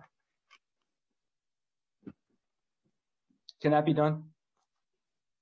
I think that's more of a question for the city attorney than for Right. staff. I- I'm, ha- I'm happy to share it with you in advance, Bruce. I think that'd probably be the best way to do it, rather than give it to the full council and allow comments to be shared amongst the group. That would be inappropriate. I I'm wasn't happy to suggesting share that. with you. I know you like Thank to you. review those. Thank you. Does anybody Okay. have any objection to that? Because I don't want to do it if you do. No. Uh, That brings us to item 4B, approval of common community development block grant funds for fiscal year 2022, 2023. Do we have a staff report? Yes, um, good evening, Mayor Grisanti and members of the City Council. The item before you now is to conduct a public hearing on the use of the city's Community Development Block Grant, or CDBG funds for fiscal year 2022-23. The city is estimated to receive um, $65,600 in CDBG funds for fiscal year 22-23. The actual amount the city will receive may vary slightly from this estimate. In addition, the city has an unallocated balance of CDBG funds from prior years. The city receives an allocation of federal CDBG funds every year, which are administered by the Los Angeles County Development Authority. The funding guidelines sti- stipulate that only 15% of the annual CDBG allocation can be allocated to public service programs, and that the remaining funds must be spent on eligible capital projects. In recent years, the Los Angeles Community Development Authority has at times allowed some cities to request to exceed this percentage threshold as long as the percentage threshold is maintained countywide. Historically, the city has awarded the maximum service program funds to the Malibu Community Labor Exchange to operate a day labor program to assist homeless and low-income individuals and has had difficulty identifying CDBG eligible projects, um, excuse me, CDBG eligible capital projects. The Malibu Community Labor Exchange has long operated out of an office trailer on the county property on Civic Center Way. In January 2014, the council adopted Resolution 1470, authorizing CDBG funds to be used to purchase and install a permanent office trailer for the Malibu Community Labor Exchange.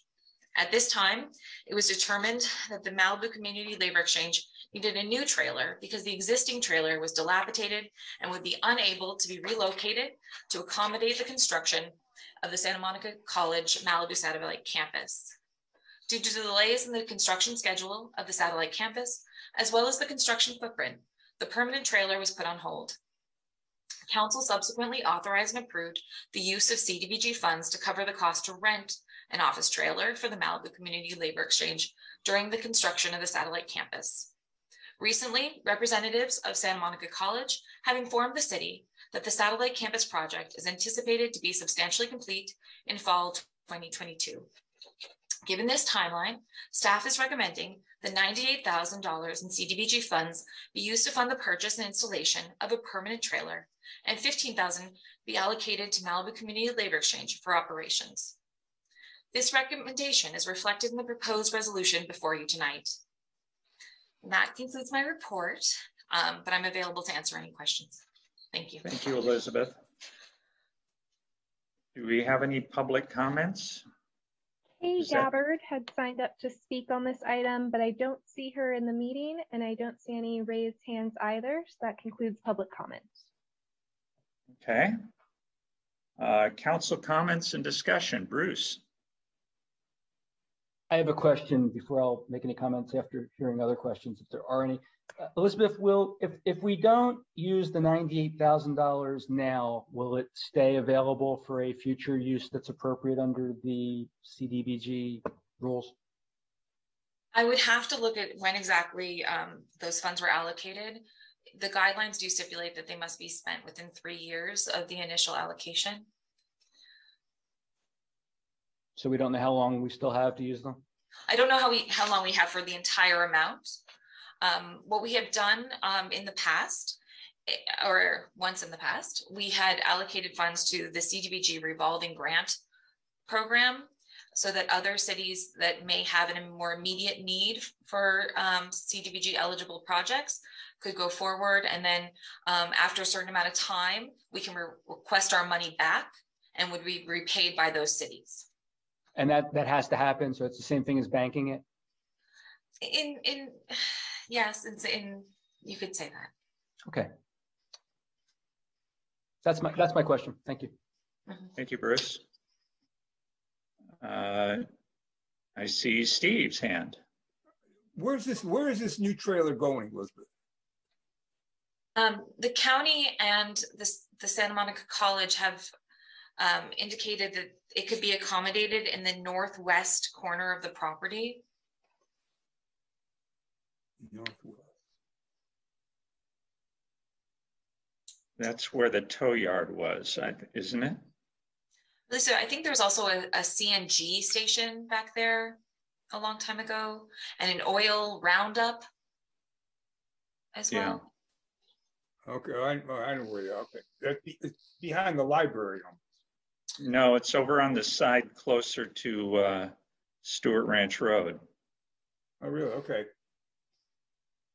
Okay. If you take that driveway past the, what, the, the old building and went all the way past it, you would be in uh, the area that Elizabeth has described. Okay, got it. Back where the uh, inmates used to wash the, sh- the sheriff cars back in the day when there was a sheriff station there. And there were inmates. Um, I'll just butt in with a quick question. Remind me, Elizabeth, I, I feel like, um, maybe my brain's just going here, but typically it's common this time of night. Um, wasn't this part of the plan all along, uh, with this college project was to, uh, we knew that that current facility was falling apart completely. And I, I believe we at some point talked about doing exactly what this stipulates tonight. Am, am I correct? This was always contemplated as part of those, um, as part of the construction. Um, and the city allocated CDBG funds, um, through a public hearing in two thousand fourteen. Um, but as I had mentioned earlier, you have three years to spend the money. And, um, we weren't able to move forward with the project within that time frame because of delays with the, uh, construction of the satellite project. Okay, well, I know there's further speakers, but I'll just leave a motion to approve dangling there for anyone who wants to bite on it. Karen, I'm, I'm sorry, Bruce. No, I, I already asked some questions if Karen wants to go. Karen? Oh, wait. Um, I, I do remember, and anybody who's seen the trailer knows that, um, the, the prospect of relocating it, uh, had to be dropped because it looked like it wouldn't survive any kind of a move. It was so dilapidated. Um, and I just want to make sure, it seems like we covered this, but maybe not completely. Do you know, Elizabeth, if any other CDBG eligible projects have been identified by the city? Um, we have never, the city has never, to my knowledge, used uh, CDBG funds for capital projects. We have used them for service programs. Um, and um, many years ago, the city actually was able to um, exchange funds, CDBG funds, with other cities that had eligible capital projects um, for a certain percentage of, uh, of the dollar. But um, that um, that was um, no longer allowed under the, the program guidelines quite some time ago. And so because of that, the city has accumulated unallocated balances um, and has given money to the re- revolving fund um, or sometimes has had the ability to um, spend more on social programs such as our um, PSPS generators for seniors and um, and our uh, earthquake um, backpack kits. Right, right, right. I remember those. Okay. Okay. Um, there may be other discussion, but I will second Mikke's motion. Okay, I have a motion and a second, and Bruce has got his hand up to discuss. Yeah, okay, so, um, you know, I, I know that this trailer, this project once served a very valuable service in Malibu. Um, I don't know that it does or doesn't today. A number of residents have described it to me as it's basically now a place for unhoused people to hang out during the day, that no one is really going there and hiring anybody. I, I don't know whether that's accurate or inaccurate. I've got no personal experience. If that's the case, it's really not, if that were the case, it's not, it wouldn't be serving the purpose that it was intended. And, and I wouldn't view that as a beneficial purpose for the city. Um, if it truly is a place where, where people who are less fortunate can go and be hired as day laborers, which is what it was intended to be, that, that's great. That's a valuable service. Um, I'm inclined to support spending $15,000 to keep the operation in place for so long as we can figure out whether it really is valuable in the long term. Um, the 98,000 to me, one, if it's if it's not a viable or valuable service, that's just money, good money being thrown after bad. But moreover, I'd rather the homelessness task force take a look at what better might be done with the $98,000, which would otherwise qualify as well for a CDBG grant, I would think. Um, they can consider even this in consider in connection with other options. Um, I hadn't realized that we could use the money for things like generators for seniors. I mean, that's also, I think, that, that clearly to me is a more beneficial use for our residents than buying a trailer. I mean, if, if things like that can be done, I certainly more support using the money for that.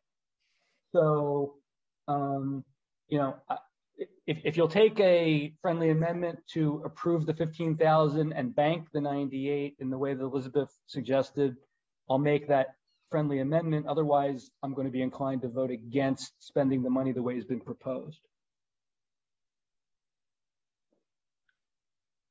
I'm going to ask. I, I think I need clarification on. Yeah, let's, I'll let Paul speak first. Yeah, okay. I'm going to just ask, is, is uh, Oscar still involved with the program, Elizabeth?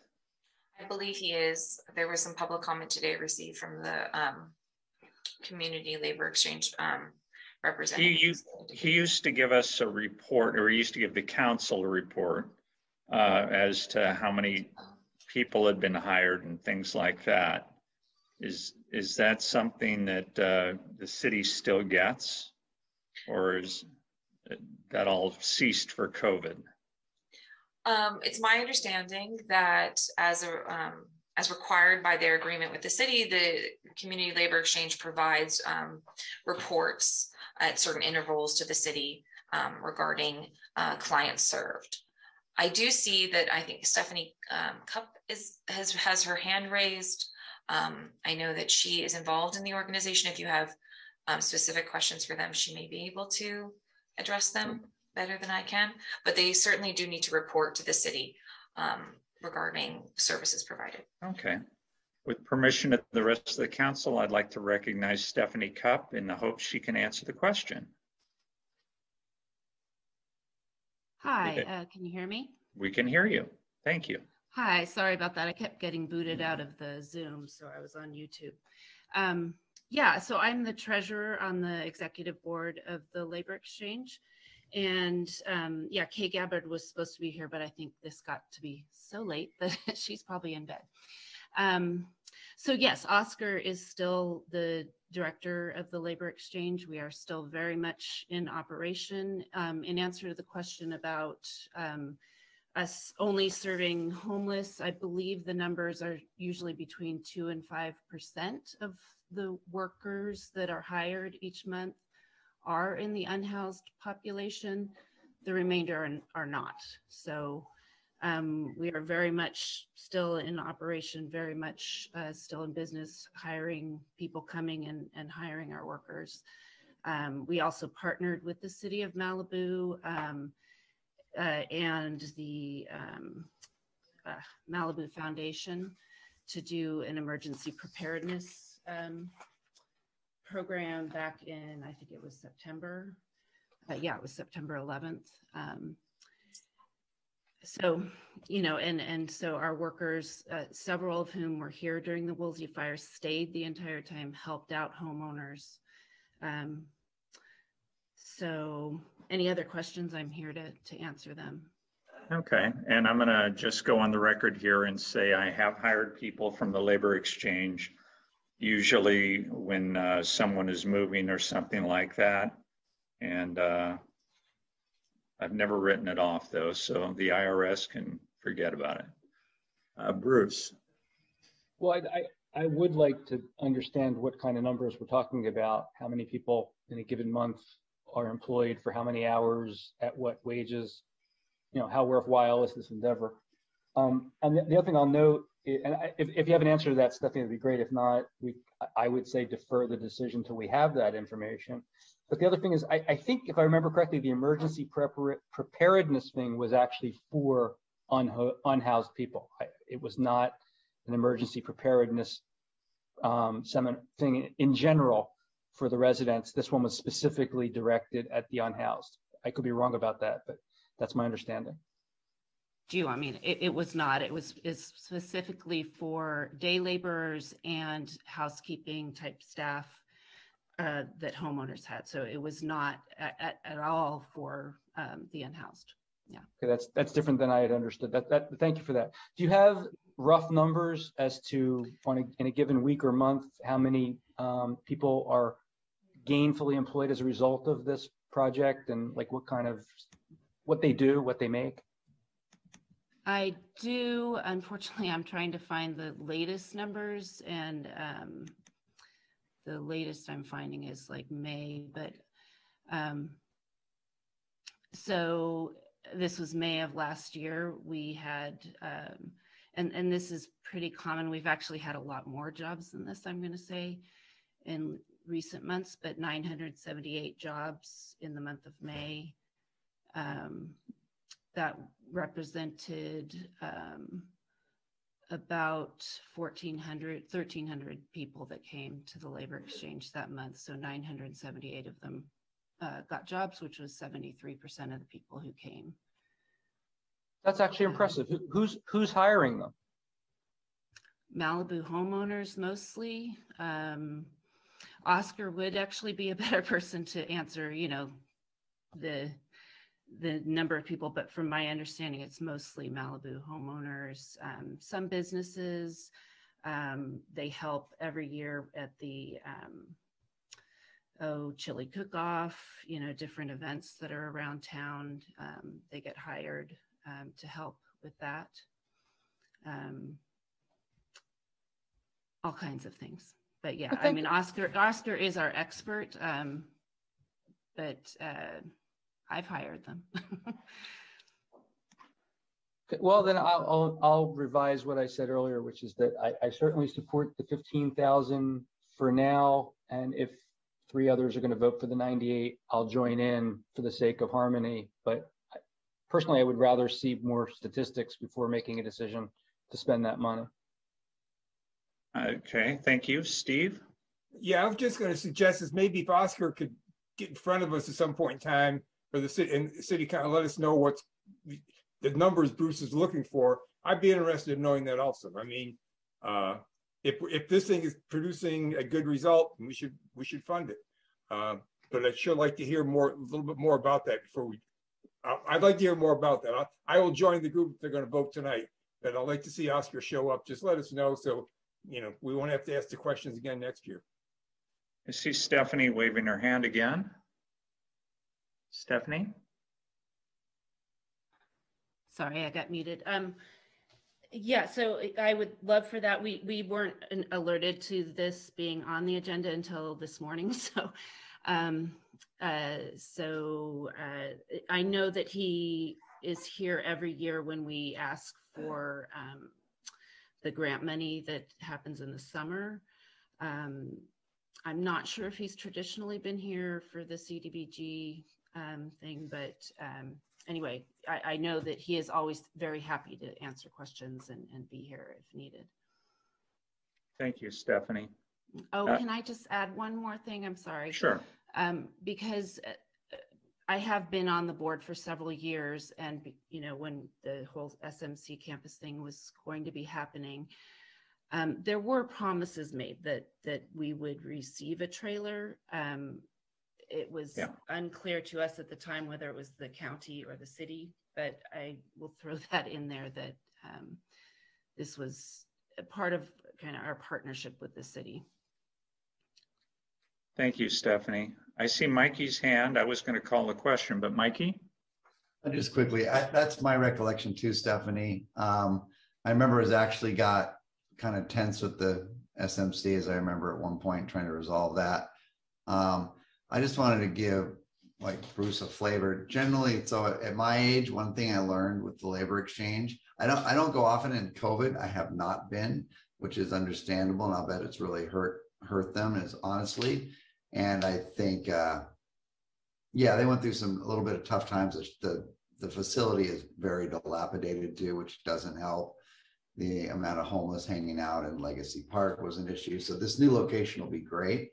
Um, but if I know somebody who's moving, I would go by there and get two to four guys and pick up a couple of pizzas and some drinks, beers or sodas and go there and then they work. I pay them. That's my gift and, and donate the pizzas to everybody. And, uh, the job gets done so much faster when you have four guys that are busting and, uh, that's kind of how I've always used the labor exchange as to, so I can stand around and chat and pay those guys. And I don't have to go home and be all sore for the next two or three days because that's what happens at my age. Thank you for that exhibit, Mikke. Bruce? Yeah, just real quick, Paul. So, I mean, you know, we're fiduciaries for the residents in terms of spending their money. I, I just think when we get a report on something like this proposal, we ought to have some statistics on, from which we can say, this is why we did this. So I really would like to see this come back, even as a consent item, uh, at the next meeting or the meeting thereafter with, with information that would be sufficient to inform the judgment. But as I said before, if three of, if three of you want to vote in favor of it now, I'll, I'll join in for the sake of harmony. Thank you. Okay, we're gonna, we're gonna go ahead and vote on it. Is, uh, may, will you take the roll, please? Kelsey? Councilmember Pierson, I was gonna say I would accept that, that uh, change to bring it back as a consent item with the statistics. That wouldn't bother me at all. I think it's actually a fair, a fair thing. So I want to accept that. Um, and I don't know who the second was. I don't remember if they would accept that as well.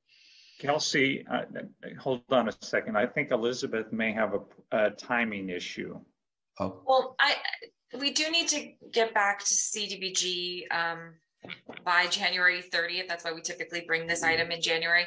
However, if we let them know that it's considering, I mean, it's possible that they would allow us a little more time um, if they know that we had this public hearing. My question to Kelsey is this, this has to be um, determined in a public hearing. If they do want to bring it back, do we need to continue the public hearing so that they can make a decision? John, weigh in if you feel differently, but since we have now conducted the public hearing at this meeting, I believe we could bring back a resolution on a consent calendar at a future meeting. That's correct. The public hearing has been concluded and public comment's been closed. I don't want to bring it back too late and lose it all and it's just gone. That would be kind of a waste, wouldn't it?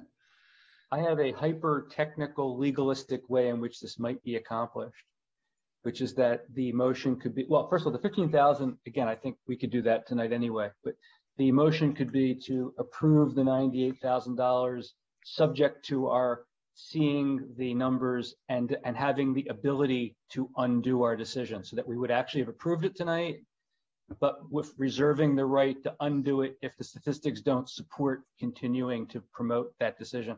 So we would support, we would submit the application, the money would be approved already, and no one's going to complain if we give the money back. Which we're probably not going to do anyway. Will you accept that change, Mikke? Uh, I- I'm looking at Elizabeth to make sure that we're not getting into some area that's just not gonna work. Well, How deep my is the only water? Concern, now that I understand um, the issue with the public hearing, my only concern would be that um, we do need to, to submit an adopted resolution regarding the funding. But if that language can be adopted into the resolution, I, I guess that would be fine. That would be my. John, do you have any input on that? What I suggested? Well, I mean, I, I, I think you can always give the money back. If that's the council's pleasure. Uh, I mean, I think she needs, I think she needs an answer by the thirtieth. So the only other option I see is to hold a special meeting. And I don't know that you want to get together for a special meeting. I think the better approach would be to, if, if it's the council's inclination to, to approve the resolution tonight. Okay, so I go back to my original motion to approve. Okay. So Kelsey, will you take the roll? Councilmember Pierson, Yes. Councilmember Fair, Yes. Councilmember Uhring, Uh, yes. Mayor Pro Tem Silverstein, Sure. Mayor Grisanti, An enthusiastic yes. motion carries. Okay, that takes us to item six A, which we are going to receive a report on fiscal year 2021, 2022, second quarter financial report and mid-year budget amendments. Uh, Do we have a staff report? Yes, good evening, Mayor Grisanti, members of council, and of course, our interim city manager, McClary. It's my pleasure to present to you this evening the second quarter financial report and mid-year budget adjustments for the current fiscal year 21-22. Um, unfortunately, I have lost the ability to see the presentation that Kelsey is uh, projecting. So I'm just going to say next slide. And the slide is numbered one at the bottom of the right corner. Isn't projecting one right now. Parker We're- will get that up for us right now, I'm sure. Yeah, we're not seeing anything. Okay. And thank I you for your have- thank you uh, for your patience with me. It's my uh, my first opportunity to to make a formal presentation to you, and and I realize the um, time of day and will be as brief as possible. Thank you. You're welcome. Okay, so slide uh, next slide, please, Parker. Thank you. As shown on this slide, total revenue for all funds was originally budgeted at approximately 84 million, and through December 31st, the city has received approximately 24 million, or about 29%. The proposed mid-year budget adjustments recommended recommend an increase of 5.66 million um, to increase that total to almost $90 million for all funds. And I'll review the components of this recommendation in just a moment in an upcoming slide. As of note, the total budget revenues include resources to match budgeted costs for phase two of the Civic Center wastewater treatment facility. And this has not changed from the adopted budget. As I understand, an update on this major project is scheduled for the February 28th council meeting. Next slide, please. This slide illustrates revenues for only the general fund, and that was originally budgeted at 38.5 million through December 31st. The city has received approximately um, 19.7 million, or about 50%. The proposed mid-year budget amendments recommend an increase again of this 5.66 million. It's all general fund um, resources, and that brings the total to 44.2 million. And again, I'll review the components just momentarily. Next slide, please. On slide three, the, these reflect the total expenditures for all funds. Again, originally 92.44 million, and what we've actually ex expended through December 31st is 27% or about 24.5 million. Um, the projected expenditures will be adjusted only after the council's actions this evening to reflect the approved mid-year budget amendments. And um, again, those amendments for uh, this fund will, um, for, excuse me, for all funds will be discussed here in just a moment. We also included a note here at the bottom, and same as was in the adopted budget regarding the construction costs for phase two of the Civic Center wastewater treatment facility. And um, and looking forward to that presentation next month. Next slide, please. For the general fund, the original budget, so this is just the general fund, was approximately 41 million and through December 31st, our expenditures for general fund are approximately 17 and a half million or about 43%. And again, we'll adjust those projections for the general fund and for all funds um, after the, the council's action this evening. And pardon me if I say the board, I've been saying that for about 17 years. So I'm, I'm learning to switch gears. Uh, next slide, please, slide five. These are the components of the city's cash and investments. And as shown, our cash is held in um, these main three categories, the, city, the city's operating checking account, the, the county, excuse me, the state's local investment pool, um, we call that LAIF, um, or investments that we hold with Wells, Wells Fargo advisors. And in addition, the city does maintain a small amount of on-site on-site petty cash. Okay, moving on to slide six. This slide provides a summary of the city's fund balances as projected for the end of the current fiscal year um, with a projected undesignated general fund balance of just over $39 million and a total fund balance of almost $60 million.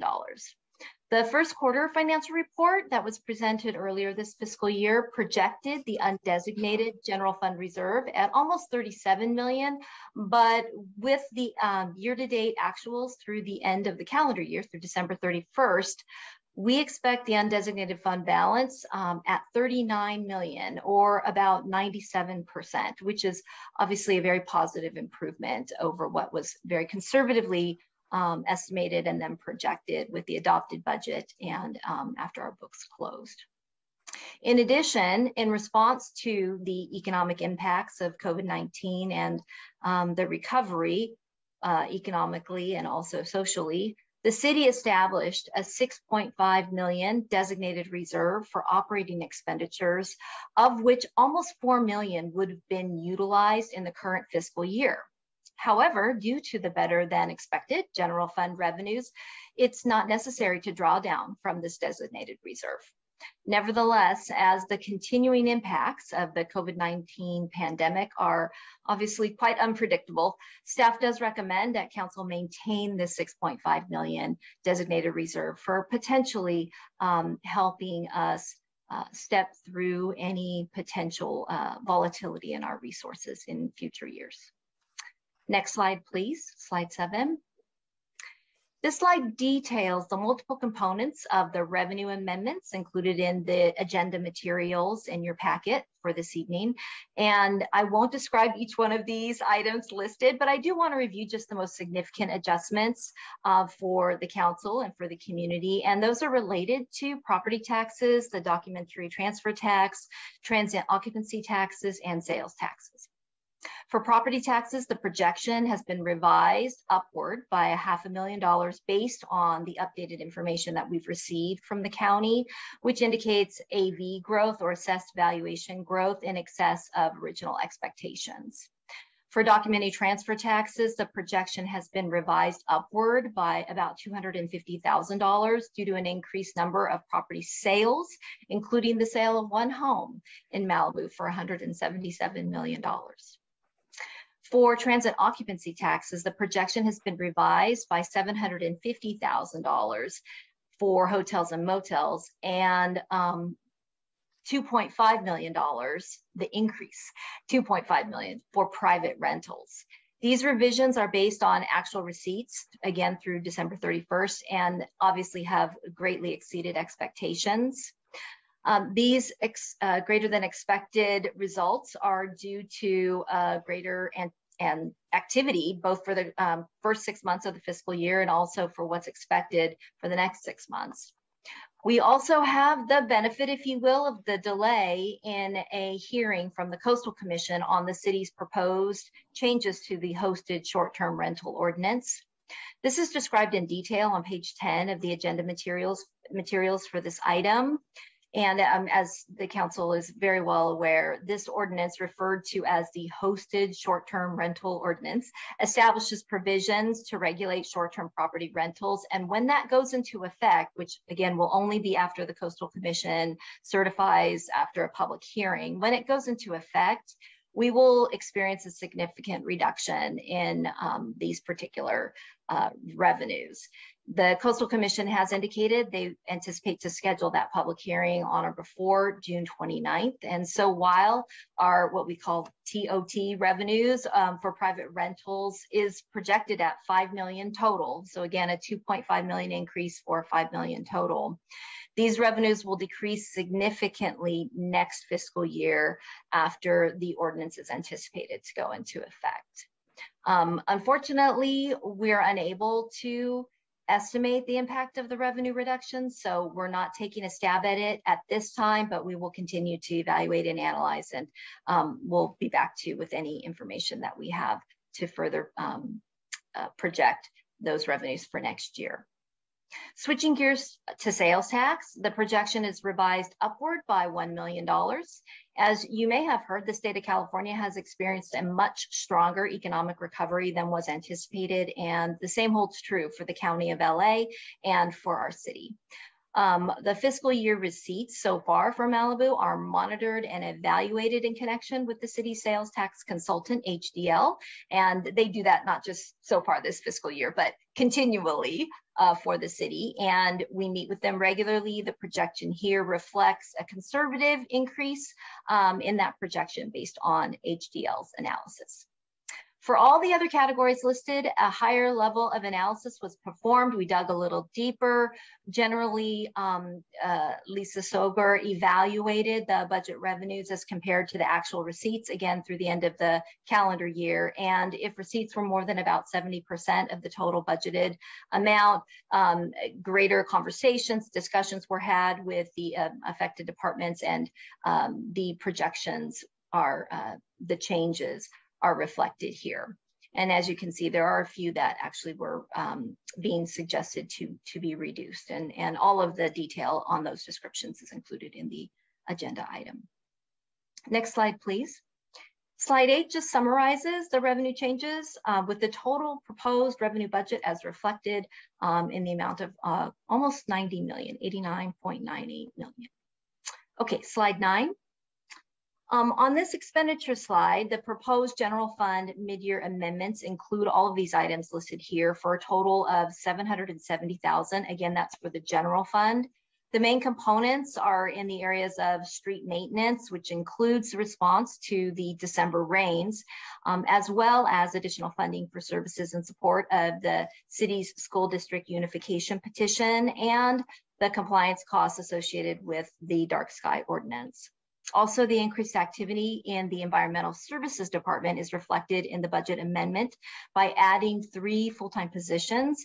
Um, I'll describe that here in just a moment on a future slide. But first, I need to mention two important changes that will impact our resources. The first is in the current fiscal year and is mentioned at the bottom of this slide. And then the second impacts the next fiscal year. So it's not particularly mentioned here, but it is included in the agenda materials on page eight.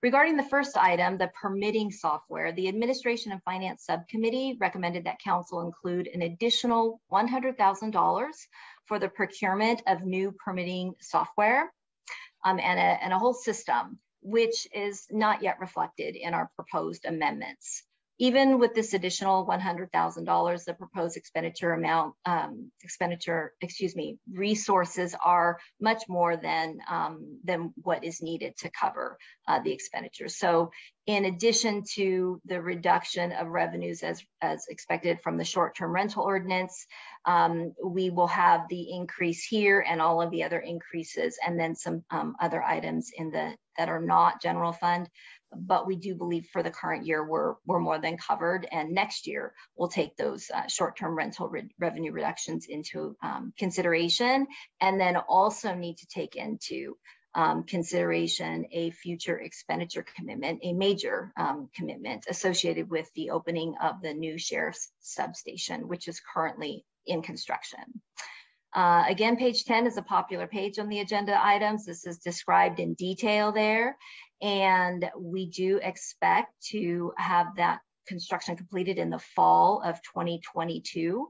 We've been in discussions with the county and the sheriff's department regarding the potential staffing and of course the associated increase in costs. It's preliminary, but it is estimated currently that our costs will go up by about $4 million annually or about 10% of our general fund expenditures. And, and this is significant. Um, of course, discussions are ongoing I'm sorry.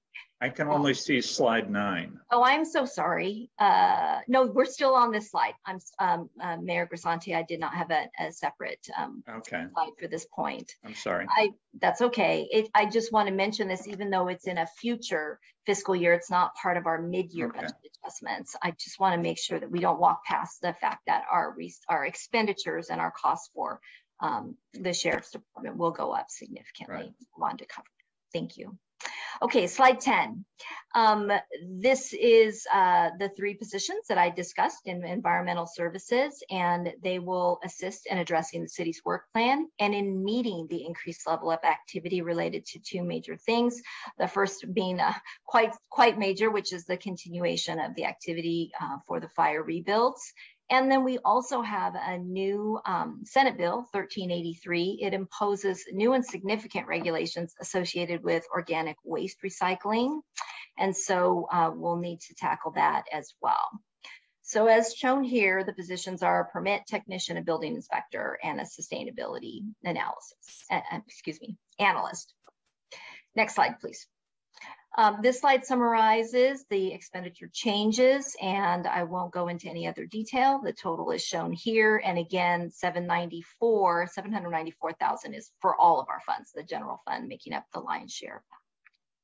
Next slide, next slide, please.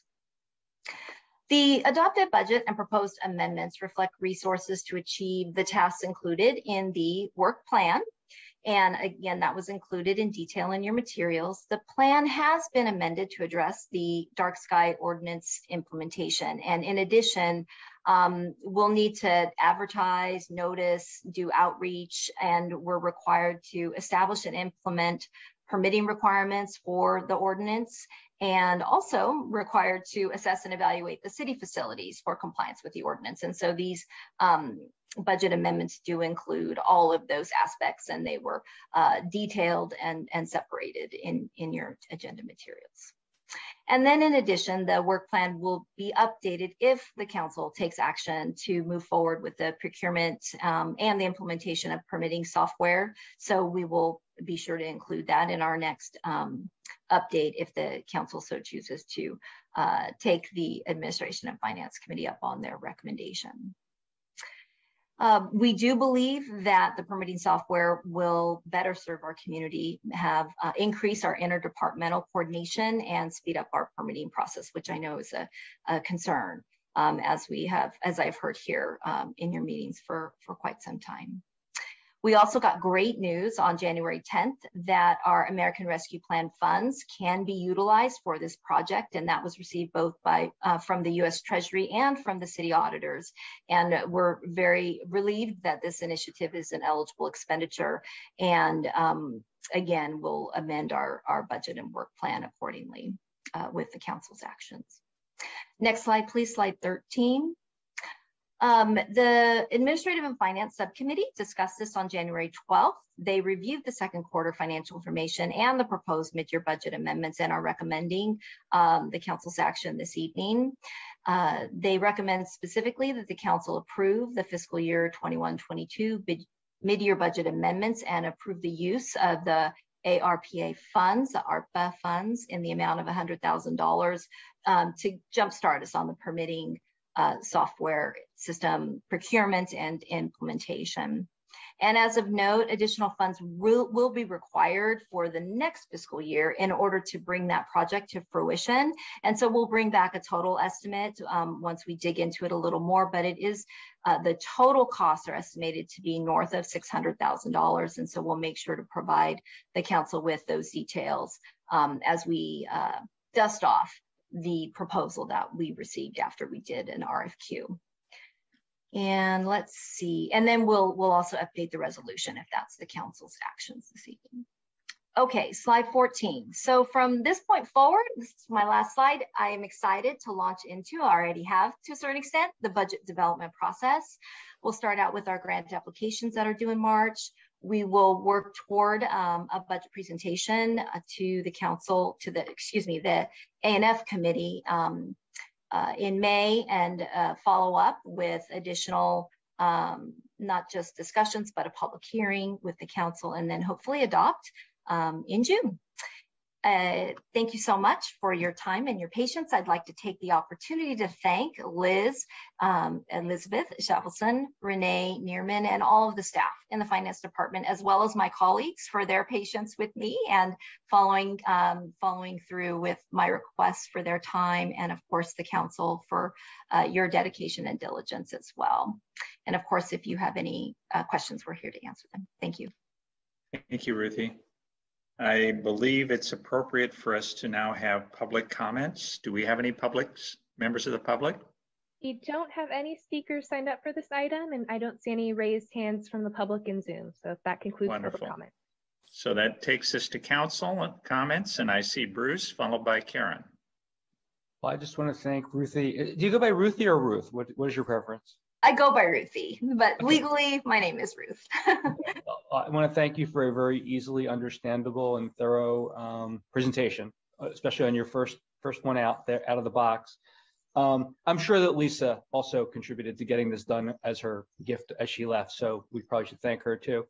Um, so I, the only the only comment I have is, um, are there more things we can be doing to tap into the ARPA funds? You know, more things that we need done that instead of spending our money, we can be spending Uncle Sam's money.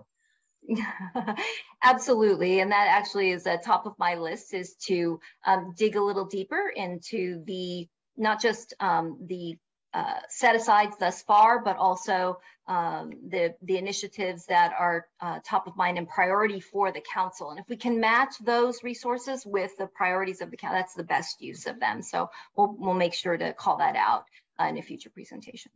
Okay, well, thank you once again. Karen?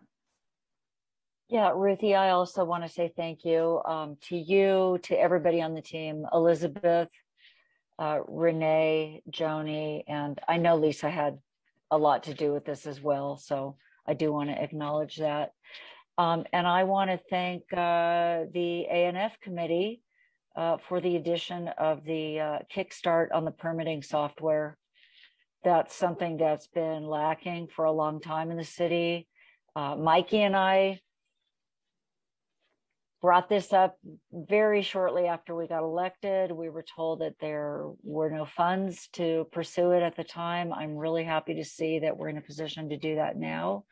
Uh, and I know it's going to require more to implement, but that's a great, great addition uh, to uh, to our mid-year budget. So I, I just want to thank everybody for that.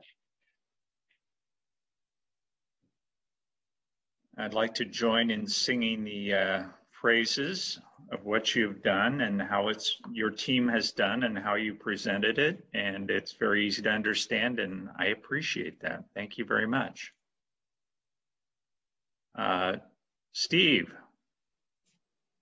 Thank you, Mayor and members of the council. I just wanted to make a couple of real quick comments, um, just to echo some of the uh, things that Ruthie said here.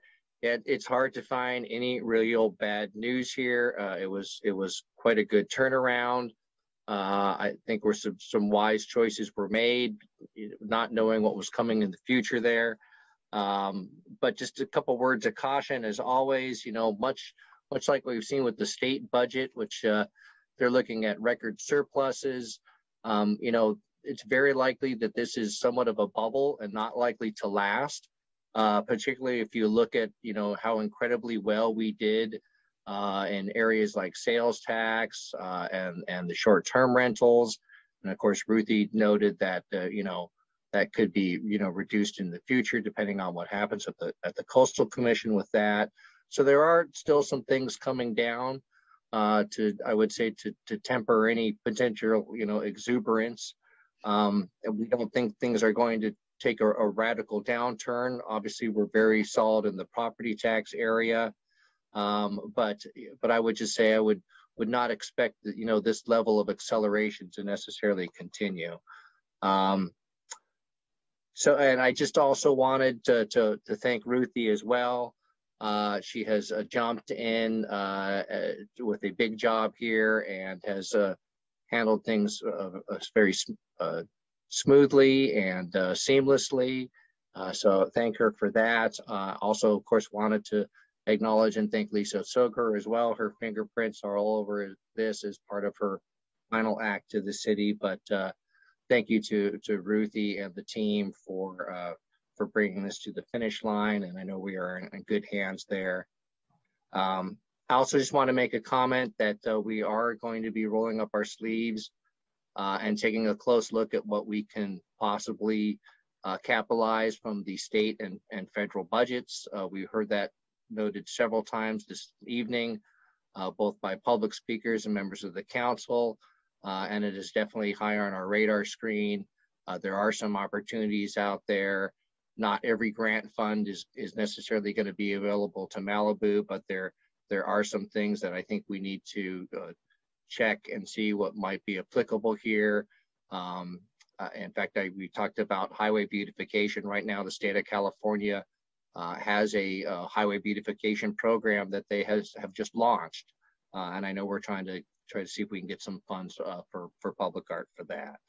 Um, anyways, that was, I just wanted to make a few comments uh, before we went on with the rest of the agenda item. Thank you. Thank you, City Manager McClary. Steve Uhring. Uh, Ruthie, thank you. You did good. Uh, and just so the council understand, in the Ed, in Administrative and Finance Committee, we took a look at some possible changes we can make to increase the revenue sources for upcoming years. So they'll be coming back to you a little bit later. I think I think Steve's comments that said, you know, this may be a little bit of a bubble and we've got some additional costs coming up in the upcoming years. We have to make sure we get covered.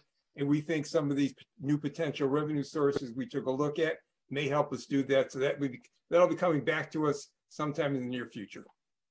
Thank you. Thank you, Steve. Okay, this is a receive and file. Or do we need a motion of any kind? I'll make a motion to receive and file and, and also echo all the thanks to the entire team. Thank you very much, Ruthie and team. Really, really appreciate it.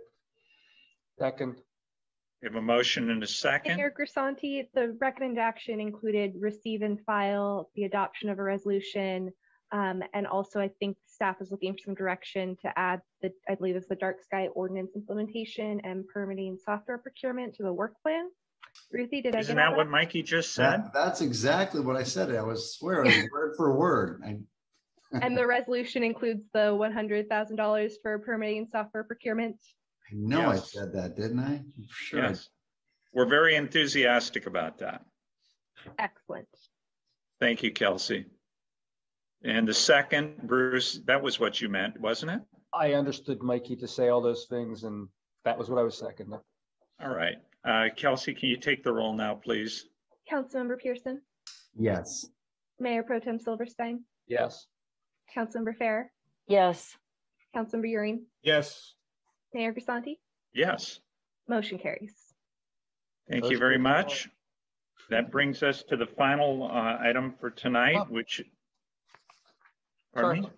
I thought we were done. I'm sorry. No, item 6B, mid-year commission activity reports. Uh, Do we have a staff report?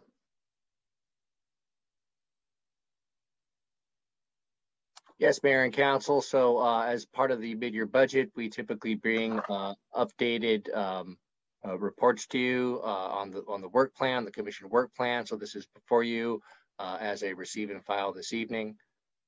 Happy to answer any questions. We do have the department heads here, I believe, online if you have any specific questions about the work that the commissions are doing. Thank you.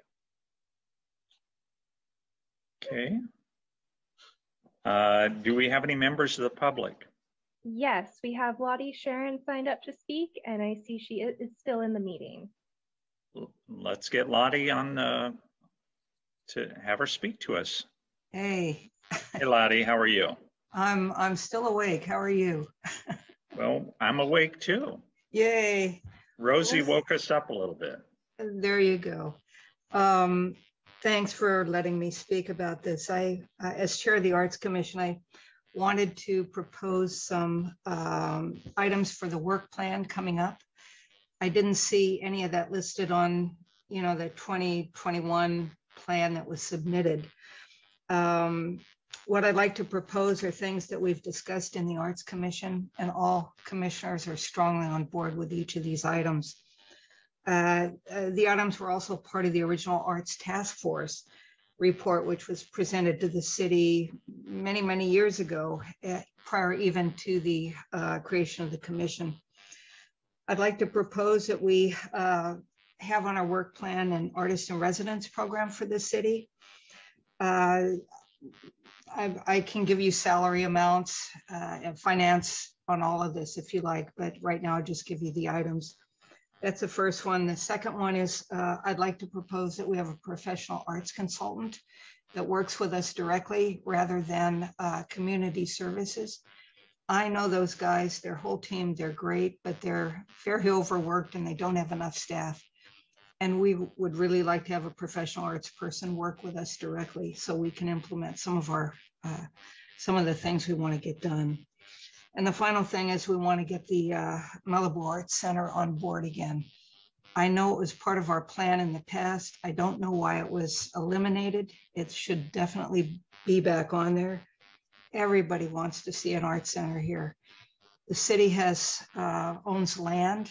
They can rent it to us for a buck a year. We can find funding.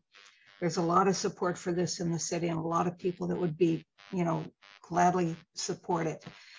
So that's my uh, that's my request. Also, I think your your current city manager, Mr. McClary, has experience in setting up an art center, at the, you know, in the past, and I would love to meet with him uh, and uh, a commissioner or two to see if we could find out details from his point of view and get this thing moving. Anyway, that's my that's my request, and uh, thank you so much. Thank you, Lottie. And Mayor Grisanti, I don't have any other speakers or any raised hands, so that concludes public comments. So it's appropriate at this time for us to have council comments and discussion. And I don't see any hands raised. So Mikke, thank you for answering the call. I couldn't push the buttons quick enough. Um, I, I do want to discuss um, some of what is being discussed involving an art center. I, I, I think it should be on the work plan, not to take up staff time necessarily, but especially because it's it's a really difficult project.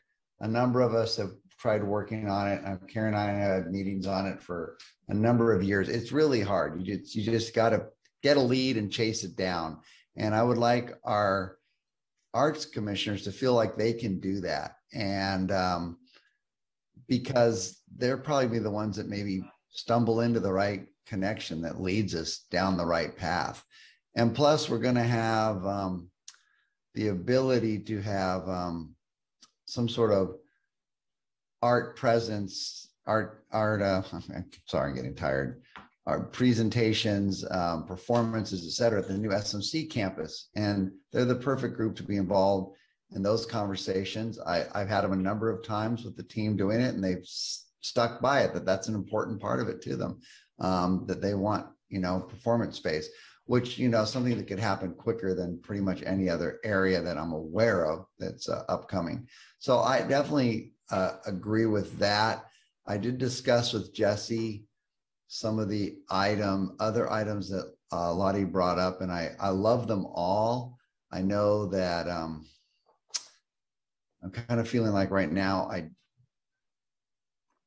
I felt like it's just running into a bit of a, you know, how much different things can we do right now? The staff issues. I don't know if it's so much a money issue, um, but I'm I'm interested in those items as well. But I also know that you know we just don't have this point, so I'm being sensitive comments at the moment. Okay. Mr. Uhring. Uh, yeah, uh, I don't disagree with anything Mikke just said. I, the, the comment we got when we talked about this in administrative and finance was from the staff perspective, they were they didn't want to get overburdened with more stuff coming at them. So Lottie, I mean, I don't know if Lottie's still there. Are you still She's still there, Uh, I'm just wondering. I mean, if we put these things on on the work plan, do you think the committee will be able to handle most of those? Or, or you know, I, I, I'd hate to get them lost by someplace if, by not putting them, not having them visible. Uh, but I do not want to burden or bury the, the rest of the staff doing that. Do you, do you think you got a way to manage that if we do that? Yes, absolutely. And, and to respond to Mikke, I've contacted um, your, your crew about trying to get a, a available space in the new uh, SMC campus. And I've been blocked at every turn. All I know is they have a place for some sort of community something, and they also have a yoga room, but they have nothing for the arts, nothing specific for the arts. There's no funding set aside for the arts. You know, we have something like $30,000. The rest of it is all staff. Okay, it looks like we have a huge budget. We don't. We can get going on this, but even when we bring it up in our meetings, we're told we can't talk about it because it's not on our agenda. It's not a part of our work plan, which is ridiculous. We need to be able to discuss these things and everybody wants to see this happen. So I, you know, I'm all on board with this. We've been trying to do this for more than 10 years. I don't know what Mikke and Karen have, have done. I, I'm sorry, I don't know. I wish I did because we've been pushing this for a long time. Um, well, let me respond to that quickly. Lottie, I hear your frustration and I understand it absolutely.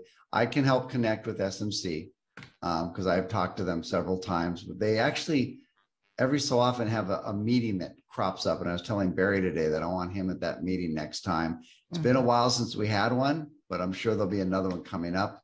Um, and somehow, yeah. So anyhow, I'll be looking for that.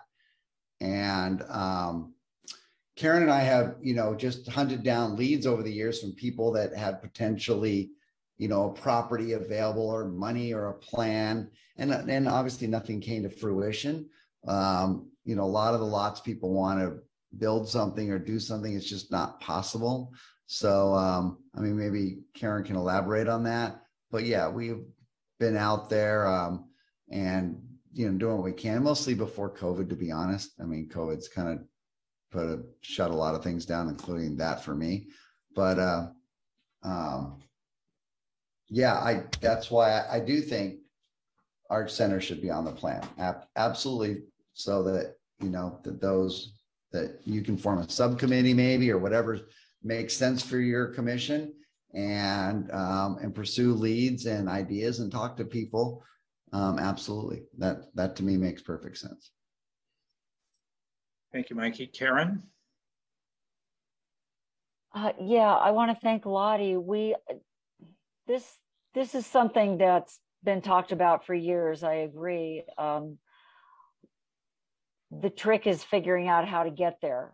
Um, and I'm really happy to know that uh, you and the rest of the uh, Cultural Arts Committee is uh, Commission is is as interested as you are. Um, I definitely don't want to get in the way of that. Uh, I want to be sensitive as well to um, the staff uh, capacity. Um, I'm not exactly sure how to authorize or how much we can authorize you all to do, but I'd say go for it. Talk to people. Um, Mikke and I, and, and I'm sure all the council members will will gladly uh, engage any constituent or anybody they know on this conversation. Um, some of us know know some of the members of the Santa Monica College community better than others. Uh, I think the mayor is the designated representative to those meetings. Is that right, Paul? I don't think so because I haven't been invited to one yet. Well, there there may I not have you been are. one, I think but I you think are. I think you are. Um, Okay. or maybe it's mayor and mayor pro tem. Um, w- we can find that out easily. I believe it's Um, Mayor and Mayor Pro Tem. Okay. Um, and maybe there just hasn't been a meeting. There is, uh, my understanding, um, a nice theater that's in the Santa Monica College building. I don't know what we need to do to get access to it, uh, but we definitely should ask. I'm happy to do that tomorrow. Um, so yeah, the, the more we ask, the, the, the, the more we'll get there. So I, anyway, Lottie, I just want to thank you and, and I'm making myself some notes of some phone calls I'm going to make tomorrow. Okay. Thank you, Karen. Bruce? Yeah, so I, I think we're talking about the Malibu Public Facilities Group. Um, and there was a meeting, because it was my first time I ever attended, it was about a month ago. The next one is scheduled for March, March 16th at 1 PM. So maybe get on that, you know, ask to be invited to that meeting. Um, Steve, you- I'm sure you have the um, meeting particulars. Maybe we can get somebody on that meeting from the Arts um, Commission and begin a dialogue at that meeting.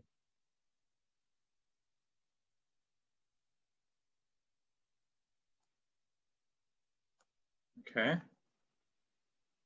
So have, have we agreed to let Lottie put all those three items on her work plan and let her work with her commissioners to figure out how to do that without impacting the staff?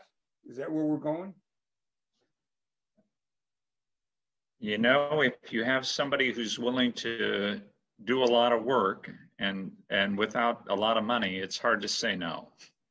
Uh, I'm really excited about the possibility of uh, renting them the land or some land to build an arts center on. Of course, that's going to take some a while to come up with a design that actually meets our codes and then get financing lined up for that. But uh, if you go around in Beverly Hills or Santa Monica, there's a lot of buildings that have somebody's name on them, a, a donor's name on them, and there's there's no reason we shouldn't try to harness that in Malibu as well.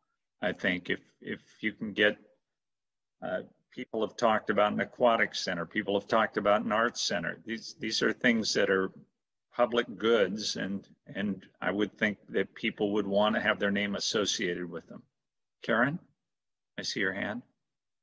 Um, yeah, I just want to acknowledge, um, Paul, you mentioned it uh, earlier, uh, and I, I want to reiterate, I have not, I don't think the council has lost sight of the fact that we all acknowledge there needs to be a public outreach process to talk about uh, constituents' priorities.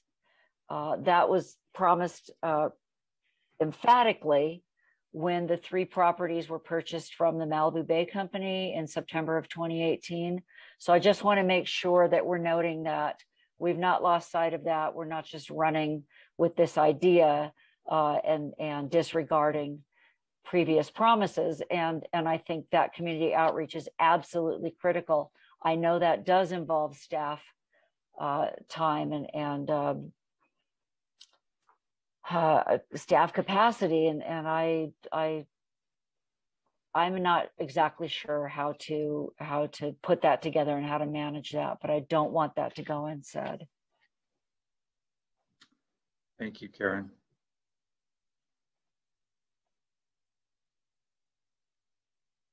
Okay. Steve Uhring. So I'll make a motion, I'll make a motion to have Lottie put those, add those three items to her commission's work plan and just ask her to try and have a minimal impact on the staff as she works her way through some of those things. But I think the more we can get people thinking about that, the better chance we're going to have of getting something done. So I'll second that. Okay.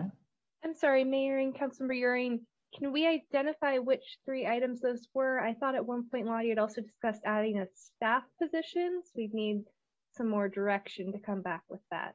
Uh, the three items I had written down were artist in residence, professional arts consultant. They're doing an investigation of these things and a, a Malibu Arts Center. Right, that's what I had. Okay, and uh, Steve, we're good with adding that based on that language to the work plan? Yes.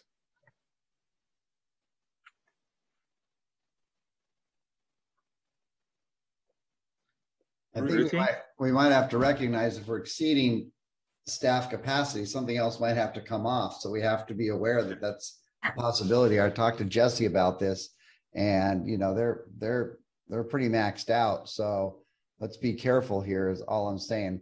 You know, I definitely want the commissioners to pursue the um, Arts Center. The other items we have to, you know, I, I, I just don't want to implode somewhere there, but I know the, and you know, how anxious everyone is to do more and I totally get it and I'm with it, but a little worried about staff capacity, to be honest. Okay. Uh, Thank you. And that, that basically is what I was going to mention. So thank you so much. So it was a big concern. It was discussed at A and F and um, it- it- with base, the thoughts exactly as was just described. So it's a, it's a tough, uh, tough um, endeavor without the addition of, of staff and community services. Well, can we modify those items to them coming back to us with some idea of what they're talking about as far as the dollars for an artist in residence, a professional arts consultant, and uh, for the Malibu Arts Center, I think what they're trying to do is figure out the uh, how it could possibly be done and whether or not there are actually some donors around who would step up. Is that an ex, I'm sorry, Bruce? Yeah, um, you know, I think we're overly reliant on staff for a lot of things that we don't need to be. And I wonder whether there couldn't be some coordinated effort between the commission, the formal commission, and a privately created group of residents who are interested in pursuing this idea, who could do the the work of running with it and then bringing it back when they've got some kind of concrete proposal, which would avoid the, the, the issue of needing a staff person to be involved, kind of like we used to do with the homeless working group before we created a task force. So it's just, just a thought is, you know, we probably could offload if we've got interested residents who want to pursue something. We don't need to be make these things staff dependent. So you're suggesting that we uh, ask them to appoint a two-person subcommittee to go out and interface with some members of the public and try to come up with a plan? Sounds like the governmental way to explain what I just said. Yeah, I like that. You know, I like the process of letting Lottie Charon and her commissioners figure out how, how to execute the plan Bruce just talked about. I mean, you know, they've got connections in, there's, there's Lottie, she's been doing this for a long time.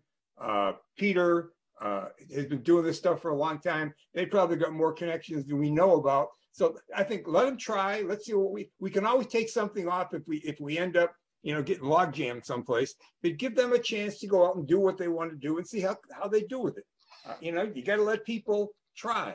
And if they, it's a problem, you let them try. They often come up with stuff that you didn't think they were going to get done.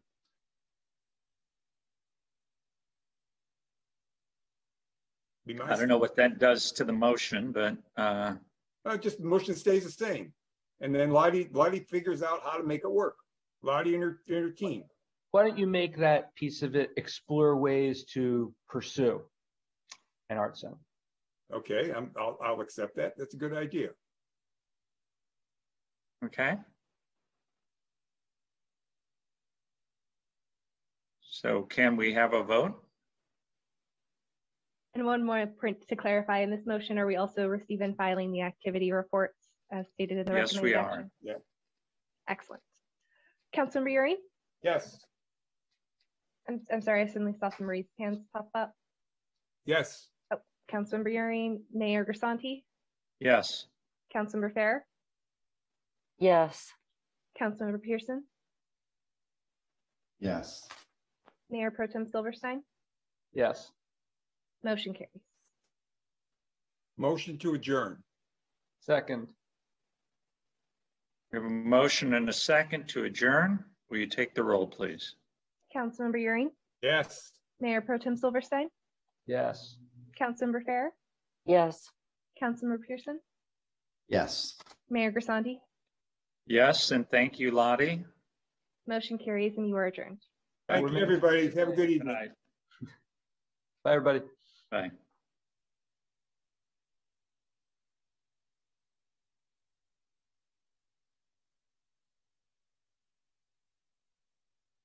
Um,